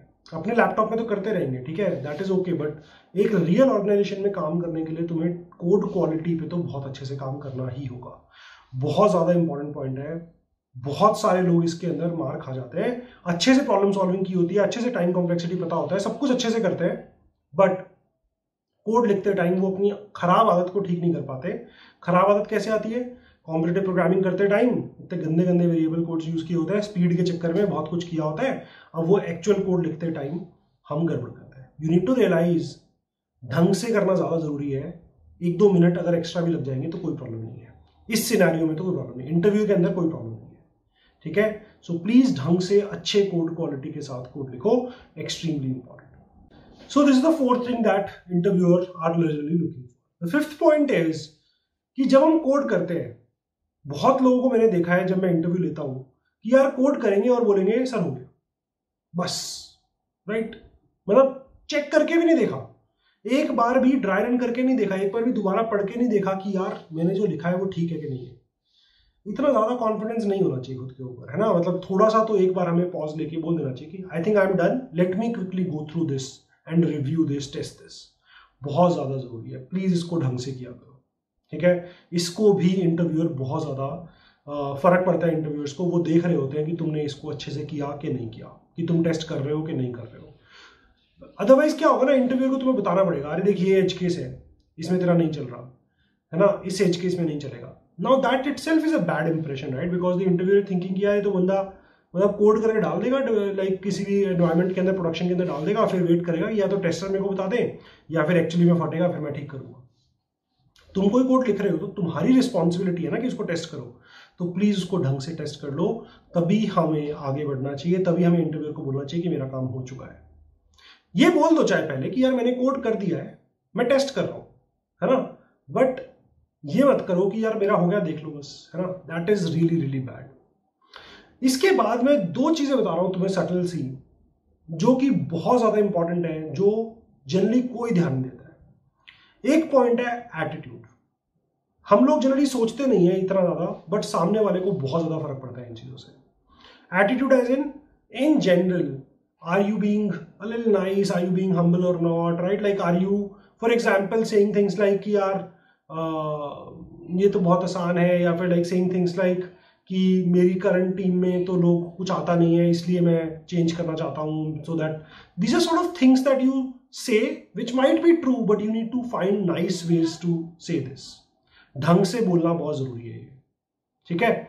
सो so, अगर कोई भी मेरे को बोलता है ना कि यार मेरी करंट कंपनी तो बहुत ही बकवास है एंड मेरी करंट कंपनी में ये प्रॉब्लम है पिछली कंपनी में ये प्रॉब्लम थी मैं बता रहा हूँ बहुत बड़ा रेड फ्लैग होता है मेरे लिए बिकॉज़ एक कंपनी है जो चल रही है राइट एक और इससे पिछली कंपनी थी जो चल रही थी और तुम्हें हर जगह पे प्रॉब्लम है। तो देर इज़ अ चांस मैं नहीं बोल रहा हूँ, हो सकता है कंपनी खराब हो but there is a chance कि तुम में प्रॉब्लम हो, है ना? Then I have to be very very careful about that so ये जो एटीट्यूड हम दिखाते हैं right like it's we have to be very careful about how we are behaving in the interview what sort of whatever we are saying we need to keep in mind that we need to say it nicely right and attitude ऐसा भी नहीं होना चाहिए कि यार, मुझसे तो नहीं हो रहा है क्वेश्चन नेक्स्ट दे दो। क्यों दे दूँ मैं नेक्स्ट मुझे ये करवाना है, कर भाई बैठ के। है ना? So you need to give up कर देने वाला एटीट्यूड या फिर बहुत नेगेटिव एटीट्यूड ये बहुत प्रॉब्लमेटिक होता है। एंड बहुत सारे इंटरव्यूज़ इस वजह से भी फेल कर देते हैं which I think is absolutely fair कर देना चाहिए। बिकॉज़ फाइनली एक बंदे को बहुत कुछ आता है, बहुत बढ़िया है बट काम तो उसे करना पड़ेगा ना बाकी लोगों के साथ। सो अगर एटीट्यूड अच्छा नहीं है तो that's going be a big problem the last thing that I want talk about is do you have interest in the company that you are interviewing for startups को तो बहुत ज़्यादा फ़र्क पड़ता है, बड़ी कंपनीज़ को भी बहुत फ़र्क पड़ता है स्टार्टअप्स को बहुत ज़्यादा फ़र्क पड़ता है इससे कि भाई क्यों अप्लाई कर रहे हो मेरे पास? क्या रीजन है? सिर्फ़ पैसा ज़्यादा चाहिए? या तुम्हें मेरे काम में कुछ इंटरेस्ट है? या तुम्हें छोटी किसी किसी स्टार्टअप में काम करना है, किसी बड़ी कंपनी में काम करना है, तुम्हें एजुकेशन में काम, कोई रीजन है क्या तुम्हारे पास कि तुम मेरे पास अप्लाई कर हो? सकता है नहीं भी हो बट थोड़ा सोच के जाओ कि तुम क्यों करना चाहते हो यहाँ पे काम? एंड थोड़ा नाइस थोड़ा अच्छा आंसर निकाल लो। Because if you have real interest in the company that really helps as I am saying right like अगर तुम्हें एक्चुअल पैशन है ना एक्चुअल इंटरेस्ट है उस कंपनी में काम करने का तो उस कंपनी के लिए भी वो बहुत पॉजिटिव है कि यार ये बंदा बहुत एंथू है बहुत एक्साइटेड है हमारे साथ काम करने के लिए इसको कंसिडर कर लेते हैं। So what I am saying is on this point having the right questions to ask at the end of the interview, having the right sort of questions to understand more about is extremely important. And along with that, questions like why do you want to apply to this company? इसके ऐसी चीज़ों का answer हमारे पास होना चाहिए हमारे पास answer होना चाहिए कि कंपनी के बारे में थोड़ा पता करके जाओ पहले से to show that you are actually enthu about this company तुम्हें इस कंपनी में एक्चुअली इंटरेस्ट है ये अगेन एक फैक्टर है जो कि इंटरव्यूअर्स को देखते हैं वो लोग हमेशा whether that is something that they score you or not right right? देखो सब कुछ बेसिकली ये कोई मशीन तो है नहीं है इंटरव्यूअर है जो तुम्हें रेट करेगा। तो ये सब चीज़ों से ना बहुत ज़्यादा इंपैक्ट पड़ जाता है उनके परसेप्शन पे in terms of how there उनका परसेप्शन तुम्हारी तरफ़ क्या है उससे बहुत ज़्यादा फ़र्क पड़ जाता है। सो so, इसका बहुत ज़्यादा हमें ध्यान रखना पड़ेगा। अब अगर तुम सोचोगे तो मैंने तुम्हें बेसिकली इन सात चीज़ों में चार चीज़ें थोड़ी टेक्निकल बोली है। Right like what are those four things one thing I am saying is problem solving पे वर्क करो। टाइम कॉम्प्लेक्सिटी और ऑप्टिमाइजेशन uh, हमारी अच्छी होनी चाहिए। कोड क्वालिटी अच्छी होनी चाहिए। हमारा testing being able to debug our code being able to find edge cases ये बहुत इंपॉर्टेंट है। एंड तीन मैंने तुम्हें सॉफ्ट चीज़ें बोली हैं जो बहुत ज़्यादा इंपॉर्टेंट है जो हम जनरली नहीं सोचते उनके बारे में। Keeping a positive attitude is very important showing strong interest in the company is extremely important and being able to take feedback and then accordingly change your stance being able to move towards the right direction is extremely important. Please इन चीज़ों का बहुत अच्छे से ध्यान रखना। बहुत ज़्यादा help करेगी। मैं फिर से बता रहा हूँ, अगर तुम सोच भी लोगे ना दिमाग में, कहीं लिख भी लोगे कि मेरे को इन सात चीज़ों का ध्यान रखना है। पहली तीन चार चीज़ें while I am solving a problem फिर बेसिकली मेरे को अगर कोई मुझसे एटीट्यूड वाले एचआर टाइप के क्वेश्चन पूछे जा रहे हैं तो मुझे किस तरह से रिस्पॉन्ड करना है, मुझे किस टाइप के क्वेश्चन पूछने हैं, इन सब चीज़ों का अगर तुम ध्यान रखोगे तो overall chances of you clearing those interviews will become far higher okay thank you so much I hope तुम्हें वीडियो अच्छी लगी। अगर अच्छी लगी तो प्लीज़ लाइक कर दो अपने दोस्तों का शेयर कर दो। एंड ऑल्सो अगर तुम्हें लगता है कि कुछ मैंने मिस किया है तो प्लीज़ कॉमेंट भी कर दो। एंड डिस्कस uh, करते हैं कॉमेंट बॉक्स में। ओके थैंक यू पाँच चीज़ें डिस्कस करने वाला हूँ which I should have known before learning data structure algorithms और अगर ये पाँच चीज़ें मुझे पहले पता होती डेटा स्ट्रक्चर्स पढ़ने से पहले तो मैं और बेटर वे में डेटा स्ट्रक्चर्स पढ़ पाता मैं और जल्दी वे में कर पाता और आउटपुट भी बहुत सही निकलता। ठीक है? तो बेसिकली ये पाँच चीज़ ऐसी हैं जो तुम गलतियाँ ना करो, वो पूरा एक्सपीरियंस शेयर करने वाला हूँ so that you get to know the best way of learning data algorithms ठीक है? तो state and the video and अगर पसंद है वीडियो तो लाइक एंड शेयर भी कर देना अपने फ्रेंड्स के साथ, जिससे कि वो लोग भी गलतियाँ ना करें and definitely subscribe our channel ठीक है? तो फ़र्स्ट थिंग से स्टार्ट करते हैं। देखो, सबसे पहले डेटा स्ट्रक्चर्स पढ़ने से पहले मैं ये बोलना चाहूँगा, जब मैंने स्टार्ट करा था तो एक मैं बहुत अंडर कॉन्फिडेंट बंदा था। मतलब जैसे मैं कॉलेज में था तो बहुत सारे लोग थे जिन्होंने इलेवेंथ एंड ट्वेल्थ में पढ़ के आए हुए थे प्रोग्रामिंग और मैं हमेशा उनके सामने एकदम बोल ही नहीं पाता था बिकॉज़ जैसे कुछ डिस्कस हो रहा है, कुछ सेमेस्टर का एग्ज़ाम है, कुछ भी डिस्कस कर रहे हैं प्रोग्रामिंग के बारे में तो मैं अगर पढ़ के आया हूँ, और वो लोग सेम चीज़ पढ़ के आए हुए और वो लोग कुछ बोल रहे हैं, हम लोग डिस्कस कर रहे हैं तो हमेशा मैं उनकी बात मान लेता था बिकॉज़ मेरे अंदर एक हमेशा था, यार उन्होंने पहले से सीख कर आए हैं तो वही सही होंगे। But what I have learn after that is कि यार बहुत जगह मैं सही होता था, वो लोग गलत होते थे। तो मुझे बहुत बाद में रियलाइज़ हुआ, यार ये लोग जो इलेवेंथ एंड ट्वेल्थ में पढ़ के आए हुए होते हैं, वो बिल्कुल ऑलमोस्ट नथिंग होता है है ना? बेसिकली जो इंटरव्यूज़ में पूछा जा रहा है, वो एकदम अलग लेवल की चीज़ें पूछी जाती है। इलेवेंथ एंड ट्वेल्थ तो एकदम बिल्कुल बच्चा है उनके सामने, है ना? तो उस चीज़ से तो बिल्कुल मत डरो। अपना कॉन्फिडेंस हाई रखो कि सामने वाले ने इलेवेंथ एंड ट्वेल्थ में पढ़ा हुआ है। कोई फ़र्क नहीं पड़ता है, कुछ भी नहीं है वो। वो जो आज हम पढ़ने जाएँगे ना, वो बेसिकली दो तीन हफ़्ते का काम है। तो उससे बिल्कुल मत डरो, अपना कॉन्फिडेंस हाई रखना, अपनी प्रिपरेशन पे ध्यान देना। दूसरे ने क्या कर रखा है, क्या नहीं कर रखा, उस पर बिल्कुल मत ध्यान देना। अपना कॉन्फिडेंस हाई रखना। और अगर ये मेरे साथ होता ना तो मैं फ़र्स्ट ईयर के बाद बेटर कॉन्फिडेंस के साथ डीएसए कर पाता था। मेरे दिमाग में एक चीज़ हमेशा चलती रहती थी, यार, इन लोगों ने तो इतना पढ़ा हुआ है, ये करा हुआ है। वो चीज़ें ना बहुत इफ़ेक्ट करती है अपनी प्रिपरेशन में। तो वो मत आने देना। इलेवेंथ एंड ट्वेल्थ वालों से बिल्कुल फ़र्क नहीं पड़ता। अपनी प्रिपरेशन पे ध्यान दो और बहुत अच्छा करोगे डेटा स्ट्रक्चर में ठीक है? फ़र्स्ट पॉइंट क्लियर हो गया। सेकेंड पॉइंट जो बहुत इंपॉर्टेंट पॉइंट है, ये मैंने भी गलती करी थी। तो जब हम कोड करते हैं ना, ये मैंने क्या करा था? शुरू में जब चार पाँच महीने थे तो मैं अपने लोकल एडिटर पे कोड करता था। है ना? कि यार मैंने कर लिया और थोड़े बहुत दो तीन टेस्ट केस छोटे टेस्ट केस के लिए चला के देख लिया। सही चल रहा है एंड आई मूव फॉरवर्ड मतलब मैं कहीं सबमिट ही मारता था ऑनलाइन कंपाइलर पे कि यार मेरा कोड कोई चेक कर ले कि टेस्ट केस पे सही चल रहा है नहीं चल रहा। तो जो चार पाँच महीने मैंने बात सीखा ना तो मेरे को फिर किसी ने बोला, भाई, तू चेक क्यों नहीं कर रहा है? मैं बता रहा हूँ, तेरे बहुत सारे केसेस पे फटेगा कोड और एक्चुअली हुआ। वो चार पाँच महीने के बाद जब मैंने वो ऑनलाइन कंपाइलर्स पे सबमिट मारा तो मेरा कोड बहुत जगह नहीं चल रहा था। मतलब देर कम से स्टेज किया, मेरे को लगने लगा, ये मैंने क्या कर दिया? तो उसकी वजह से वो मेरी चार पाँच महीने में जो मैं कर सकता था, वो मेरी आठ नौ महीने में खिंच गई थी।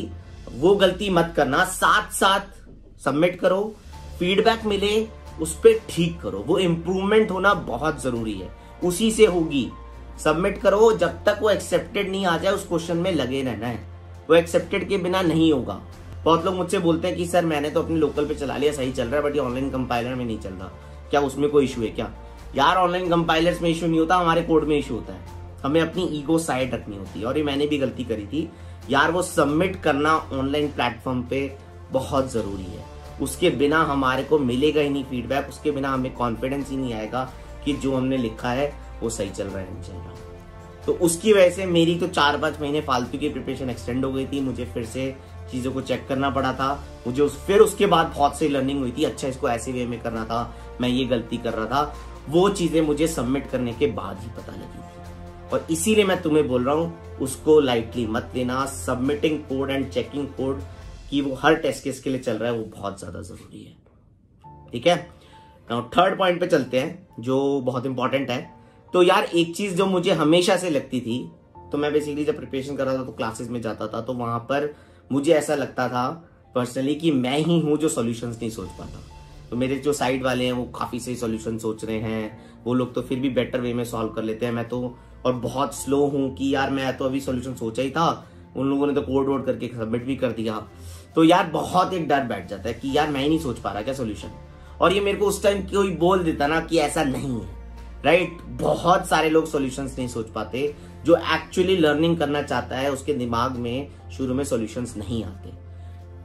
आज नहीं आ रहे ना सॉल्यूशन तू छह महीने लग के कर ले, तेरे सॉल्यूशन आने लग जाएँगे तो मेरे को एक सीनियर ने कहा कि यार इट्स इंपॉर्टेंट तुम छह महीने लगे रहो आफ्टर सिक्स मंथ देखियो कि तेरे को सॉल्यूशन आ रहे नहीं आ रहे।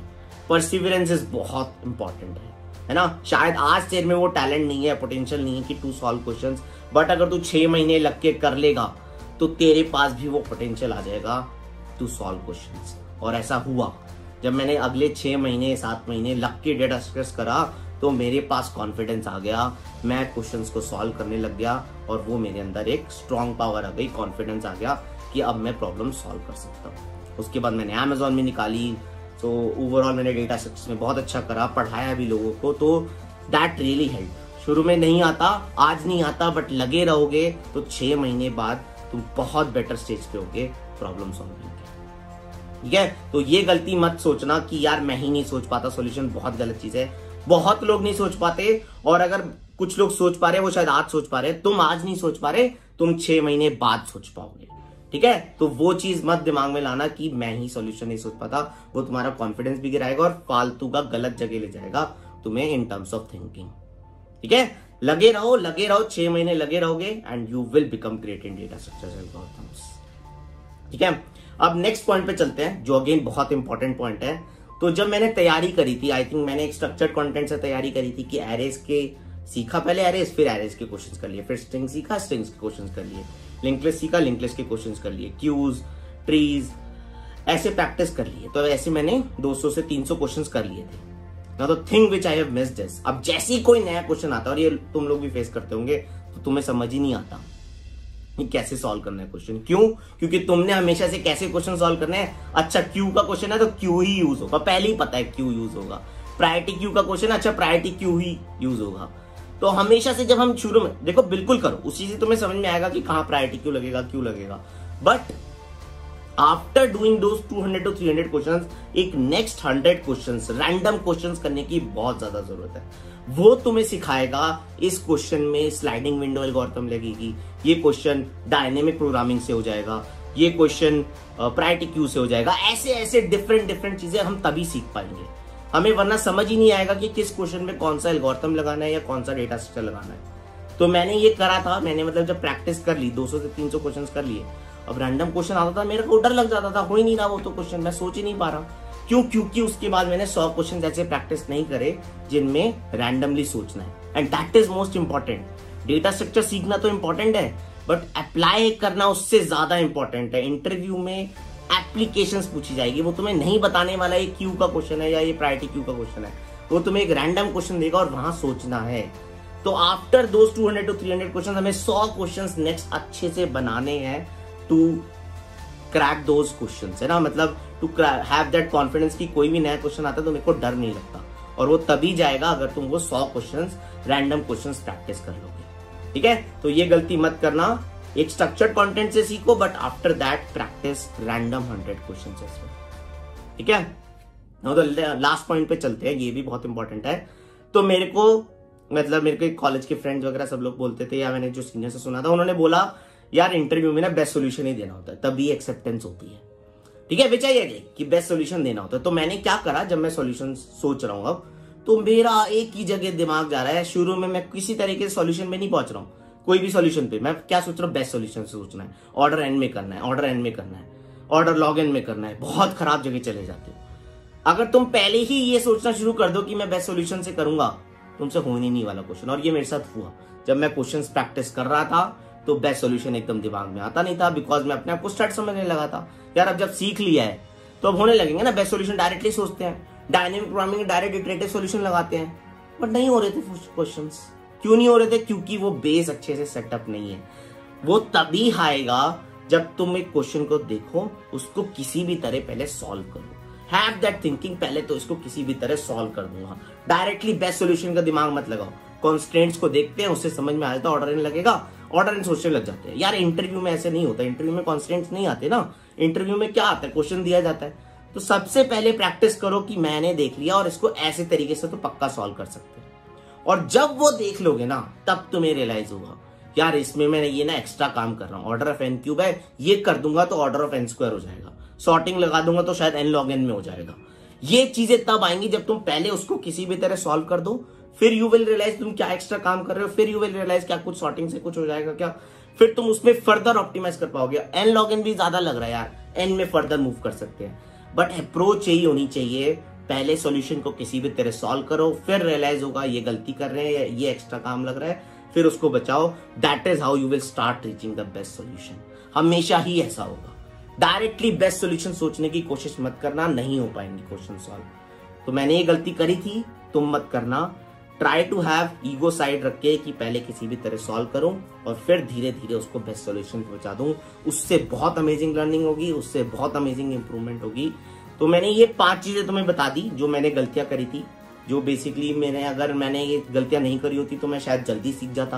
Rather than learning in eight to nine months में शायद चार से पाँच महीने में सीख जाता, क्योंकि मेरे को रिपीट करना पड़ा था कुछ कुछ काम। शायद मैं बेटर वे से सीख पाता और मैं शायद आउटपुट मतलब कॉन्फिडेंस कॉन्फिडेंटली सीख पाता। अभी मैंने क्या सीखा? थोड़ा सा अंडर कॉन्फिडेंट होके सीखा था बट धीरे धीरे पहुँच गए, लगे रहे परसिवरेंस रखी तो पहुँच गए उस स्टेज पे बट शायद और बेटर तरीके से कर सकता। तो मैंने तुम्हें बता दिए हैं, तुम अच्छे से फॉलो करो, ये गलतियाँ मत करना, अच्छे से प्रैक्टिस करो, लगे रहो and you will become great in data structures and okay कोई और चीज़ लगती हो तुम्हें जो तुम्हारे लिए बेटर वर्क करती है please share in the comment box I will be happy to hear that like and share ज़रूर कर दो अपने फ्रेंड्स के साथ. सब्सक्राइब भी कर दो चैनल को and thank you so much but goodbye